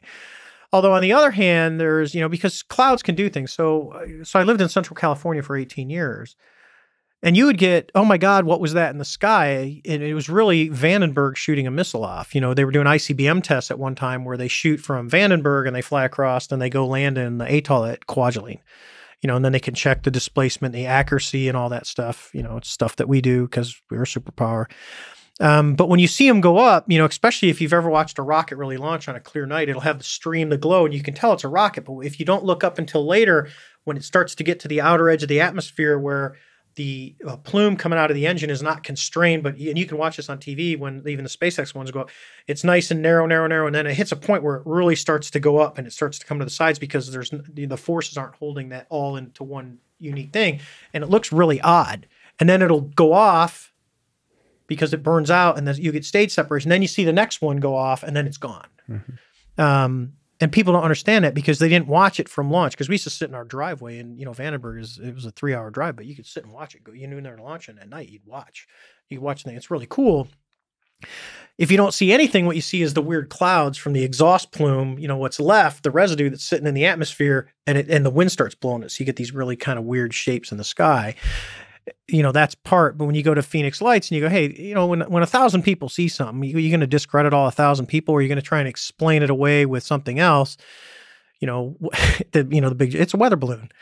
You know, hey, what is it? It's a weather balloon. again, just like the Tic Tac, I think is just inspiring uh, for uh, the limitless nature of the science. I I think you're. I think more is going to come out. I think uh, some of the stuff that the the To the Stars folks have done. Uh, So there's a The To Italian- the Stars Academy. yeah, it's What are your thoughts along. about them? Are they Um, I like- talked to him quite a bit. Um, I am not a part of To the Stars Academy. I, you know, but you know, like I talked to Lou. I just was texting him before this. Yeah. so Um, he, they're, the, what's their mission? What's their hope? What's their, what's there what are when they trying- started their mission was to try and don't look at this as little green men but let's look at this as a technology and let's try and almost reverse engineer and figure out how these things operate and how can we explain this from using our knowledge, you know, physics-based knowledge to go, how would something like this operate? That's really their bottom line was Mhm. to, to try and use and then couple that with because they've got the series unidentified, um, couple that with television to get the word out. So you're actually putting something instead of because everyone has a theory. You know, Ancient Aliens covers all kinds of theories. You know, it's kind of off of oh my god, and and I've seen the stuff, and I've seen stuff that I've said taken out of context on shows that I did not talk to. Uh, so there's all that because you can take a clip and go, oh, it's this, it's that, you know. And if I know about stuff like it, you can't technically use my likeness unless I tell you you can. So if I haven't signed something, you can't do. it. There was a guy who put something out, and I was in it, and I told him you can take it down, or you can talk to lawyers because I'm not, I'm not supporting you. So they use um, it to tell some kind of narrative that doesn't. Yeah, well, it's not connected to reality. Because let's face it, if you're making TV shows, there's two reasons to do it. One, you want to get word out, or two, you want to make money, or three, both. And But so usually, it's I would say the the make money is probably the, The biggest, biggest. thing to put a TV show out. And the the mission of the To the Stars Academy is to not do that. Is is is to try to get some. when I when they started and I talked to them because I've talked to Tom and I've talked to Lou and those are the two main players. It was to basically demystify the fact and and get rid of the the stigma that's tied to UFOs and let's look at it from a science base and then use TV to get the word out on the progress. And they've done some pretty cool things. I mean, you know, they've the the Italian government gave them all kinds of files that had been, you know, property of their government. They got a bunch from it might have been Argentina gave them all kinds of stuff. Like, here's all our records. What can you do with it? To try and now pull from uh, country based to a more global based research, which is what you were talking about. And then using independent scientists that are not tied to a government, I mean, any government, but just using independent research agencies to start looking at some of the metallurgy. Because you go, oh, I found this. We had this piece of metal. What is it? And some of the stuff has been explained. They've got some objects, artifacts that have not been explained. And that's slowly coming out, you know, and I think. Uh, And you your know, hope is the U.S. government will release some. well, the government is the government. The U.S. government came out a month ago and said, "Yeah, we have we have uh, we have material that we cannot explain the origin." They have said that. They Yeah. just haven't released the wreckage from the Roswell thing, which I keep joking about. I'm like, come on, it's seventy some years old. I mean, like Classify it, let it out. I, I think you put it beautifully that in this time, that would be a heck of an inspiring, hopeful thing to see. Like people don't. just to distract them. Yeah, the division is. I mean, nothing will unite uh, uh, us humans, descendants of chimps, uh, like uh, the idea that there's life out there. Oh, it would universe. it would literally change. I said this a while ago. I forget. I think it was the London Sun Times had called me, and I said, you know, personally, I think this is a global issue. It's not. If there is stuff coming down, which we're pretty sure there is, there's enough stuff that we can't explain. If there is stuff coming down, then this is not a country based thing, and it's not about technology, and it's not about who's going to win the next war, because you don't know what they're doing. So you got really a couple of theories. One, you've got ET or Close Encounters. And the other extreme is you've got Independence Day. Are you going to prepare and bet on ET and Close Encounters, or do you actually try and do stuff in case it is Independence Day? You actually have a game plan. And when you get into Independence Day, that scenario, you know, and I, I don't like going too much into sci-fi, but let's just say in theory that that becomes a reality. It's not a U.S., Russia, China, England, France, Spain, name any country in any continent it becomes a global issue. And the only way you can deny it's just like Americans. We all, you know, we're we're divided. Mhm. It, it's we it's been that way forever. So if you think we won't get through this, we'll get through it because we've had times just like this before. Until Nazi Germany pops up. But in Nazi Germany pops up, or someone flies two airplanes into the World Trade Center, and then all of a sudden we're all like united. We all also have very very short memories. yes, We do.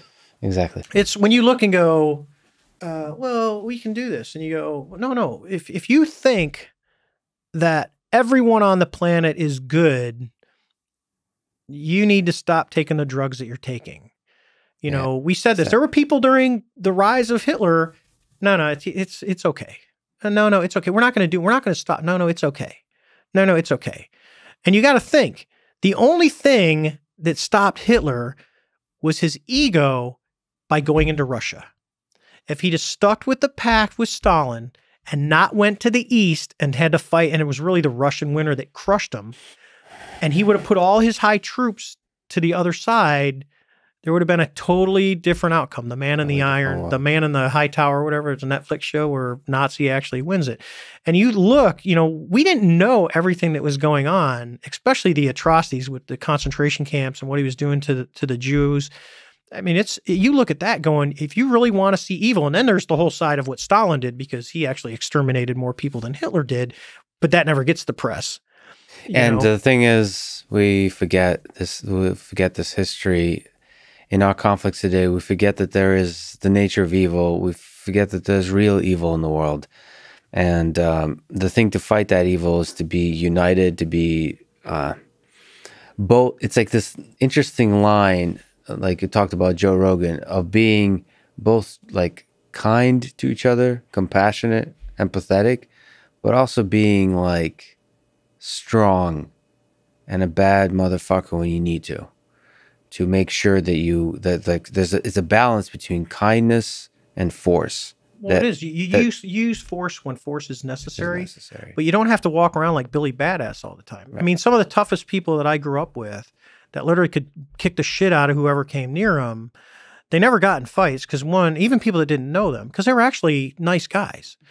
You know, they were they're just good dudes. But you know, if you cross them, like I had a friend of mine. Uh, he was he's a nationally ranked wrestler. Mhm. It went to went to Naval Academy with me. He's a very very good friend of mine. Um, and uh, he is when you meet him, and he wrestled at 190 pounds, and he did not lose a match his senior year until he went to nationals. He just had a bad day. He actually lost to a guy he had pummeled the shit out of. Yeah. And he would cross. It was funny. We we joke about it even with him because when you meet him, he's like the nicest, like local. Hey hey dude, you know, hey how you doing? He's super nice. And he would cross that ring on a on a wrestling mat. As soon as he crossed that ring, it was like a totally different person. And he would go out there and just destroy people. I mean, physically destroy, like put a hurt on.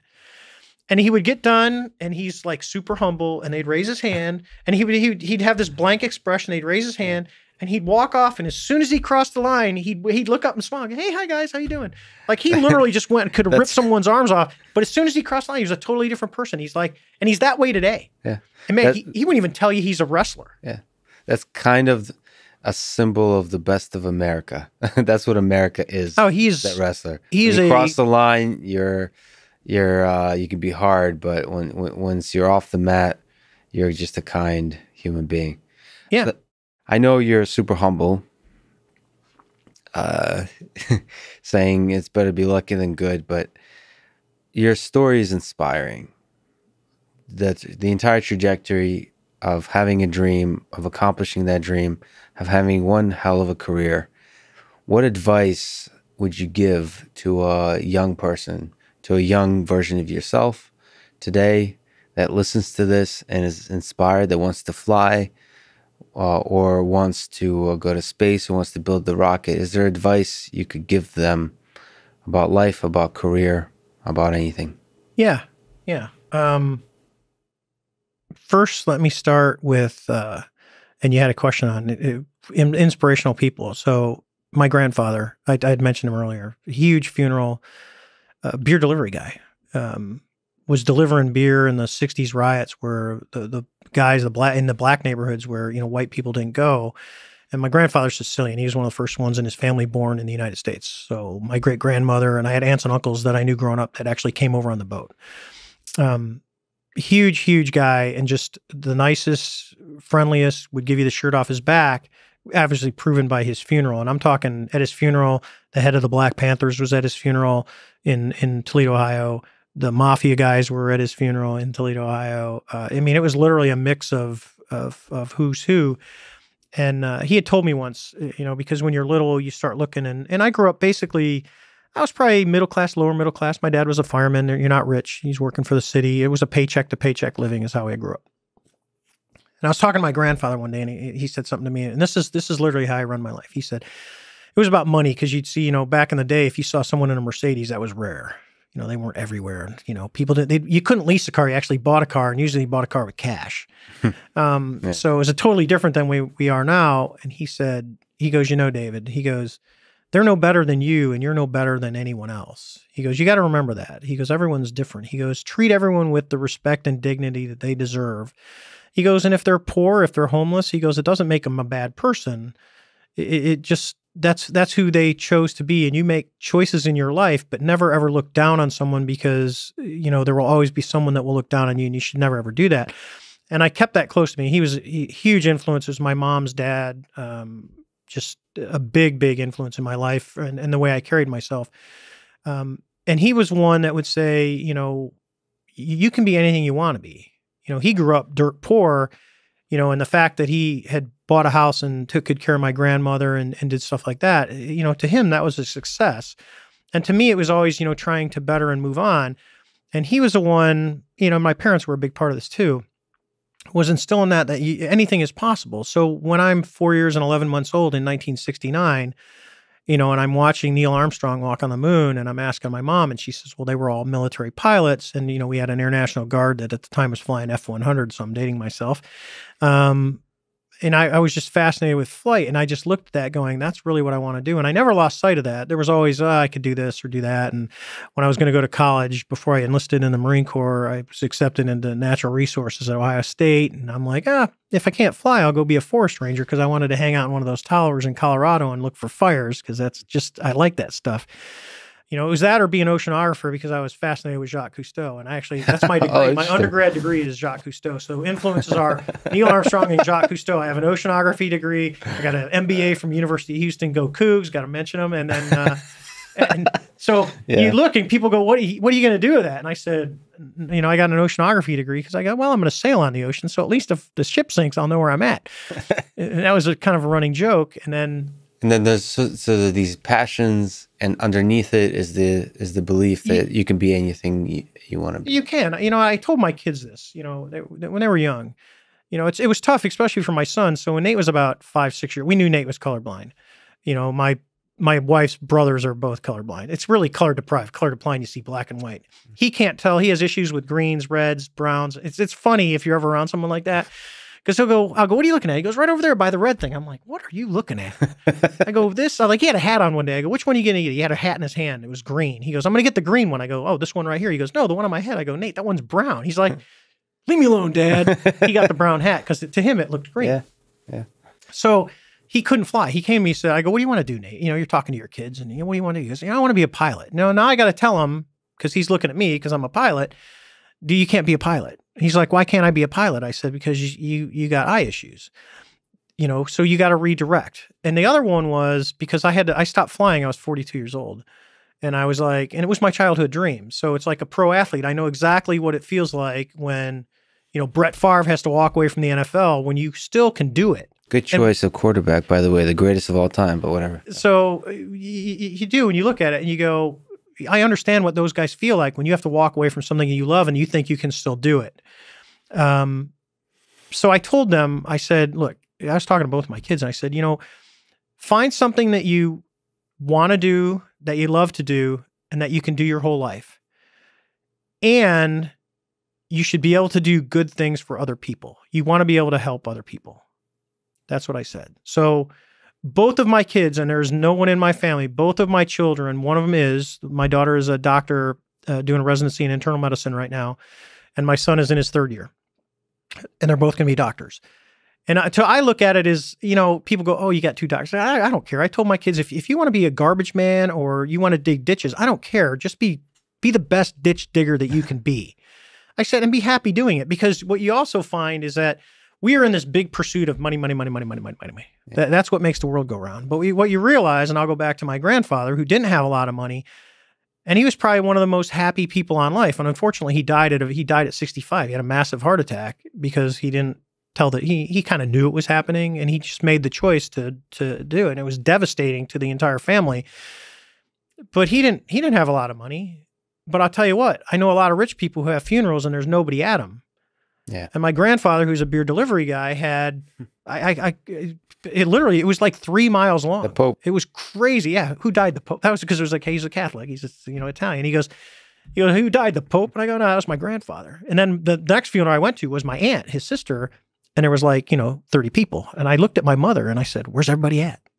She goes, "Oh." No, this is normal. This is what a normal funeral looks like. So it's, it's, you know, for young kids, bottom line, one, be nice. Kindness will get you. I'm a big believer in karma. Kindness will get you a long way in the world.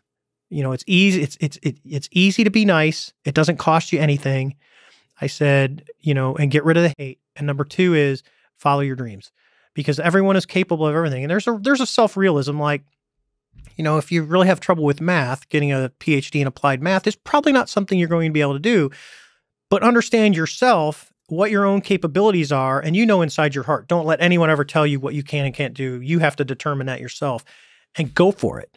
And and and you can do anything. It's just it's it's a great the, the world's incredible. It, it really is. Let me ask the last yeah. big ridiculous question. Uh, so you've lived much of your life, your career is kind of at the edge of life and death. So um, let me ask kind of uh, several different ways the same kind of question. One, do, do you have you pondered your mortality, the finiteness of it, and the bigger question to ask, even in the context of your uh, tic tac encounter, is uh, what do you think is the meaning of this uh, thing we got going on here? The meaning of life, human life, in this sense. So let me start with Have I pondered my own mortality? Yes, quite often. Um, and I don't get into my religious beliefs or what I am, uh, but I will tell you that I do believe in God. I, have just seen too many things in the world that I can't explain. And some people will explain it by subconscious. So I'll give you a story, and this kind of puts in a thing of do I fear death? So I had a good friend of mine that I used to fly with. We were stationed in Japan together, and, and Japan had this incinerator that put all kinds of dioxins. So there's a real high cancer rate for those that served on the base in Atsugi, Japan him and his wife had one son, um, and their son passed away just before his 18th birthday of cancer. And I was hanging out with, I'll call him John. And I was hanging out with John. We were in oil and gas. He had come to the same company and, and we were doing an event together. And he was opening up to me because we were actually the demo pilots. We do the demonstration for air shows and stuff. And uh, him and I were sitting there talking. And uh, he was giving me the whole story and and how he had it really changed his look on life that we're only here for a finite time and that we're all going to die.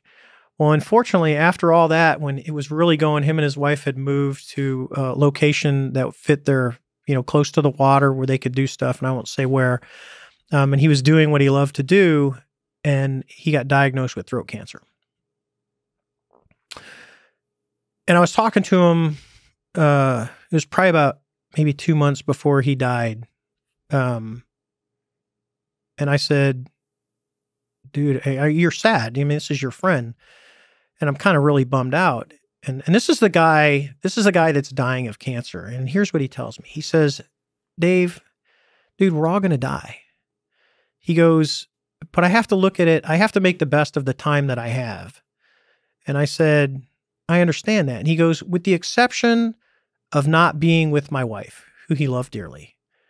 He goes, I'm okay with dying. I've had a really good life.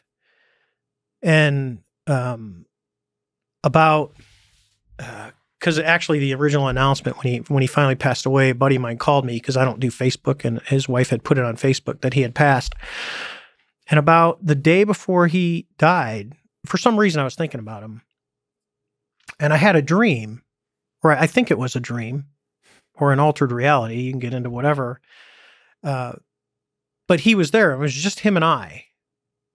And I was really sad in the dream. I was actually crying, and he was there. And he was actually in his uniform. He was in his whites, and because uh, he was Navy. And we were just talking, and he looked at me and he said, "And this is in my dream." He's like, "Dave, it's all going to be okay."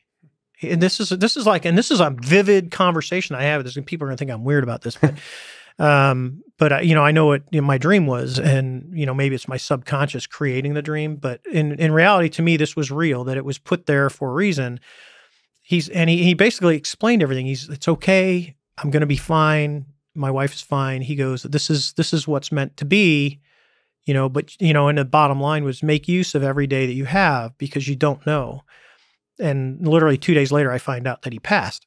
Um, so But ultimately, uh, he accepted the finiteness of it. he did. Well, you have to. And it's like I talk about, you know, money and job position and this and that. And I said, you can get in any, you know, you can go to a company. Just remember, when you want to be a VP of a company, you sell your soul to the company. You have to. I said, if you look, I joke with people at work and I said, I said, you know, when you ever think that you're important or this guy has that, I said, when you're sitting on 93 or 95, 128, and you're sitting in traffic and we're stopped, which doesn't happen right now because of COVID, but normally it's stop, it's bumper to bumper and you're sitting here like I was coming down here by the gas tank. Um, when you're sitting there, look left and look right, you know, and there can be a, a Lamborghini or an S550 Mercedes, and on the other side, there could be some piece of crap car. We're all sitting on the same freeway at the same time, trying to do the same thing, which Yeah. is just get home so we can be with our family. Because the most important thing that we have, it ain't money, it ain't our job, it's not our position. I go, because when it's all said and done, you could be, you know, you can be, with the exception of the presidents of the United States, I mean, name the vice presidents. Most people can't. Yeah. And eventually they're going to die. Or eventually you're going to see a statue of a guy from the 1700s in the Boston area and you're going to go, I don't even know who that guy was. Did he impact my life? He probably did. But eventually people forget. Yeah. You you realize what's important now. And the one thing that you have is your family and your close friends. And that's that's it. You can take all the money or everything else. If you're down on your luck, you know, who is going to be we always just joke, who are your true friends? It's the person, well, there's there's ones that I won't say, but you know, hey, you're broke down on a road in the middle of nowhere and it's three o'clock in the morning. Who you gonna call is gonna get in their car without complaining and come and get you. and that's life. Those That is uh, life. The people you love. It's it's it's the people you truly care about. And contrary to I have, you know, oh my God, I got six thousand Facebook friends. You got about that many real friends that you can count on, and that's it. Everything else doesn't matter. No, it doesn't matter. You, it doesn't mean you don't be nice. I mean, I have there's acquaintance friends that I'll do anything for, and they can come to my house and stuff. But then there's the people that you know, you know, like my cousins who are like my brothers. That you know, at at a moment's notice, you know, when when my uncle passed away at a young age, you know, who lived literally right down the street from me, and my cousin Chad, and I got two boys. There's there's 14 of us, but there's only two boys. There's three of us together, and we all grew up in the same neighborhood, same schools, played football together, all that. I said, if one of those, if Ray or Chad ever needs me, if something happens, like when my uncle died, it wasn't a, it wasn't an issue if I'm coming home. It's I'm booking the ticket and I don't give a shit what it costs right. because I will be there to to be there with you. And and then those two guys and my college roommate is another one that I'm very very close with. You know, you know if it, there's there's there, I have a handful of people that you know I will drop literally everything, even if it, my wife would be pissed at me at times. She's like, seriously, I got I got to do it. Yeah. And now she knows, and it's the same thing with her. I mean, she knows that there are certain people in her life that if they really need her and she has to go, she would go, and I would let her go. So So, given all that, I'm honored that you would uh, come here and talk to me and take the time. Dave, it was Oh, one of the best fun. conversations I've ever had. Thank We you were- so much. it's a pretty long one. It's it's probably sets the record for the longest one. so Um, I, I, I mean, I, I'm I'm a loss of words. One of my favorite conversations. Thank you so much for talking today, Dave. you're welcome. Thanks for listening to this conversation with David Fravor, and thank you to our sponsors, Athletic Greens, ExpressVPN, and BetterHelp. Please check out the sponsors in the description to get a discount and to support this podcast. If you enjoy this thing, subscribe on YouTube, review it with five stars on Apple Podcast, follow on Spotify, support on Patreon, or connect with me on Twitter at Lex Fridman. And now, let me leave you with some words from Carl Sagan. Somewhere, something incredible is waiting to be known.